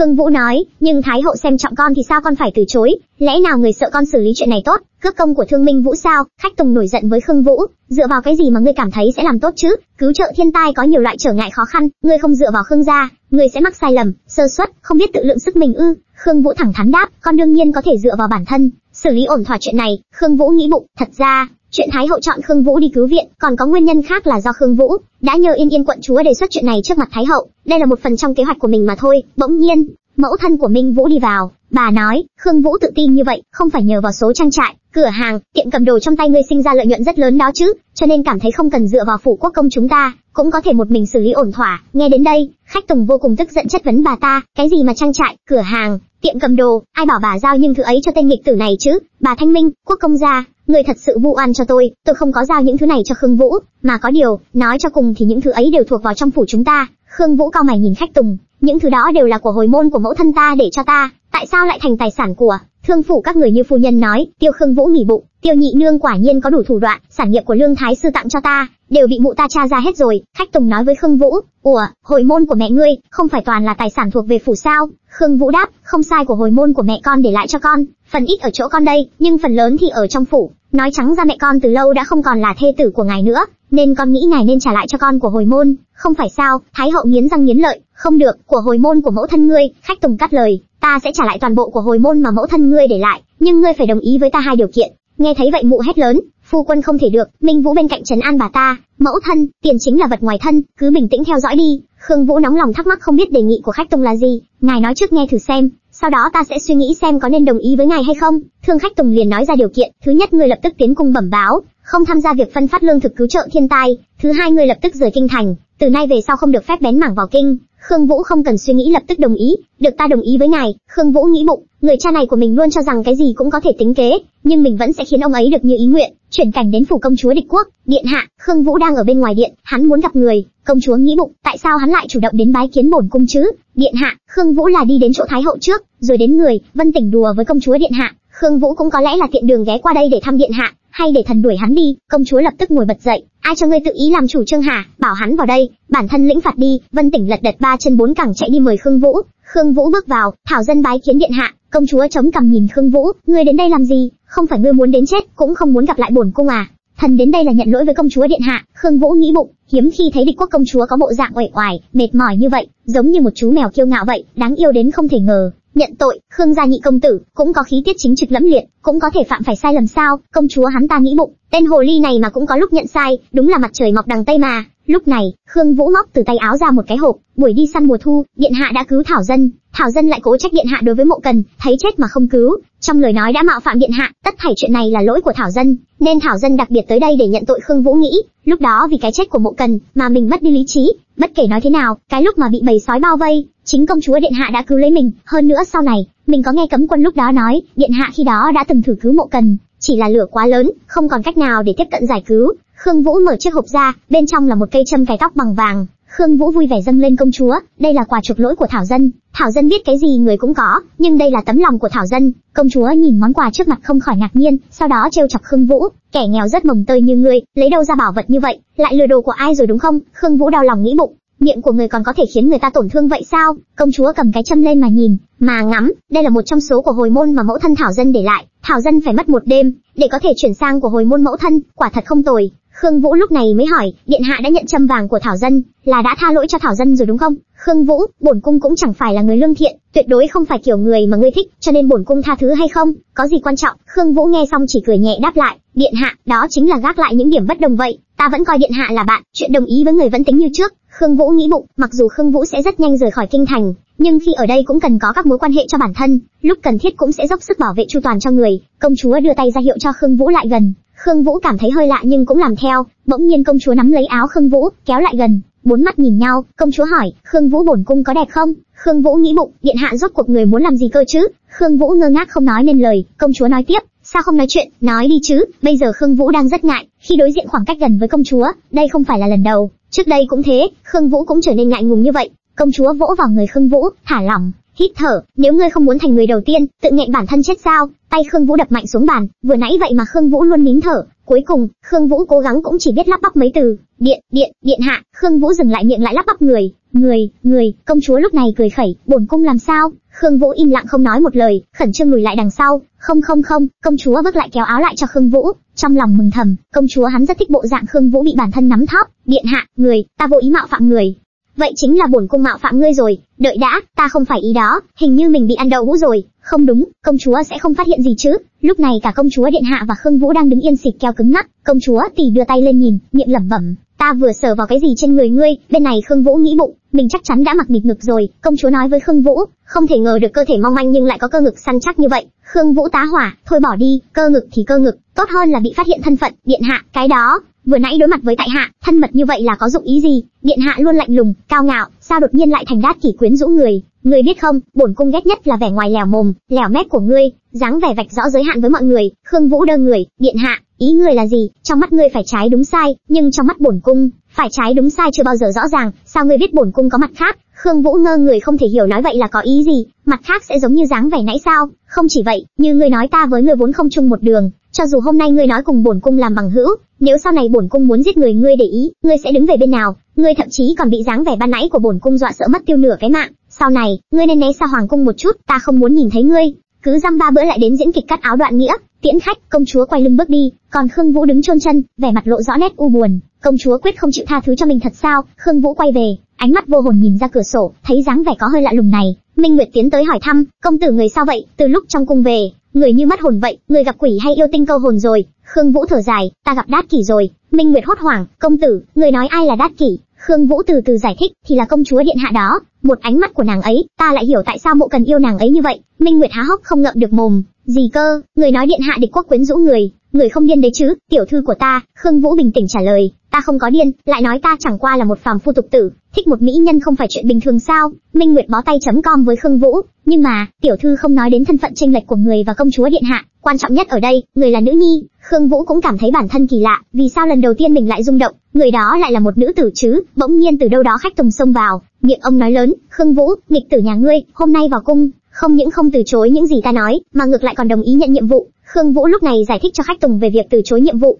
quốc công gia, ta đã từ chối thái hậu không làm việc cứu trợ thiên tai, khách tùng nổi giận đùng đùng, giơ tờ thánh chỉ ra, vậy sao trong cung lại hạ ý chỉ xuống, để ngươi phụ trách chuyện cứu trợ thiên tai? Khương Vũ chỉ vào tờ giấy lấp liếm cho bản thân, trên thánh chỉ viết, ta phụ trách thu lương thực, không biết là ta phụ trách cứu trợ thiên tai. Nghe đến đây khách tùng điên tiết, không ngờ lại bị Khương Vũ cho ăn thịt lừa, ngươi dám chơi chữ với cha ngươi? Khương Vũ nhún vai, nếu ngài nghĩ như vậy, ta cũng chẳng muốn giải thích làm gì. Khách tùng nổi máu điên lên, tay nắm chặt tờ thánh chỉ, người đâu, lấy roi ra đây, hôm nay ta phải dùng gia pháp trừng trị tên nghịch tử này, để tránh sau này gây hại cho bản thân, liên lụy gia tộc. Dứt lời, khách tùng liền vung roi lên đánh Khương Vũ, nếu như ta làm ngươi bị thương, thì ngươi không thể tham gia việc này nữa. Bên phía Thái hậu ta sẽ thay ngươi giải thích. Khương Vũ chợt nghĩ, nếu như mình né roi ra, ông ta sẽ lấy lý do mình không kính phụ mẫu, hủy hoại thanh danh của mình, như thế triều đình sẽ không trọng dụng mình nữa. Đúng lúc chiếc roi gần tới người Khương Vũ, Triệu Cấu xuất hiện chặn đòn đánh của khách Tùng. Quốc công ra sao lại nóng nảy vậy, tức giận quá sẽ làm ảnh hưởng đến thân thể. Khương Vũ lắp bắp, Triệu công công, dứt lời Khương Vũ nghĩ bụng, Triệu Cấu, hắn không phải là người bên cạnh công chúa điện hạ sao? Đến đây Triệu Cấu quay lại nói với Khương Vũ, Khương nhị công tử, trong cung có người muốn gặp ngài, mau đi theo ta. Khách Tùng cứng đơ, ông ta không hiểu chuyện gì, đột nhiên ngăn lại, khoan đã Triệu công công, ngươi là chủ sự quản của hoàng thành, giám sát bách quan, nhưng dù sao cũng không quản đến bổn quốc công thanh môn hộ, đúng không? Triệu Cấu nét mặt bình thản, nói với khách Tùng, ta không quản ngài thanh lý môn hộ, nhưng người ngài muốn thanh lý trong cung cần, vậy nên tự nhiên ta phải quản thôi. Khách Tùng nghĩ bụng, thái giám hầu hạ người trong cung, lẻo mép thật, khách Tùng có lý do gì để nói đành bỏ qua cho Khương Vũ lần này? Vậy Khương Vũ giao cho Triệu công công, Khương Vũ lẩm bẩm, nếu không phải Triệu Công Công đến kịp thời, thì kế hoạch rời kinh của mình khó lòng mà thực hiện được. Khương Vũ cung kính, đa tạ Triệu Công Công ra tay tương trợ. Triệu Cấu nhìn Khương Vũ cười nhẹ, người ngươi muốn cảm ơn là ta sao? Ngươi giả vờ hồ đồ cái gì chứ? Nghe đến đây Khương Vũ ho một tiếng rồi hỏi Triệu Cấu, công chúa điện hạ sao biết phụ thân sẽ đối phó với ta? Triệu Cấu khẽ quay mặt về phía Khương Vũ, chút chuyện tầm thường này còn làm sao biết? Với cái tính tình mặc ý làm bừa của ngươi, đã dẫm phải điểm mấu chốt của Khương Quốc Công, thì làm sao cha ngươi có thể tha ngươi được chứ? Điện hạ biết ngươi 10 phần thì có 8 9 phần gặp rắc rối, bảo ta tới xem thử, đa tại điện hạ, rồi Khương Vũ nghĩ bụng, dường như điện hạ luôn biết tình trạng khó khăn của mình, lại cứu mình lần nữa.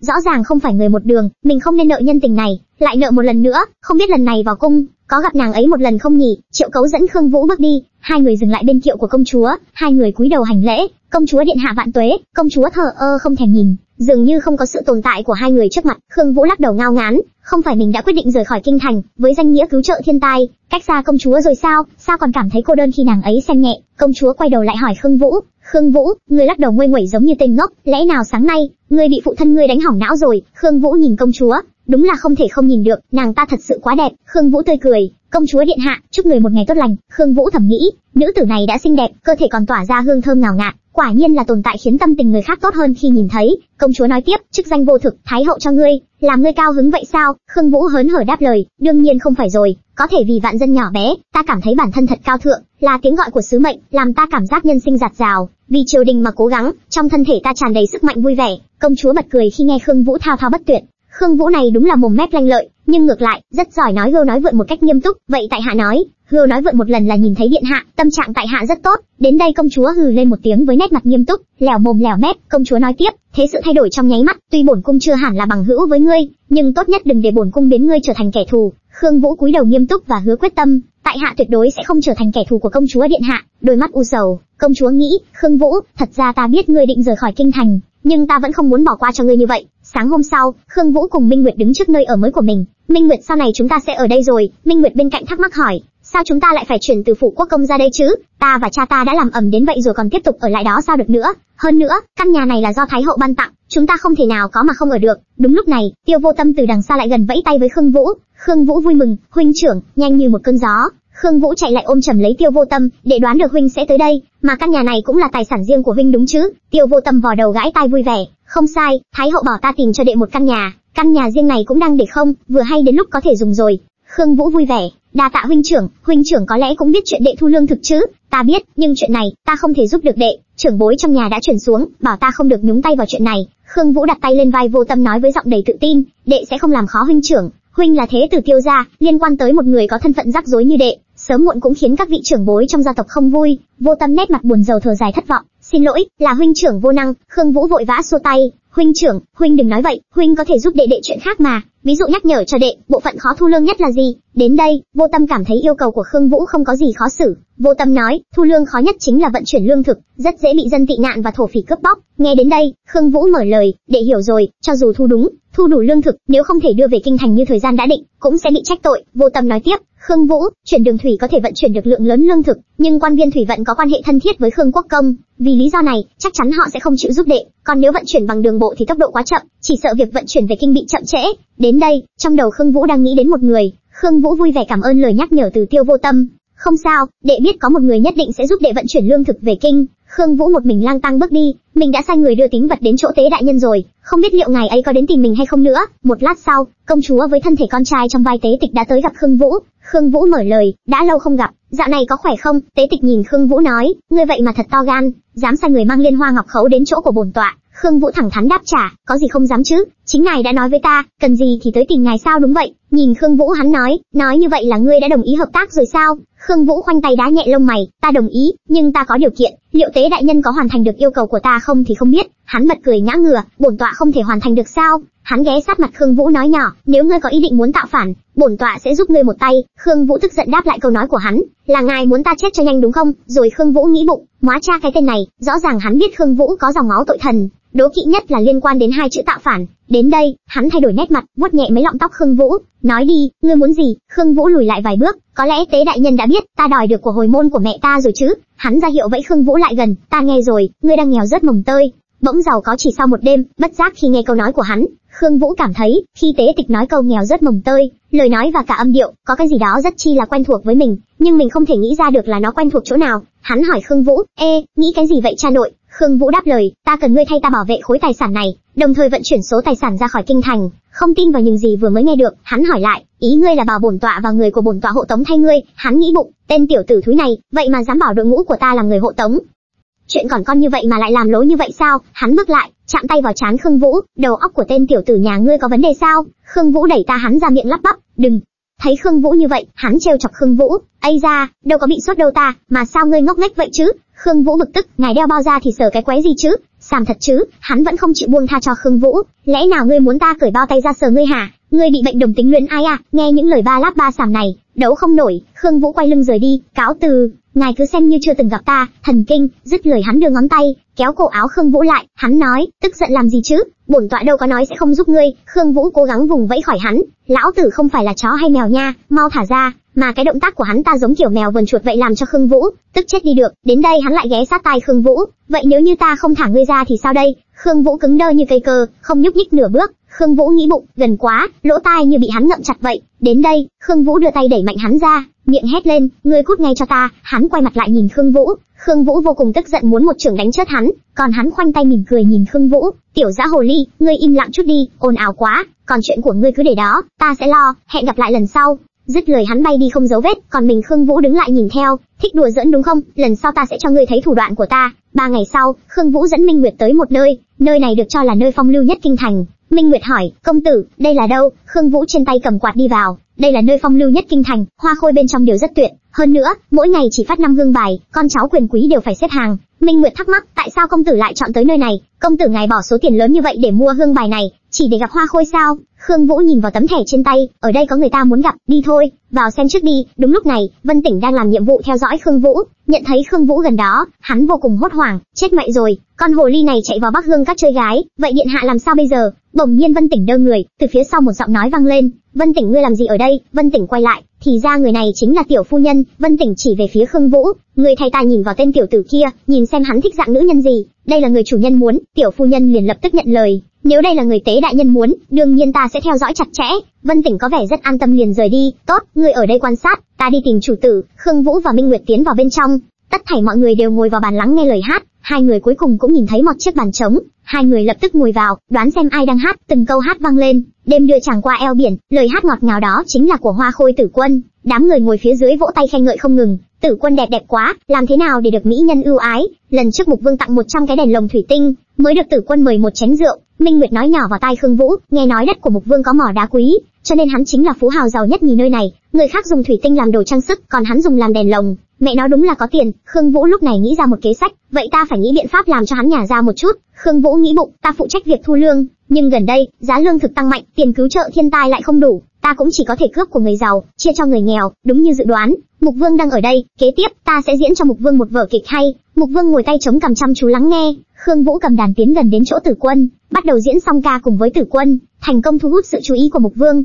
mọi người bên dưới vỗ tay nhiệt tình, tiếng la hò cổ vũ, mọi người ai nấy đều tấm tắc khen, bọn họ đúng là trời sinh một cặp, đẹp đôi quá trời quá đất. Khương Vũ đôi mắt nhắm hờ, từng ngón tay nhảy múa trên những sợi dây đàn, lúc trầm lúc bổng, từng câu hát vang lên, những âm điệu du dương trầm bổng của bài hát khiến mọi người hứng khởi. Phía bàn bên cạnh, hai người vừa vỗ tay vừa nói, ngày xưa đều là Tử Quân dụ dỗ người khác, bây giờ ngược lại bị dụ dỗ rồi. Sau khi kết thúc bài hát, Tử Quân cầm ly rượu trên tay, ngỏ ý mời Khương Vũ, thiếp có một chén rượu, nguyện vì quân tử an ủi phong trần. Móa ơi, nghe những lời như này làm mình nổi hết da gà. Khương Vũ nhân cơ hội này, ghé sát lại gần Tử Quân, khiến Mục Vương bên trên vô cùng tức giận, hắn đập tay vào lan can bảo vệ hét lớn, "Tử Quân!" Tiểu phu nhân đứng trên nhìn xuống, bà ta vô cùng hốt hoảng, lại có nam nhân xứng đôi với Tử Quân này sao? Bỗng một âm thanh vang lên khiến bà ta chú ý. "Này!" Tiểu phu nhân nhìn sang, nhìn thấy Tế đại nhân thì giật giật mình, nhìn ánh mắt của tế tịch thì có vẻ không mấy vui mừng. Hắn nghĩ bụng, con hồ ly hoang dã này, thật có bản lĩnh, dám trêu chọc cả sát thủ của bổn tọa. Khương Vũ đưa tay vuốt ve lên má của Tử Quân, người người đều nói ta là thôn dân miền núi, chân đất mắt toét, hôm nay ta lấy đồ cưới của mẹ ta,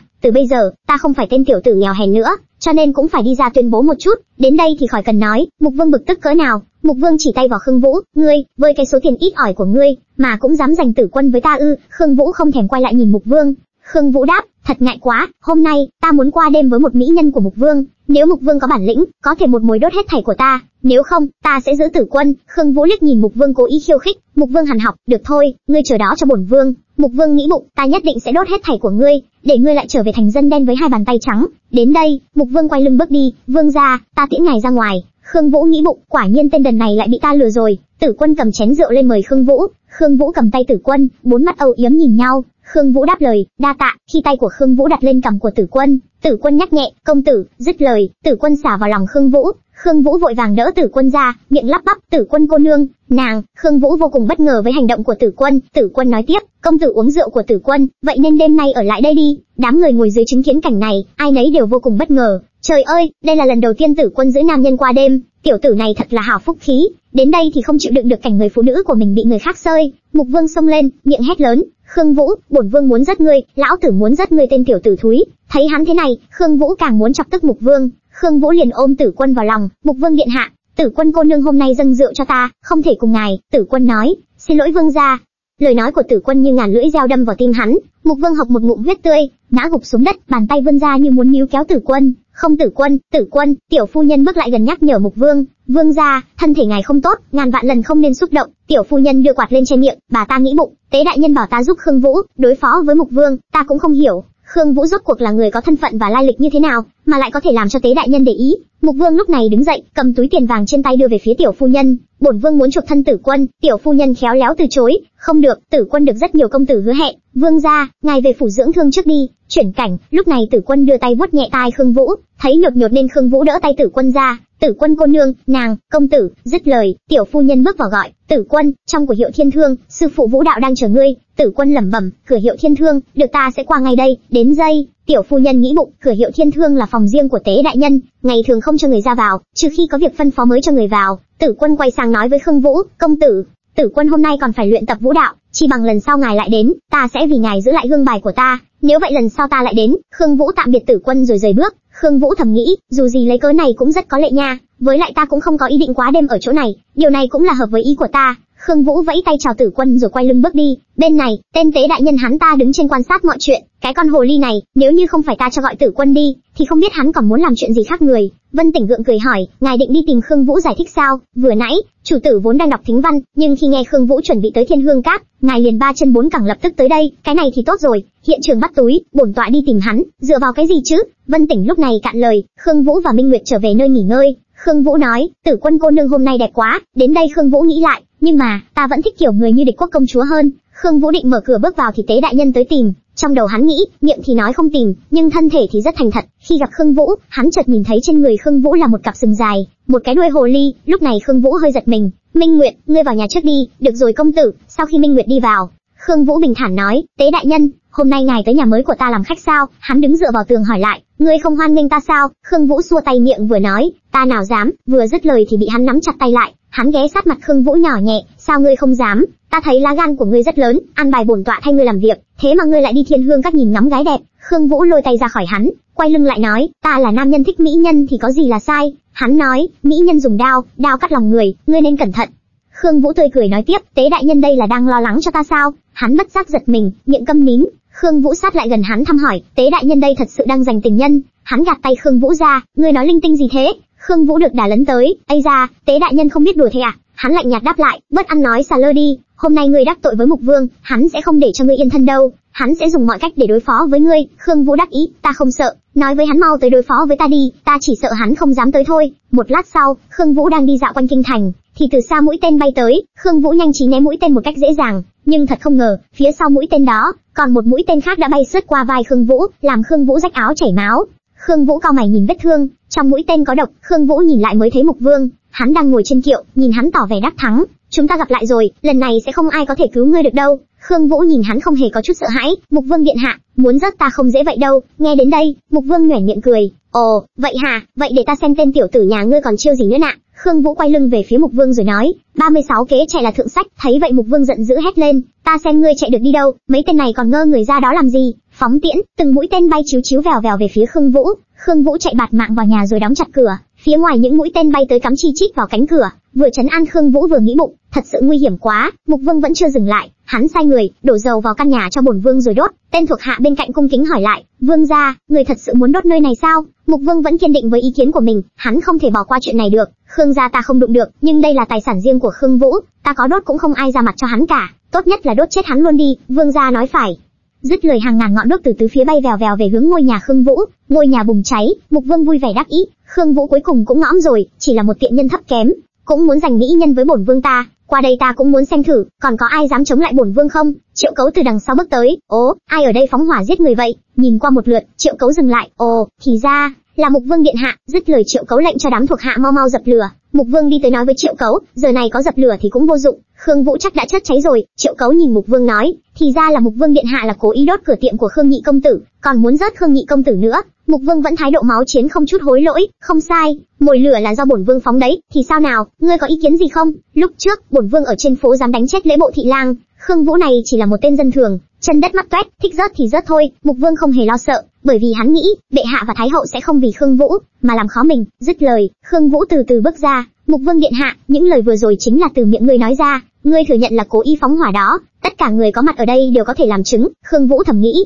quả nhiên Mục Vương đã mắc câu rồi. Mục Vương há hốc mồm ngạc nhiên, hắn không tin vào trước mắt mình, hắn lắp bắp, ngươi, ngươi sao vẫn còn sống? Rồi hắn nghĩ, sao mình lại cảm giác đã rơi vào bẫy của Khương Vũ rồi nhỉ? Đúng lúc này, Khương Vũ giả vờ khóc lóc ôm chân Triệu Cấu, tài sản của tại hạ cháy không còn gì hết, rồi cả 8 vạn lượng tiền cứu trợ thiên tai của triều đình, cất trong tầng hầm đều đã bị Vương gia Mục đốt sạch rồi, xin Triệu công công làm chủ cho ta với. Mục Vương ngay lập tức phản bác, ngươi, ngươi nói láo, ngân lượng của hộ bộ sao có thể để ở đây được? Tên tùy tùng của Mục Vương cũng muốn nói đỡ cho Mục Vương, Khương Nhị công tử, ngân lượng bị đốt sẽ không chảy, nhiều nhất là bên ngoài bị cháy đen một lớp thôi, giờ hỏa hoạn, bạc của triều đình chắc chắn bình an vô sự. Mục Vương nghe thấy vậy thì nói theo, đúng bảo người kiểm tra, trong đầu Mục Vương nghĩ bụng, tên oát con Khương Vũ này, muốn hát nước bẩn lên người bổn vương sao? Ngươi đang nằm mơ à? Khương Vũ lúc này mới lộ rõ cái đuôi hồ ly của mình. Mục Vương lúc này cũng vô cùng cương quyết, không thể để bị Khương Vũ lừa gạt nữa. Khương Vũ đáp lời, vậy cứ điều tra. Một lát sau, đám người vào điều tra, sau đó quay ra bẩm báo, Vương gia đại nhân, thuộc hạ cẩn thận lục soát trong hầm rồi, nhưng không tìm được bất cứ dấu vết nào của bạc thỏi cả. Mục Vương không tin hỏi lại tên thuộc hạ, thật sự không phát hiện ra ngân lượng của hộ bộ sao? Tên thuộc hạ cúi đầu,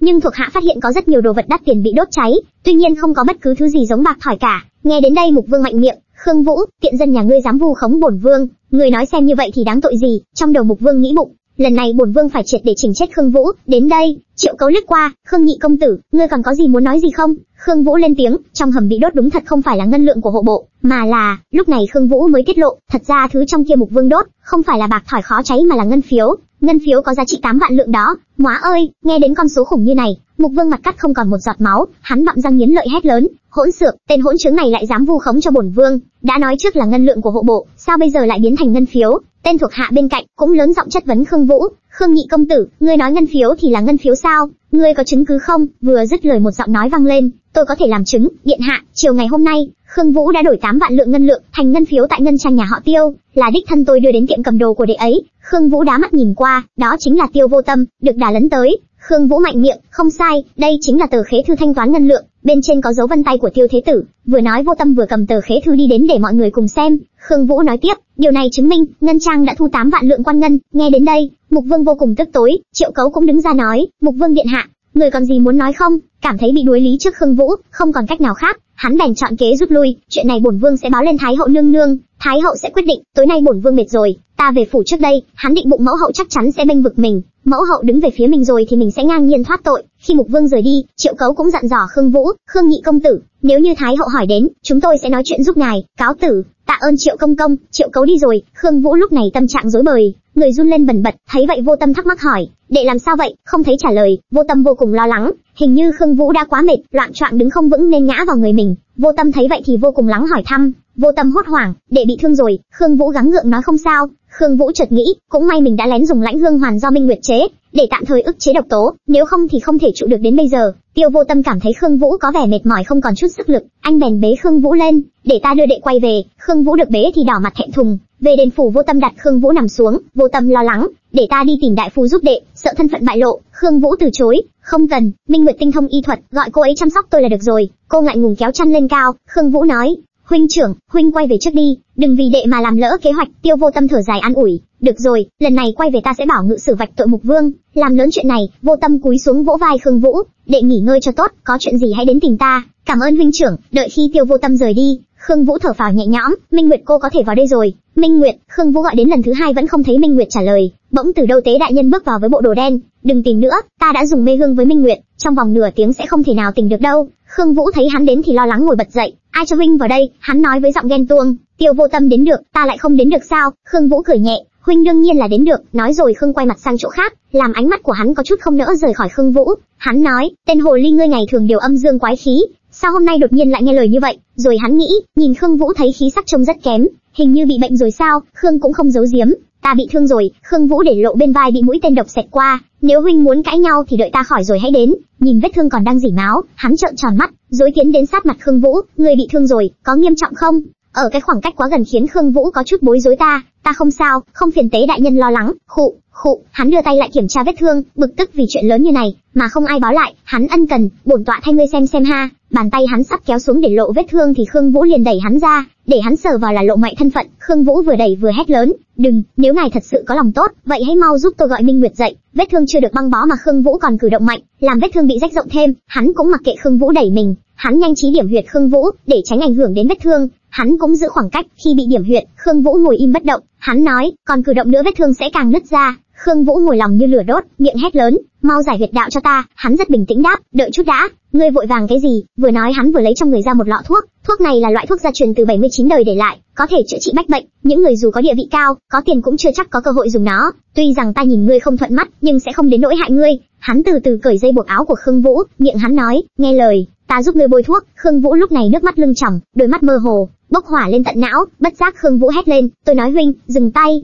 Vẻ mặt bừng bừng, khói lửa của cô làm hắn bị dọa một phen hú vía, hắn vội vàng dừng tay không dám đụng vào nữa. Sau khi lấy lại bình tĩnh, hắn cười nhẹ hỏi lại, ngươi hét cái gì chứ? Trên người ngươi có gì không thể nhìn sao? Khương Vũ nhẹ giọng thỏa hiệp với hắn, ngươi giải huyệt cho ta đi trước đã, ta sẽ nói cho ngươi biết tại sao. Hắn nghĩ, nhìn bộ dạng yếu ớt của con hồ ly này, cũng không giống như đang nói dối. Cuối cùng hắn cũng mềm lòng, giải huyệt cho Khương Vũ. Giải huyệt xong Khương Vũ thở phào, coi như thoát được một màn nguy hiểm. Vẫn câu hỏi đó, hắn nhìn Khương Vũ, tại sao ngươi lại không cho ta đụng vào? Khương Vũ đánh chống lãng, không nói mà còn nhờ ngược lại hắn, đưa ta cái khăn. Hắn mặt lạnh nói, ngươi là người đầu tiên dám ra lệnh cho bổn tọa hầu hạ đấy. Miệng nói vậy nhưng hắn vẫn đưa khăn cho Khương Vũ. Khương Vũ thản nhiên trêu hắn, có lẽ sau này ta sẽ thường xuyên bắt ngươi hầu hạ, ngươi tập làm quen trước đi ha. Dứt lời hắn lập tức đưa hai tay bóp má Khương Vũ, vừa cười vừa nói, tay hắn lại càng bóp chặt hơn. Hắn gằn giọng, bảo bổn tọa tập làm quen hầu hạ ngươi. Khương Vũ, ngươi không muốn sống nữa đúng không? Khương Vũ la lên thất thanh, đau, đau, đau, ngươi không thể đối xử với một bệnh nhân bị thương, đáng thương như thế này được, mồm mép còn không biết phép tắc không? Khương Vũ bị hắn bóc mặt đến chảy cả nước mắt, không dám, không dám nữa.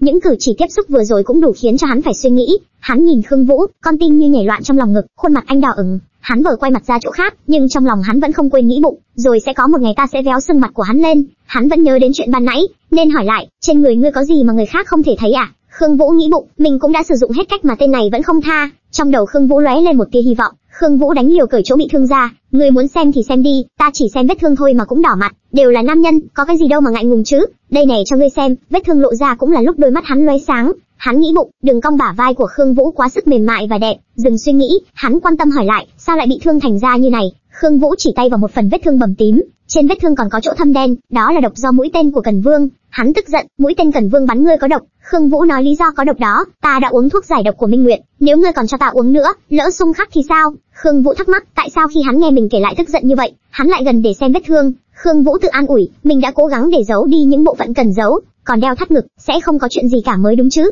Đến đây, Khương Vũ đưa tay kéo áo lên, miệng nói, được rồi, nếu không có chuyện gì, chưa đợi Khương Vũ nói dứt lời, hắn đưa tay ra nắm lấy tay Khương Vũ.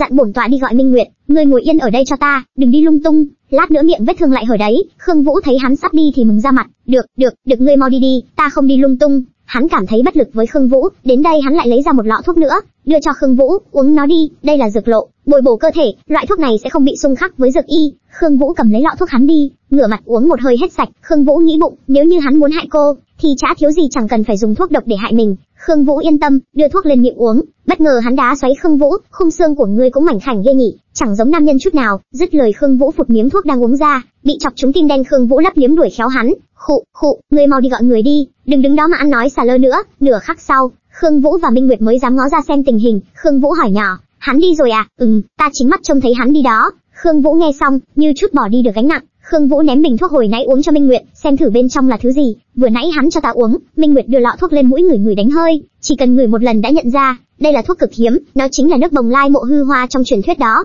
Loại hoa này trăm năm mới nở một lần, cực kỳ khó có được, chỉ cần người còn chưa chết, uống một ngụm là có thể cứu sống được. Khương Vũ há hốc mồm ngạc nhiên, "Móa, ghê gớm vậy sao?" Minh Nguyệt cảm thấy tiếc, đây là quốc bảo của Bồng Lai đảo quốc, nghe nói chỉ có số lượng ít tiến cống cho nước ta, vết thương nhỏ này của người, lại uống sạch một bình rồi, thế này quá lãng phí luôn. Khương Vũ nhìn lại vỏ lọ thuốc, ta nào biết là thứ quý giá như này chứ? Minh Nguyệt thắc mắc, rốt cuộc người này có ý gì? Sao hắn lại cho người thứ quý giá như vậy được chứ?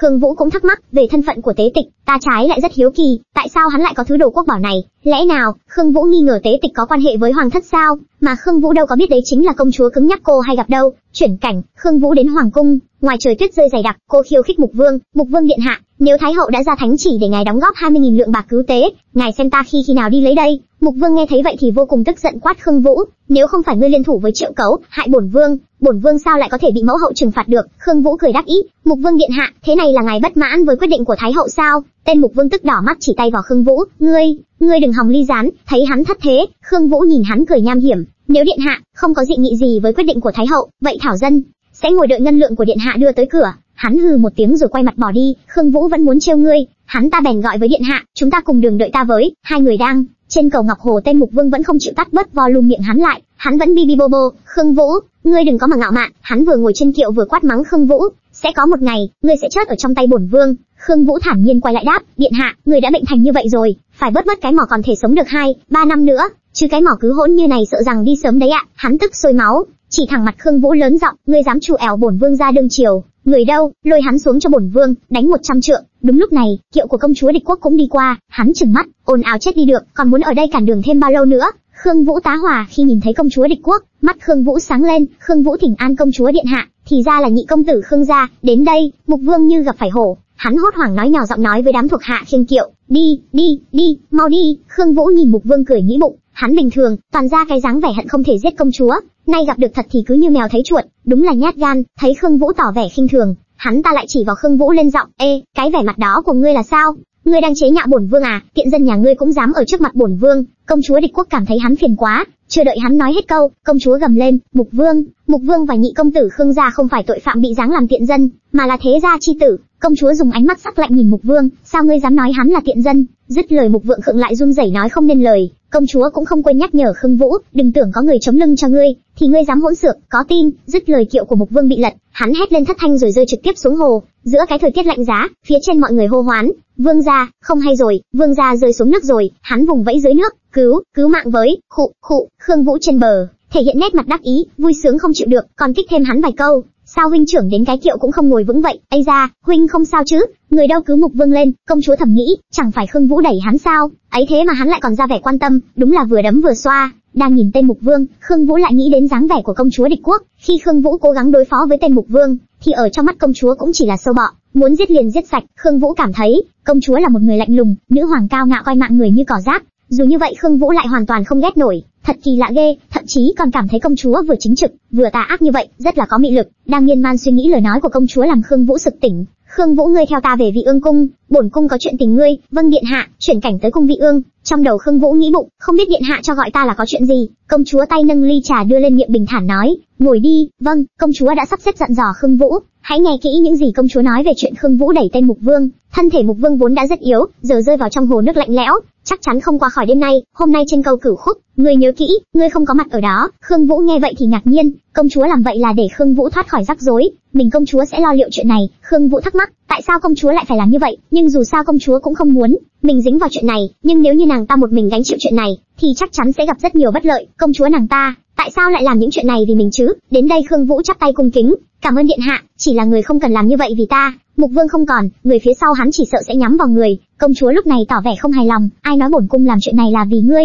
Bổn cung chỉ là vì sớm đã không thuận mắt tên Mục Vương đó mà thôi. Khương Vũ nói tiếp, điện hạ, cho dù người vì ai, ta cũng là người hưởng lợi trong chuyện này, phần tình này, suy cho cùng là ta nợ người. Khương Vũ nghĩ bụng, Mục Vương không còn, cô cũng sẽ mất đi một kẻ địch. Công chúa cũng nhắc lại hờ, Khương nhị công tử, tình ngươi nợ bổn cung cũng không phải một hai lần. Khương Vũ ngượng ngùng, à cũng phải. Khương Vũ cúi đầu chắp tay, ta là thật sự muốn làm chút gì đó vì người. Tại hạ từng nói, trừ hai chuyện đó, những chuyện khác đều nguyện dốc sức vì người. Khương Vũ nghĩ bụng, thật sự không thể trở thành thuộc hạ của của công chúa, càng không thể cưới công chúa, vì thân phận này của mình là giả. Công chúa nhìn Khương Vũ trầm mặc một hồi, trừ hai chuyện đó, được, thế ngươi có thể cho bổn cung nhìn thấy mùa xuân không? Khương Vũ hỏi lại, ngài muốn ngắm ngày xuân? Khương Vũ e rè trước yêu cầu này, nó nằm ngoài dự đoán của mình. Công chúa có vẻ thất vọng, được rồi, ngươi lui xuống đi. Công chúa lúc này hắn nghĩ, mặc dù mình đưa ra yêu cầu vô lý như vậy, mình chắc chắn hắn không thể làm được, nhưng mình không muốn Khương Vũ qua loa có lệ với mình. Khương Vũ tiến đến quan tâm, điện hạ, ngài có chuyện phiền não sao? Công chúa trả lời, bổn cung có chuyện phiền não, nhưng không phải chuyện mà ngươi có thể giải quyết được. Khương Vũ thầm nghĩ, một mỹ nhân cao cao tại thượng như công chúa điện hạ đây, mà lại bày ra dáng vẻ yếu đuối này, thật khiến người ta đau lòng. Khương Vũ tươi cười, mặc dù ta không thể giải quyết chuyện phiền lòng cho ngài, nhưng có lẽ ta có thể giúp ngài ngắm ngày xuân đó. Công chúa ngạc nhiên, ngươi nói cái gì? Công chúa không ngờ chỉ một câu phát tiết trong lúc tức giận, mà Khương Vũ lại sẵn sàng đáp ứng. Rồi Khương Vũ nói tiếp, xin điện hạ cho ta ra ngoài chuẩn bị. Công chúa tò mò, không biết hắn đang muốn làm cái gì. Công chúa đồng ý cho Khương Vũ đi chuẩn bị. Nửa tiếng trôi qua, Khương Vũ ló đầu vào cất tiếng gọi điện. Khương Vũ nhìn thấy công chúa đang chống tay ngủ, từ khi nào Khương Vũ lo công chúa bị cảm lạnh, nên đến để kiểm tra, khi vừa định chạm vào chán, bỗng trông chúa cao mày làm Khương Vũ sợ hết hồn chim én, không biết ma xui quỷ khiến thế nào, theo bản năng mà Khương Vũ lại ấn ngón tay vào chán công chúa, hành động này làm công chúa bất giác nhớ đến mẹ mình, công chúa thốt lên, mẫu hậu, nghe thấy công chúa nói vậy, Khương Vũ tưởng công chúa chê mình già, bỗng nhiên công chúa nắm lấy Khương Vũ, mẫu hậu đừng đi, Khương Vũ đôi mắt ngấn lệ, nghẹn ngào ôm lấy tay công chúa, diễn theo hoàn cảnh thực tế luôn, con sẽ ngoan. Khương Vũ lúc này dường như cũng hiểu được cảm xúc nhớ nhung hiện tại của công chúa không khác với mình là mấy. Khương Vũ bèn đứng và hát du cho công chúa. À ơi, trăng lưỡi liềm treo trên núi Mộc Lân gió thổi hiu hiu, tiếng hát của Khương Vũ đã xoa dịu đi phần nào tâm trạng buồn rầu, nhớ nhung trong lòng công chúa. Công chúa vẫn ngủ sâu trong tay mình, tiếng hát vẫn vang lên, lá khẽ lay động, chim ơi chim mau ngủ yên, sáng mai dậy sớm mà bay về phương xa. Đến đây có lẽ công chúa đã ngủ rất say, không ngờ công chúa cũng thích nghe bài hát do mẹ Khương Vũ hát khi du ngủ. Khương Vũ nhẹ nhàng rút tay lại, định bụng lát nữa sẽ tiến vào sau, tránh đánh thức công chúa lúc này, nhưng không có chỗ đỡ đầu của công chúa, đầu của hắn lắc lư không vững, sau đó ngã vào người Khương Vũ, khoảng cách gần khiến Khương Vũ có chút bối rối. Khương Vũ nhìn thấy chiếc châm cài tóc, mình tặng cho công chúa, thực sự ngày ấy đã đeo nó. Khương Vũ hài lòng xoa đầu công chúa, khuôn mặt đỏ bừng vì thẹn thùng và đây cũng chính là lợi thế khi cả hai đều là nữ nhi, động chạm sờ mó công chúa một tí cũng không tính là sàm sỡ, đúng là đầu với trà óc cứ tưởng tương tào lao. Sau một lúc lâu đứng làm chỗ dựa cho công chúa ngủ, Khương Vũ ngáp đến chảy cả nước mắt nước mũi, công chúa bất ngờ lên tiếng, đứng yên bổn cung dựa không thoải mái. Khương Vũ giật mình tá hỏa, tưởng mình mệt quá nên nghe nhầm, nhưng công chúa lại nhắc lại, đã nói ngươi đứng yên, bổn cung dựa không thoải mái, ngươi nghe hiểu không? Khương Vũ lùi lại về sau, ta, dứt lời công chúa đưa tay vòng qua eo Khương Vũ kéo lại, còn dám lùi sao? Khương Vũ lắp bắp, điện hạ ngài chưa ngủ sao? Đến đây Khương Vũ nghĩ bụng, móa, hóa ra từ đầu đến giờ là ngài ấy đang giả vờ ngủ sao? Hại ta đứng mỏi cả chân, ê cả người, điên tiết thiệt chớ. Nhìn Khương Vũ, bất ngờ công chúa giải thích, ta vốn đã ngủ rồi, nhưng lúc người nào đó kéo tóc của bổn cung, nên ta tỉnh luôn. Công chúa nghĩ bụng, bản thân vốn ngủ không sâu, nhưng khi ở gần Khương Vũ mình lại ngủ rất say, thế là thế quái nào nhỉ? Sự sạch sẽ và an toàn trên người Khương Vũ khiến ta cảm thấy yên tâm. Khương Vũ thấy mình vừa phá giấc ngủ của công chúa, nên lo lắng lắp bắp nói, tại hạ sợ ngài ngã xuống đất, vốn chỉ định giúp ngài, nhưng mà ngài đột nhiên lại gần, tại hạ không dám động đậy. Lúc này mặt công chúa tối sầm, Khương Vũ lại càng hoảng hơn, móa, chất mẹ rồi, chuyện mình khinh bạc công chúa điện hạ được xác định luôn rồi, cứ ngỡ rằng công chúa sẽ trách phạt mình, thế nhưng ngược lại, công chúa lại ôm chặt Khương Vũ với biểu cảm hưởng thụ, thế thì bây giờ cứ đứng yên như vậy đi, đừng động đậy. Khương Vũ tá hỏa nghĩ bụng, móa ơi, cái tình huống quần què gì thế này trời? Khương Vũ lên tiếng, điện hạ, à, ừm, nam nữ thụ thụ bất thân, ta là nam nên không sao cả, nhưng công chúa điện hạ là nữ tử, như này, không thích hợp cho lắm. Công chúa nghe vậy bèn lôi chuyện ở núi Mộ Vân khẻ Khương Vũ, thụ thụ bất thân cái gì? Thế tối hôm ở núi Mộ Vân, ngươi xé áo choàng của bổn cung không phải là ngươi à? Khương Vũ nhỏ giọng, đó, đó là tai nạn, do tại hạ không cẩn thận. Khương Vũ cố ý muốn đẩy công chúa ra, bỗng nhiên công chúa trừng mắt tức giận, ngươi mà động nữa thì bổn cung sẽ khép tội ngươi khinh bạc ta. Khương Vũ bắt đầu đặt tay lên vai công chúa nói, điện hạ đừng như vậy, ngài muốn ta chết sao? Công chúa bất lực bèn thôi không làm khó Khương Vũ nữa, ngươi đúng là thật dài dòng văn tự, bổn cung không để ý, đại nam nhân như ngươi cứ sợ hãi rụt rè, bẽn lẽn làm cái gì? Khương Vũ quỳ gối, ta chỉ là nghĩ cho thanh danh của điện hạ mà thôi. Đến đây Khương Vũ bèn chuyển chủ đề, à, điện hạ, không phải ngài muốn đi xem mùa xuân à? Ngươi còn có bản lĩnh biến ra cảnh xuân giữa băng thiên tuyết địa à? Khương Vũ tự tin, điện hạ nhìn là biết thôi. Nói rồi Khương Vũ lấy từ trong áo ra một nắm hoa tung lên rơi xuống khắp người công chúa, khiến công chúa vô cùng bất ngờ. Khương Vũ đưa tay lấy một bông hoa trên đầu công chúa xuống mỉm cười, hồ điệp ngày xuân, mong điện hạ luôn luôn bình an vô sự. Chính hành động này làm trái tim công chúa bỗng nhiên đập nhanh hơn, công chúa đã rung động trước Khương Vũ, công chúa hài lòng cười nói, Khương Vũ ngươi rất giỏi, Khương Vũ liền tiết lộ cách mình có được hoa hồ điệp, đâu có đâu, tại hạ chỉ là dùng ít phấn màu để làm hồ điệp trên giấy, sau đó dùng bột pha lê để tạo ảo giác mà thôi. Công chúa lúc này có vẻ vẫn chưa thỏa mãn, còn nhớ, ngươi từng nói bổn cung có thể đưa ra ba yêu cầu với ngươi, bây giờ ta có yêu cầu thứ hai. Khương Vũ đáp, mời điện hạ nói. Công chúa vừa cầm tách trà vừa nói, yêu cầu thứ hai của bổn cung là, ngươi phải vào cung 7 ngày một lần, gác cho bổn cung ngủ. Đến đây thì Khương Vũ lập tức đứng hình, Khương Vũ nghi ngờ, ủa, tai mình không có vấn đề gì chứ, đây là để mình 7 ngày vào cung một lần, hầu hạ nàng ta ngủ sao? Đưa ly trà lên miệng công chúa kể, ngươi là người đầu tiên có thể khiến bổn cung ngủ được, vậy nên ngươi rất giỏi. Khương Vũ thì ngược lại, không muốn được khen tí nào, bèn tìm cớ để từ chối. Điện hạ à, cái này không hợp với lễ nghi cho lắm, nếu để các triều thần văn võ biết được, công chúa ngắt lời, bổn cung không để ý, phong nghiên sẽ sắp xếp mọi thứ, không để cho ai biết đâu. Khương Vũ ngoài mặt không dám phản kháng, nhưng bên trong lòng đang kịch liệt phản đối, không ai để ý nhưng ta sẽ để ý đấy nhá. Bất lực, Khương Vũ đưa tay lên đầu, vốn không muốn có thêm lời đồn với công chúa, nếu bị người khác biết ta hầu hạ công chúa ngủ, không biết ta sẽ trở thành cái đinh trong mắt bao nhiêu người, và không biết sẽ có bao nhiêu người muốn nhổ cái đinh đó đi. Công chúa thấy thái độ không hợp tác này, thì lập tức đặt mạnh ly trà xuống, trà bay tung tóe. Công chúa cao mày, sao nào, ngươi không bằng lòng à? Nhìn thấy nét mặt công chúa tức giận, Khương Vũ bất đắc dĩ bằng lòng. Khương Vũ nghĩ bụng, mình đã bật lại công chúa nhiều rồi, lần này không muốn làm người thất vọng thêm. Nghe được câu trả lời của Khương Vũ, công chúa mới bình tĩnh lại. Ngươi đi đi nhớ những gì mà bổn cung nói. Hôm nay ngươi không ở trên cầu cửu khúc. Vâng. Khương Vũ quay lưng bước đi. Công chúa nhìn theo bóng lưng Khương Vũ. Công chúa trầm ngâm, ta vẫn luôn cảm thấy thế gian này nhạt nhẽo vô vị, cho đến khi Khương Vũ xuất hiện. Khương Vũ đã làm cho ta sinh ra dục vọng muốn chiếm hữu Khương Vũ làm của riêng mình. Vừa nghĩ đến đây, công chúa đưa bông hoa hồ điệp lên mũi người lấy mùi hương của Khương Vũ từ nó. Khương Vũ đờ đẫn đi về, đến Khương phủ thì Minh Nguyệt đã đứng đợi từ khi nào? Minh Nguyệt khoác áo choàng vào cho Khương Vũ, cô thắc mắc hỏi, sao lần nào người vào cung, lúc trở về cũng đầy tâm sự thế? Khương Vũ phiền lòng kể lại chuyện hôm nay, có hai chuyện, một là Mục Vương không chịu được qua đêm nay, hai là sau này, cứ 7 ngày ta phải vào phủ hầu hạ công chúa ngủ. Nghe đến từ hầu hạ công chúa ngủ, Minh Nguyệt giật mình tá hỏa, công tử, người điên rồi à? Khương Vũ thở dài ngao ngán, biết là như vậy, nhưng cũng đâu còn cách nào ta có thể từ chối được chứ? Minh Nguyệt khó chịu hét lên, ta thấy người là bị công chúa hấp mất hồn rồi mà còn không biết à? Rồi Khương Vũ trấn an Minh Nguyệt, không sao đâu, đợi hiểu rõ chuyện cứu trợ xong, thì chúng ta sẽ rời khỏi kinh thành. Vừa dứt lời Tiêu Vô Tâm xuất hiện, nét mặt niềm nở, "A Vũ, người ở trong cung vẫn bình an chứ? Đệ vẫn ổn, đã chuyển bạc đến kho mới mà huynh tìm cho ta rồi." "Ừm, vậy thì tốt rồi, ta tới để nói cho ngươi một chuyện lớn." Mặt Tiêu Vô Tâm tối sầm lại thông báo, Mục Vương kia đã xảy ra chuyện rồi, hắn có khả năng sẽ không giữ được mạng. Vừa nãy có tin là hắn bị rơi xuống nước, trời hôm nay lạnh như vậy, sức khỏe hắn lại yếu ớt, chắc chắn là không thể giữ nổi mạng nữa rồi. Nghe nói là người của công chúa điện hạ, không cẩn thận va phải kiệu của hắn, nhưng cũng có người nói là công chúa điện hạ cố ý. Các nguyên lão trong hoàng tộc đều vô cùng tức giận. Khương Vũ biết công chúa đã gánh tội thay mình, nhưng mình cũng không tiết lộ với ai, chỉ hỏi qua loa. Ồ, vậy công chúa điện hạ có vì thế mà bị truy cứu không? Tiêu Vô Tâm nói tiếp, với địa vị của công chúa, trừ bệ hạ ra thì không ai có thể truy cứu, kể cả làm ra nhiều chuyện thương thiên hạ lý hơn nữa. Rồi Khương Vũ quay qua hỏi Vô Tâm, giữa huynh trưởng và công chúa có chuyện gì à? Khương Vũ để ý, cứ mỗi lần nhắc đến công chúa, huynh trưởng đều có vẻ rất chán ghét và khinh thường. Vô Tâm đáp, thật ra cũng chẳng có chuyện gì cả, chỉ là công chúa lòng dạ độc ác, không phải người tốt lành gì, ta không thích loại nữ tử tâm như xà giống vậy. Khương Vũ bèn lên tiếng bênh vực, thời gian qua ta gần gũi tiếp xúc,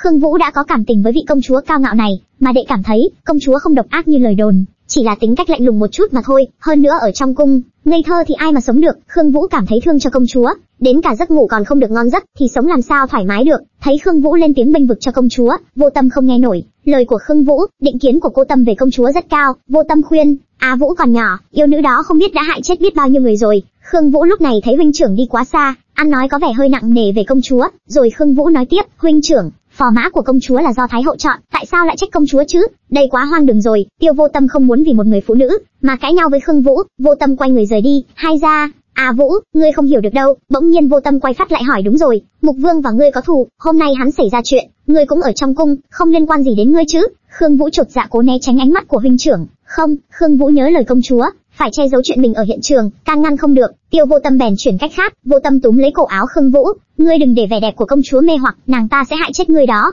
Những người tiếp cận nàng ta đều không có kết cục tốt. Mộ Cần là một ví dụ. Khương Vũ không trả lời vội chuyển chủ đề. Đúng rồi huynh trưởng, bạc trong tay ta sẽ đổi thành ngân phiếu hết, sau đó đi đổi thành lương thực. Nghe đến đây, Tiêu Vô Tâm suy nghĩ, ừm, ngân phiếu dễ mang theo, cũng an toàn và bí mật hơn. Khương Vũ vui mừng, còn nữa, ta đã nhờ sư phụ giúp đỡ, sư phụ đã đồng ý giúp ta, cho những người vận chuyển giỏi nhất, phụ trách vận chuyển lương thực, bảo đảm không thể có chuyện gì xảy ra. Vừa dứt lời, Vô Tâm bỗng nhiên nói, để ta đi thay ngươi. Lời nói của anh khiến Khương Vũ thắc mắc, huynh trưởng muốn đi sao? Vô Tâm tiến lại gần Khương Vũ, ta hy vọng ngươi có thể làm tốt việc này, nên ta muốn đích thân đi thay ngươi một chuyến.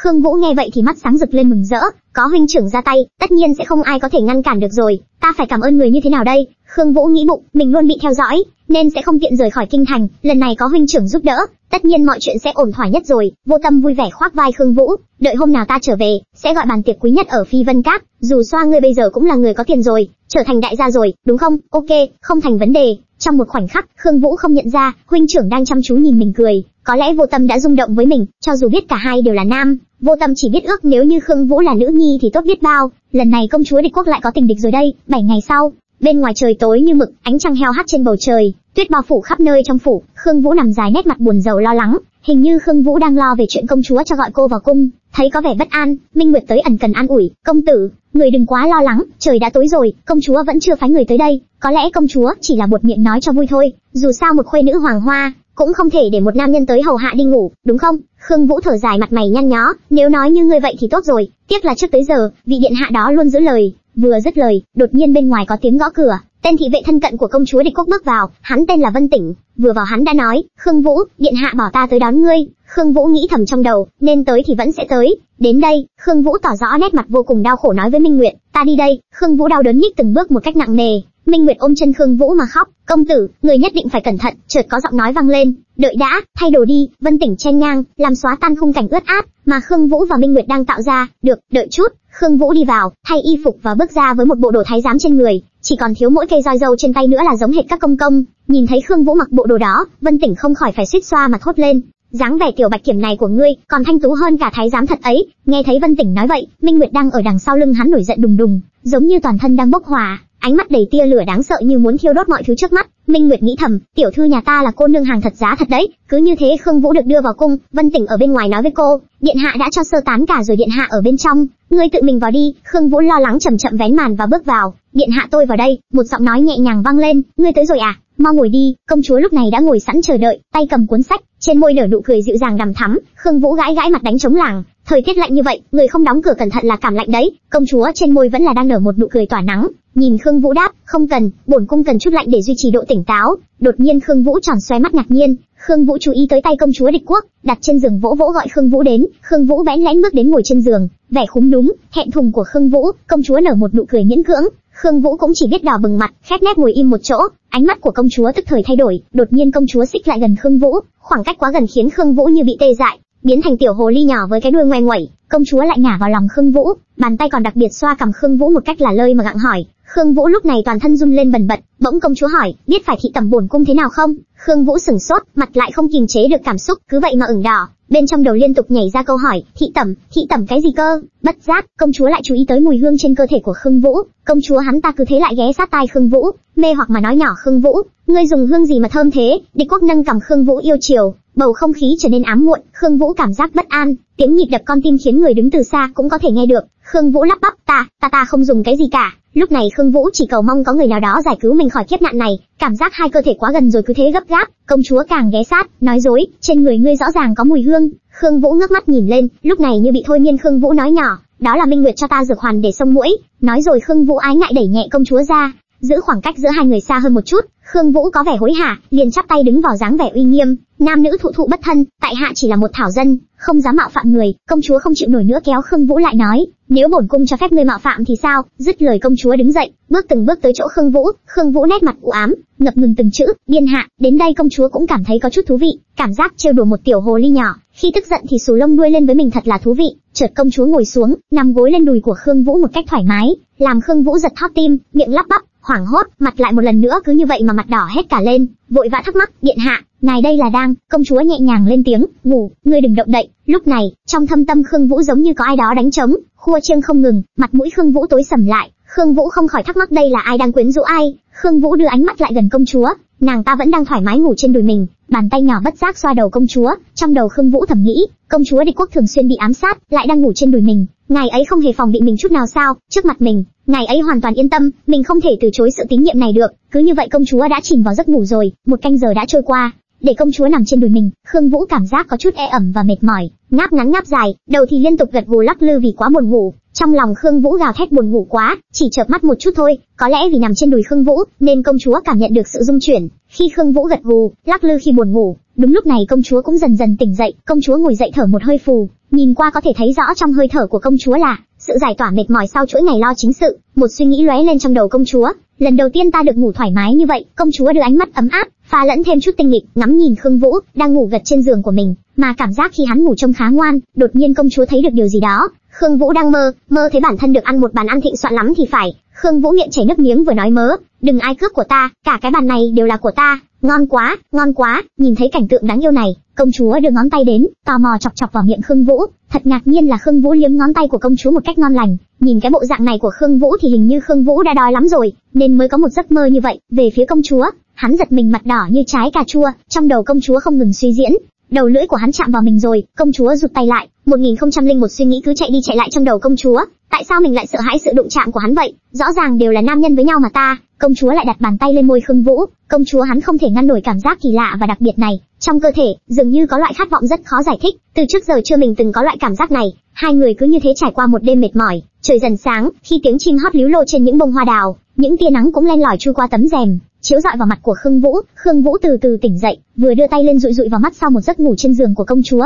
Khương Vũ giật bắn mình hốt hoảng, má ơi, vậy mà mình lại ngủ gật trong tầm cung của công chúa sao? Khương Vũ hoảng sợ lo lắng vào đầu bứt tai, trong lòng như có lửa đốt, làm sao đây, mình như này có bị coi là không có quy củ hay không? Có khi nào sẽ bị chém đầu không? Công chúa nhẹ nhàng vén tấm màn che rồi hỏi, tỉnh rồi à? Trên tay công chúa mang theo một dĩa điểm tâm, hắn ân cần hỏi Khương Vũ, ngươi đang làm gì? Khương Vũ vẫn không hiểu chuyện gì đang xảy ra, cứ thế mà quỳ sụp xuống đất, khóc lóc van xin không ngừng. Điện hạ, đêm qua là thảo dân sơ ý, công chúa cứ vậy mà nhìn Khương Vũ cúi sấp đầu mà không biết phải nói gì hơn. Được một lúc thì công chúa mới mở lời, qua dùng bữa đi.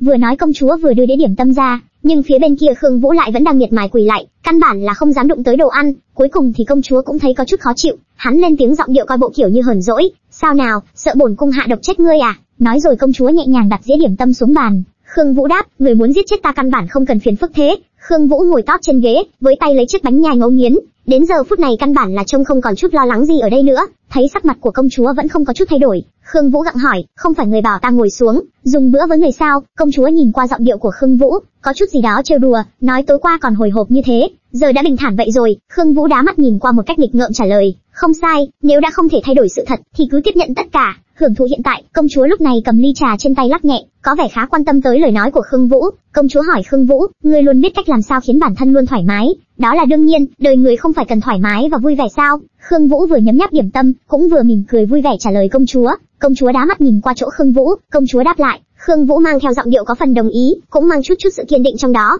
Đúng bổn cung thấy người nói có lý, sau khi nghe xong những lời của Khương Vũ, có lẽ công chúa lại càng chắc chắn hơn về quyết định của mình. Trong lòng công chúa muốn nói với Khương Vũ rằng, cho nên nếu ta vì bản thân vui vẻ, không từ thủ đoạn giữ lại ngươi, ngươi cũng có thể hiểu cho ta. Sau một đêm ở tẩm cung của công chúa địch quốc, Khương Vũ trở về phủ. Đúng lúc này, phủ của Khương Vũ đã chào đón một vị cô nương tới thăm. Người này chính là tiểu quận chúa. Vừa nhìn thấy Khương Vũ, tiểu quận chúa đi tới, nhẹ nhàng chào hỏi Khương Nhị công công tử. Lâu rồi không gặp, nhìn thấy tiểu quận chúa, Khương Vũ đi tới gặng hỏi quận chúa, hôm nay sao lại rảnh rỗi qua đây? Nét mặt Khương Vũ có chút bất ngờ. Kinh Nam quận Vương phi dẫn tiểu quận chúa tiến cung, mang theo nhiều đặc sản Kinh Nam, Thái hậu lệnh cho ta đưa cho ngươi thử. Nói rồi quận chúa đưa giỏ sách, chứa rất nhiều kinh mặc cao cho Khương Vũ nếm thử. Khương Vũ cầm trên tay kinh mặc cao mà Thái hậu ban thưởng, nhìn ngắm có vẻ khá thích thú, rồi từ tốn nói với tiểu quận chúa, kinh mặc cao này rất khó chế tạo, vậy cảm ơn Thái hậu nương nương ban thưởng rồi. Quận chúa mỉm cười tỏ vẻ có ý với Khương Vũ, rồi cô ân cần đưa ra đề nghị, trong phủ ta cũng có đầu bếp của kinh nam, nếu ngươi thích sau này có thể mang cho ngươi chút. Khương Vũ nở một nụ cười nhẹ, không phiền quận chúa, điểm tâm của Thường Xuân lâu cũng là tuyệt nhất, cũng có đầu bếp của kinh nam. Tiểu quận chúa nghĩ bụng,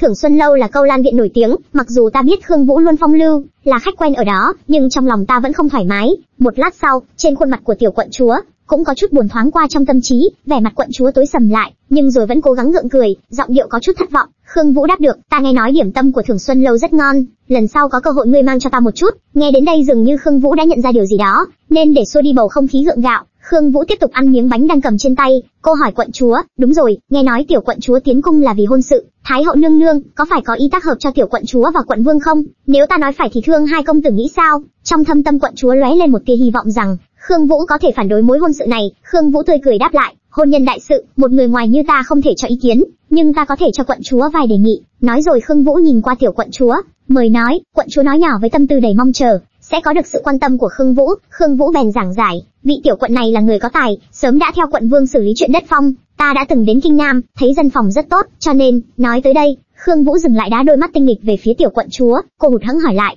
cho nên ngươi cảm thấy Kinh Nam tiểu quận vương là người xứng đáng? Khương Vũ nhẹ nhàng gật đầu, trong miệng vẫn là đang nhấm nháp miếng bánh điểm tâm. Đúng vậy, chuyện hôn nhân đại sự của nữ tử rất quan trọng, mặc dù ta thấy tiểu quận vương này chắc không tồi, nhưng cần quận chúa tự mình phải đi tra. Được ta biết rồi, quận chúa nở nụ cười miễn cưỡng đầy sượng chân, nghĩ bụng, có vẻ như Khương Vũ không có ý gì với mình cả. Bỗng nhiên quận chúa chú ý tới túi thơm của Khương Vũ, mang bên người, nàng nảy sinh chút nghi hoặc mà hỏi Khương Vũ, đây là túi thơm ngươi và Minh Nguyệt làm, mùi là rất thanh nhã, dường như có chút mùi của đinh lăng. Khương Vũ lúc này cũng đã ý thức được sự chú ý của quận chúa, đã chuyển tới túi thơm trên người mình. Đúng, mùi của đinh lăng, nó có tác dụng làm ấm người, là ta bảo Minh Nguyệt phối, lúc trời lạnh mang túi thơm bên người sẽ ấm áp hơn. Quận chúa mỉm cười thích thú, đồ tốt như thế có thể tặng ta một cái không? Nghe xong Khương Vũ vã mồ hôi hột, cười một cách gượng gạo, nói vậy không bằng ta đưa phương pháp cho quận chúa, không phải Khương Vũ không thể tặng túi thơm cho nàng, mà chính bởi vì túi thơm là đồ tư mật, nam nữ không thể tùy tiện tặng được. Quận chúa tức thời mặt đỏ bừng bừng, một nửa là vì thẹn khi bị từ chối, nửa còn lại là vì giận. Quận chúa dỗi hờn nói với Khương Vũ, ngươi nhỏ mọn thế từ khi nào vậy? Ta cầm một cái thử xem,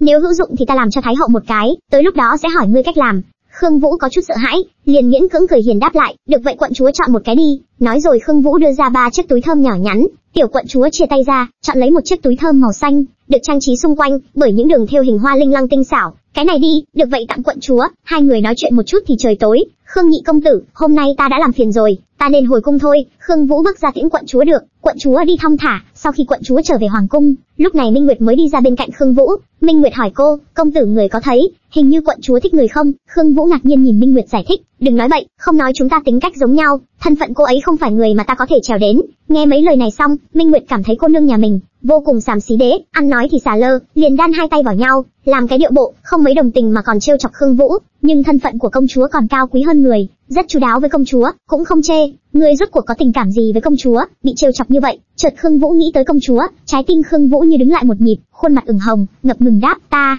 một ngày khác, khi mà Khương Vũ được công chúa địch quốc gọi vào cung, Khương Vũ, ngươi đang làm gì đấy? Công chúa mở lời, đánh thức Khương Vũ đang thẫn thờ, mà rót ly trà tràn hết xuống bàn. Khương Vũ định thần lại gấp gáp trả lời, công chúa điện hạ xin lỗi. Công chúa phất lờ đi lời xin lỗi của Khương Vũ, công chúa tiếp tục hỏi, nãy giờ ngươi nghĩ gì thế? Khương Vũ lại nhớ tới lúc Minh Nguyệt hỏi, nàng có tình cảm gì với công chúa? Nét mặt có vẻ sâu xa buồn bã. Mấy ngày nay mình đang nghĩ, mình đối với công chúa rốt cuộc là tình cảm gì? Khương Vũ lén nhìn qua công chúa có vẻ suy tư, nhưng mình cũng không có đáp án. Thế nhưng công chúa đã chú ý tới ánh mắt của Khương Vũ, công chúa lên tiếng cắt đứt đoạn suy nghĩ của Khương Vũ.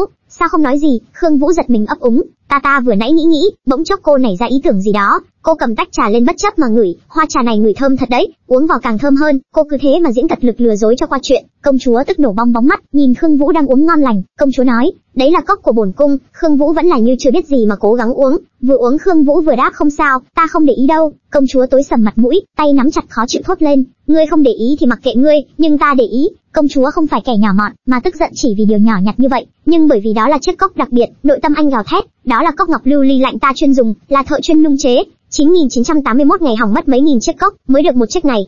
Ngày thường cũng chỉ có mình ta dùng thôi, đang trong cơn bực bội, hình ảnh đôi môi Khương Vũ nhấp vào miệng cốc khiến công chúa lại chẳng nỡ làm gì, đôi mắt mơ hồ nhìn Khương Vũ, tuyệt nhiên có thể nghe thấy tiếng tim đập thình thịch, suy nghĩ của công chúa một lần nữa lại quay xe, có điều, mình lại không ghét hắn vì hắn dùng đồ của mình, uống xong ly trà trong cốc lưu ly quý giá, Khương Vũ cứ vậy bình thản ngồi xuống, đem mấy cái túi thơm ra nhìn công chúa, trên môi nở một nụ cười tươi tắn mà nói, cái này là túi thơm an rất ta thường dùng, điện hạ có muốn thử không? Khương Vũ nghĩ bụng, vốn dĩ những túi thơm này nàng làm để tặng cho điện hạ. Đến đây công chúa trả lời, ừm, ngươi có lòng rồi thì bổn vương cũng có tí nước chấm. Dứt lời Khương Vũ nâng mấy cái túi thơm lên mỉm cười nhìn công chúa dặn dò, điện hạ nhất định phải thử, rất hữu dụng đấy. Nghe xong, công chúa nhận lấy hết tất cả túi thơm, nhét vào tay áo. Nếu ngươi thành tâm như vậy, thế thì ta nhận hết. Khương Vũ nhìn cái cách công chúa nhận lấy túi thơm, rồi cẩn thận cất vào, bất giác Khương Vũ không nhịn được cười, trong lòng không khỏi thán phục, điện hạ khi kiêu ngạo, nhưng cũng đáng yêu ghê cơ. Có vẻ như công chúa đã nhận ra suy nghĩ của Khương Vũ, công chúa lập tức chuyển trạng thái sang nghiêm túc, còn chuyện gì khác không? Nếu không bổn cung muốn đi ngủ một chút, đột nhiên Khương Vũ đứng dậy nhanh nhảu, chỉ trỏ bên phải, bên trái, luôn miệng hỏi, nằm luôn qua đó, hay là phải hát du cho người. Công chúa nhìn thấy dáng vẻ này của Khương Vũ, công chúa cũng hạn hán lời, không biết phải nói gì, cuối cùng vẫn là quyết định, giống lần trước càng tốt, sau hai tiếng hãy gọi bổn cung dậy, bổn cung còn có tấu chương phải xử lý, bất chợt trong đầu Khương Vũ nhảy số, lần trước, mình để công chúa gối lên đùi mình mà ngủ, khiến mình ngại vô cùng, dặn lòi bản họng mới được một chữ vâng, một lần nữa khung cảnh công chúa ngủ trên đùi được tái hiện, không ngờ như thế mà địch quốc đã vào giấc ngay, trong cơn mê, công chúa mơ hồ nói, chân ngươi còn mềm hơn đám vân tỉnh nữa, Khương Vũ cứng đơ như cây cơ, cảm ơn điện hạ đã khen, trong lòng không ngừng tự ca tụng bản thân, nếu không phải từ nhỏ, mình đã trà trộn trong đám nam nhi, tác phong không có tí nữ tính nào, tiếp xúc thân mật với công chúa điện hạ như vậy, chắc chắn sẽ sớm bị phát hiện ra sự thật mất. Suy nghĩ của Khương Vũ dừng lại, nhìn công chúa như vậy, không thể không rung động, tại sao công chúa lại xinh đẹp như vậy chứ? Bàn tay nhỏ nhắn của Khương Vũ nhẹ nhàng đặt lên mái tóc của công chúa, trong lòng có chút nuối tiếc, chỉ đáng tiếc nàng là nữ nhi, về phía tiểu quận chúa bên này, nàng giữ trên tay túi thơm mà nàng xin được từ chỗ Khương Vũ, rồi lại ôm nó vào lòng trầm tư suy nghĩ Khương Vũ, sao huynh cứ phải là xuất thân đó chứ? Bỗng nhiên, từ đâu đó một tiểu nô tỳ xuất hiện hỏi cô, quận chúa người đang nhớ thương nhị công tử sao? Cô giật mình quay lại nở một nụ cười có phần bất mãn, ta vẫn luôn biết thân phận của bản thân, cả kỳ vọng của nương nữa, ta với Khương nhị công tử chưa bao giờ có khả năng gì cả. Có vẻ như tiểu nô tỳ đó đã nhìn thấy tâm tư của quận chúa. Nô tỳ nhỏ nói, thái hậu có ý tác hợp người với tiểu quận vương, nếu quận chúa buồn bã tiếp lời, nếu thái hậu đề nghị liên hôn, nương ta chắc chắn sẽ rất bằng lòng. Nàng mong ta có thể cởi bỏ số mệnh thứ nữ này, đừng giống như nàng khốn khổ vì thân phận thứ nữ. Quận chúa thở dài một hơi, cho dù là vì mẫu thân, ta cũng sẽ gả cho tiểu quân vương. Hai người chủ tớ đang trải lòng, chợt nghe thấy một giọng nói trầm ấm, hiền từ vang lên. Yên yên, nếu như con không bằng lòng, thì không cần gả cho tiểu quận vương đó. Phụ thân của quận chúa bước vào ôn tồn nói với con gái, nhìn thấy cha, tiểu quận chúa như chết lặng, mặt mũi tái xanh cúi chào phụ vương, con, trong lòng Yên Yên lo lắng, không biết phụ vương đã nghe được bao nhiêu rồi, nhìn thấy con gái lo sợ khép nép, ông đi tới đỡ con gái lên hiền từ mà nói, đứa trẻ ngốc, con vẫn luôn là đứa trẻ bổn vương yêu thương thật sự, tại sao có tâm sự lại không muốn nói với phụ vương, đứng trước người cha hết lòng yêu thương con, Yên Yên cảm thấy mình như đứa trẻ, mang đầy tội lỗi, cô thốt lên, phụ vương, Yên Yên có tội, nói rồi đôi mắt Yên Yên hạ xuống, mang theo vô vàn những nỗi u buồn, nhìn thấy con gái như vậy, Ông không cầm được lòng, ho nhẹ một tiếng rồi nói, có nam tử mình thích là chuyện thường tình của con người, nào có tội gì chứ? Yên Yên nghe cha nói xong có chút suy tư, phụ vương không những không trách tội khinh cuồng của mình, mà trong lời nói hình như còn có ẩn ý khác nữa. Ông nhìn cô con gái thở dài một hơi, rồi ông xoa đầu nàng một cách yêu thương mà nói, ta và mẫu thân con vốn tâm đầu ý hợp, nhưng vì muôn vàn trắc trở, chỉ có thể nạp nàng làm thiếp. Sao ta nỡ để con giống với mẫu thân con, chịu đủ khổ sở trong nhân duyên chứ? Yên Yên nhìn lên mặt cha cô, không kiềm chế nổi sự vui mừng trong lòng, thầm mỉm cười mang theo sự hạnh phúc mà hỏi, ý của người là con có thể ở bên cạnh Khương Vũ sao? Ông cầm tay Yên Yên ân cần nói, mặc dù Khương Vũ không có được sự yêu thương của Khương Quốc Công, nhưng nếu con thích nó, Ninh Vương phủ chúng ta lớn như vậy, đủ cho con và nó một khoảng trời nhỏ, để hai đứa hạnh phúc đến đầu bạc răng long. Nghe thấy được những lời này, Yên Tiên vô cùng cảm kích, phụ vương người thật tốt. Rồi ông bước đến, xoa đầu Yên Yên nói, con là đứa trẻ mà phụ vương yêu thương nhất, phụ vương đương nhiên phải tốt với con rồi. Lúc này trong đầu ông thầm nghĩ, mình đã quan sát Khương Vũ, mặc dù hắn không được Khương gia yêu quý, nhưng với năng lực và thủ đoạn lại không hề tầm thường, cực kỳ có tiềm năng. Yên Yên buồn rầu nói tiếp, chỉ là con và Khương Vũ khó cơ cơ hội tiếp xúc với nhau, cũng không biết huynh ấy đối với con có suy nghĩ thế nào. Ông ngắt lời, mấy ngày này, Khương Vũ đi đào huyện làm việc cho Thái hậu, Hoàng Lăng cũng ở gần đào huyện, con có thể lấy lý do thay Thái hậu tế tổ, tới đó gặp nó, được phụ vương vẽ đường, Yên Yên vô cùng vui mừng, tạ ơn phụ vương. Ba ngày sau, Yên Yên làm theo chỉ dạy của cha, nàng ta lên một chiếc thuyền đến đào huyện, chiếc thuyền trôi trên sông, trên mui thuyền, công chúa đang đứng ngắm cảnh trời mây sông nước, tâm trạng công chúa lúc này vô cùng thoải mái, không để ý đến những gì đang diễn ra xung quanh, ngay đến cả Yên Yên đến bên cạnh các tiếng gọi, "Điện hạ, xin họ hỏi khi nào có thể cập bến?"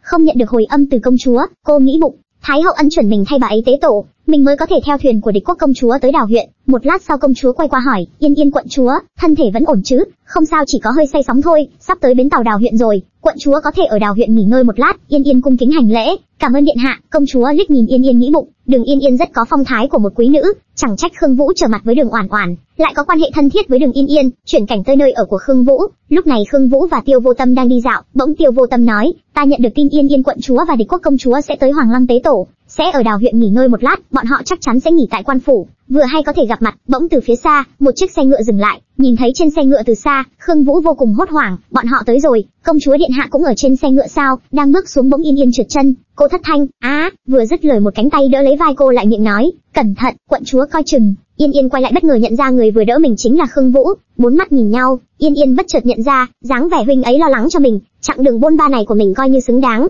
Dứt dòng suy nghĩ, giọng Yên Yên vang lên, cảm ơn Khương nhị công tử. Khương Vũ liếc mắt nhìn vào trong xe, công chúa không ở trên xe ngựa sao? Đến đây, tiểu nô tỳ đi theo mới mở lời nói, quận chúa người bị làm sao vậy? Quận chúa say sóng cả đoạn đường, mấy ngày nay, ăn được miếng nào vào bụng gần như đều nôn ra hết, hơn nữa có vẻ không ngủ được. Nghe đến đây, Yên Yên quay sang trách móc tiểu nô tỳ, được rồi đó Lục Sương, đừng nhiều lời, chúng ta vào nha môn thôi. Dứt lời Lục Sương dìu Yên Yên về phòng, vừa đi được vài bước, Yên Yên bỗng nhiên ngất xỉu, Lục Sương thất thanh, quận chúa, Khương Vũ hốt hoảng chạy lại đỡ Yên Yên, miệng hét lớn, mau gọi đại phu. Vừa đúng lúc này, đoàn xe ngựa của công chúa do Vân Tỉnh dẫn đầu, đưa Yên Yên về phủ Khương Vũ. Vân Tỉnh đứng nhìn thất vọng nói với công chúa, hai gia, chúng ta phái người hộ tống đường Yên Yên lên bờ nghỉ ngơi trước, sau đó thu dọn đồ trên thuyền mới qua. Không ngờ nàng ta tới cửa rồi mà vẫn không chống đỡ được. Công chúa vén rèm xe ngựa nhìn ra nghĩ bụng, Hừ, lúc trước hắn ôm mình ở mộ Vân Sơn, giờ thì ôm đường yên yên. Móa, con hồ ly này, con hồ ly này thích ôm người khác tới vậy sao? Đến đây công chúa nói với Vân Tỉnh, đi gọi Khương Vũ lại đây cho ta. Công chúa bước khỏi xe ngựa, dù DVKNGS dưới đất nhìn về hướng xa xăm.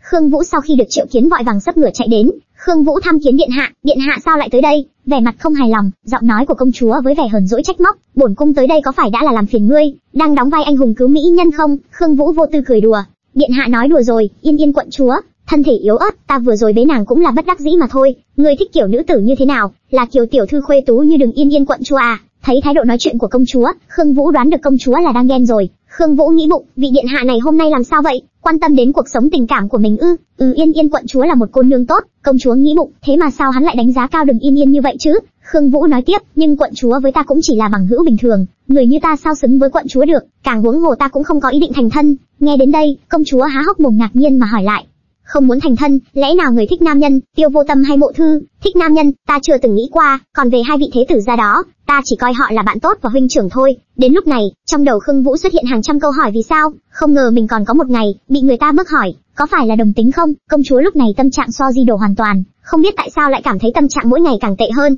rồi công chúa tiến lại gàn Khương Vũ, sao nào, ngươi có phải cảm thấy trên đời này, không có ai xứng với ngươi không? Khương Vũ lắp bắp, điện hạ người muốn ta thích cái gì thì ta thích cái đó, đến đây công chúa quay đi, buông một cái gửi về phía Khương Vũ, rồi công chúa nghĩ, hắn thế mà không thích nam nhân. Khương Vũ nhìn bóng lưng công chúa từ phía sau, miệng lẩm bẩm, chẳng lẽ công chúa tới ngày rụng dâu, nên tính khí mới thất thường như vậy. Rồi Khương Vũ chợt nhớ lại, ở ha, điều này cũng đúng, mình tới ngày rụng dâu cũng cực kỳ dễ nóng nảy, dù sao cơ thể cũng khó chịu mà. Khương Vũ vội vàng chạy theo, nói nhỏ, điện hạ, gần đây có phải bụng người có chút khó chịu không? Công chúa quay sang hỏi, sao vậy, có chuyện gì sao? Khương Vũ nói tiếp, người phải uống nhiều nước ấm, hoặc uống canh bốn chất, lúc bụng khó chịu tránh ra gió, như vậy cơ thể sẽ dễ chịu hơn chút xem ra công chúa cũng không thoát khỏi đau đớn của kỳ sinh lý. Đến đây, công chúa quay qua nói với Khương Vũ, được rồi, ngươi tới đảo huyện là để mua gạo cứu trợ phải không? Trong đầu công chúa mặc nhiên có những thắc mắc, mình không rõ canh bốn chất Khương Vũ nói là cái quái gì, nhưng hắn quan tâm mình như vậy, vẫn coi như có chút lương tâm, nghe thấy vậy, Khương Vũ đáp, đúng vậy, đào huyện sẽ sớm tổ chức hỗ trợ thường niên, thương nhân từ các châu, huyện, lân cận đều sẽ đến đây bán lương thực,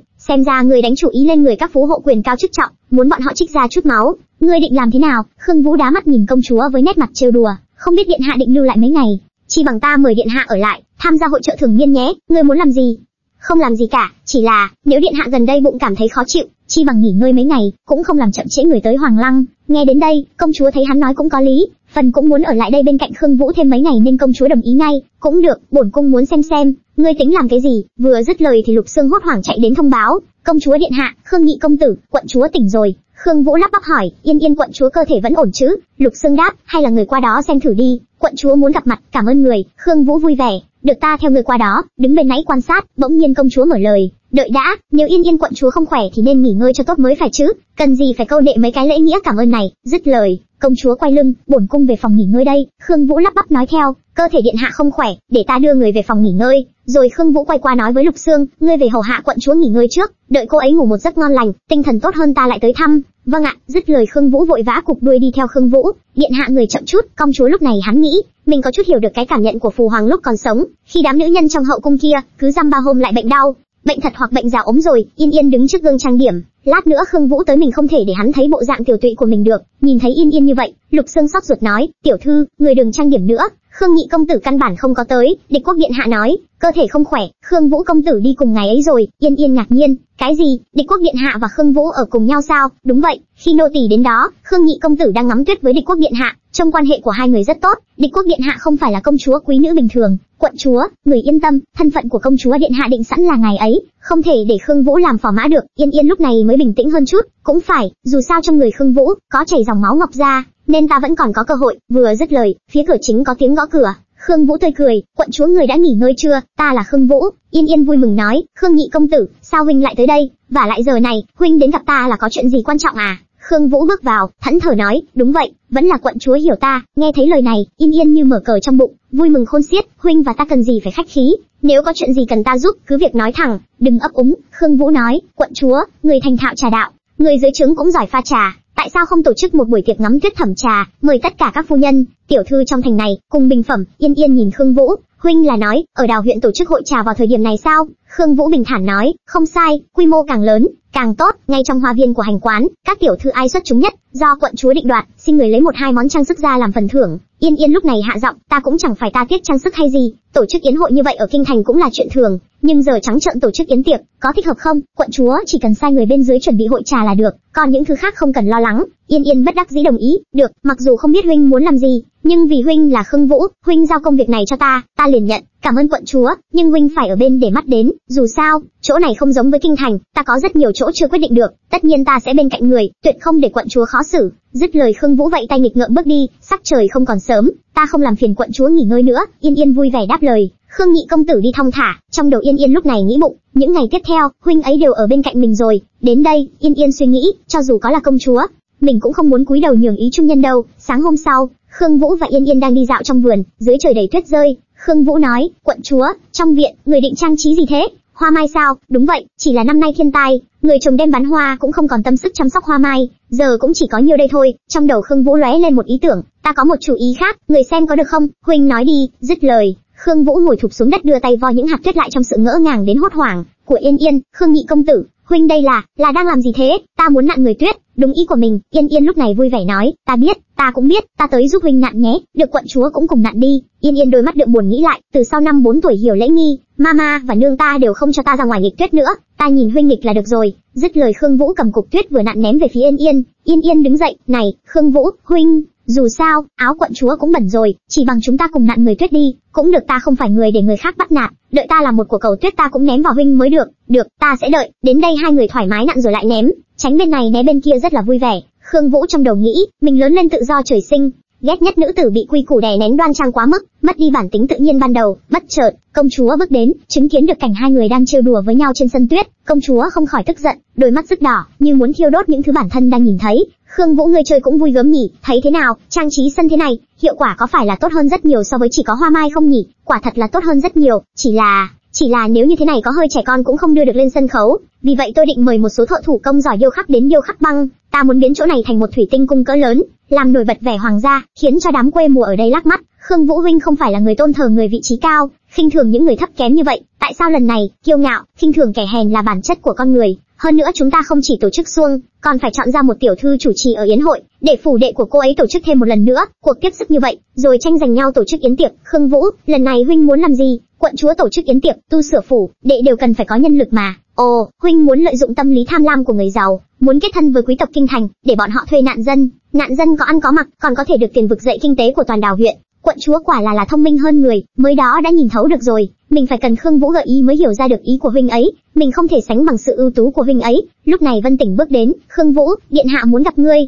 Khương Vũ đang cùng ta thương lượng chuyện yến hội, không biết công chúa có chuyện gì. Bây giờ nạn dân ở khắp nơi, Khương Vũ lại trắng trợn tổ chức yến hội, tấu sơ tố cáo hắn đều được gửi đến chỗ điện hạ rồi. Khương Vũ là có lý do, hắn, Khương Vũ vỗ vai Yên Yên trấn an, quận chúa không cần lo lắng, ta sẽ tự mình nói rõ với công chúa điện hạ, công chúa điện hạ sẽ không thật sự muốn cướp người với ta đó chứ. Khương Vũ bước đến, lúc này công chúa đang đọc những lá thư tố cáo, tham kiến điện hạ, ừ, rồi Khương Vũ ghé sát lại công chúa điện hạ, hãy đích thân xem, đây đều là những lá thư gửi đến để tố cáo mình đó nhỉ, thế mà nhiều như vậy sao? Khương Vũ giả vờ hỏi, điện hạ, người đây là vẽ cái gì vậy? Khương Vũ nghĩ bụng, chi bằng nói đến vấn đề khác trước đã, biết đâu điện hạ sẽ không hỏi tội nữa, ngươi có hứng thú? Đương nhiên, nghe nói những bức tranh của điện hạ đều là kiệt tác trong nhân gian, vậy ngươi hãy xem thử, tranh của bổn cung đẹp ở chỗ nào vậy? Khương Vũ tiến sát lên nhìn, vậy thì Thảo dân sẽ mạnh dạn đánh giá một chút, đây là Đại Long tự của Đào huyện, điện hạ đến đó rồi sao? Ừm, trước đây khi đi tế bái Hoàng Lăng đã đến một lần, miếu tự quanh năm được thờ cúng, tiền tài không ít, điện hạ người đây là biết kế hoạch của thần sao, cho nên mượn cớ này để nhắc thần, có thể nghĩ cách khiến miếu tự cũng bỏ tiền, đây là tự bản thân ngươi nghĩ đến.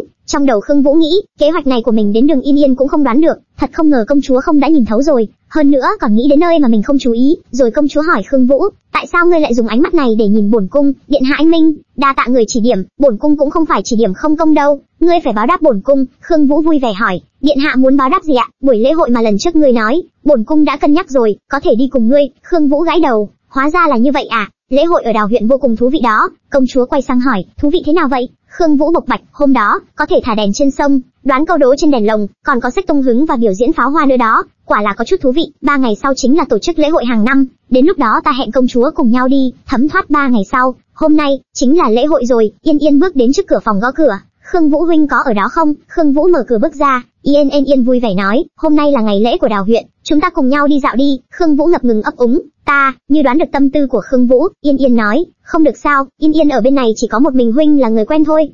Khương Vũ vui vẻ, vậy thì được thôi, rồi Khương Vũ nghĩ bụng, mình tin công chúa điện hạ đại nhân đại lượng cũng sẽ không tính toán đâu nhỉ. Bên này, công chúa cũng đã trang điểm lộng lẫy để đi dạo cùng Khương Vũ, trong đầu công chúa thầm nghĩ, đi dạo lễ hội cùng với Khương Vũ, chỉ có hai người, quả là một trải nghiệm mới lạ. Dứt lời, một giọng nói vang lên từ phía sau, điện hạ, công chúa quay lại, nhìn thấy Khương Vũ và Yên Yên trước mặt, Khương Vũ tươi cười nói, quận chúa cũng muốn đi dạo cùng với chúng ta đó ạ. Nghe đến đây công chúa có chút hụt hẫng và thất vọng, Khương Vũ nhân duyên của ngươi quả thật không tồi nhỉ. Khương Vũ lắp bắp, không, không có. Khương Vũ chợt cảm thấy thắc mắc, tại sao lại có cảm giác rợn tóc gáy phía sau nhỉ? Về phần Yên Yên, thấy vậy cô cũng thầm nghĩ bụng, thật không ngờ rằng công chúa cũng đã hẹn với Khương Vũ, thôi vậy ba người đi còn tốt hơn là. Dương mắt đứng nhìn hai người họ đi dạo cùng với nhau, ba người vui vẻ đi dạo, nhìn thấy công chúa mang mạng che mặt, Khương Vũ thắc mắc, không biết tại sao điện hạ đeo mạng che mặt nhỉ? Nhìn càng giống một nam nhân hơn, thấy vậy công chúa quay qua hỏi Khương Vũ, tại sao lại nhìn bổn cung? Khương Vũ lắp bắp, ta, không, không, Yên Yên bên cạnh thấy vậy thì liền nói gây chú ý, Khương Vũ, bên đó có thể thả đèn kìa, chúng ta cũng mau qua đó đi. Khương Vũ hỏi, muốn đi thả đèn không? Không đi, muốn đi xem xiếc cơ, đi thôi chúng ta đi xem xiếc. Ừm.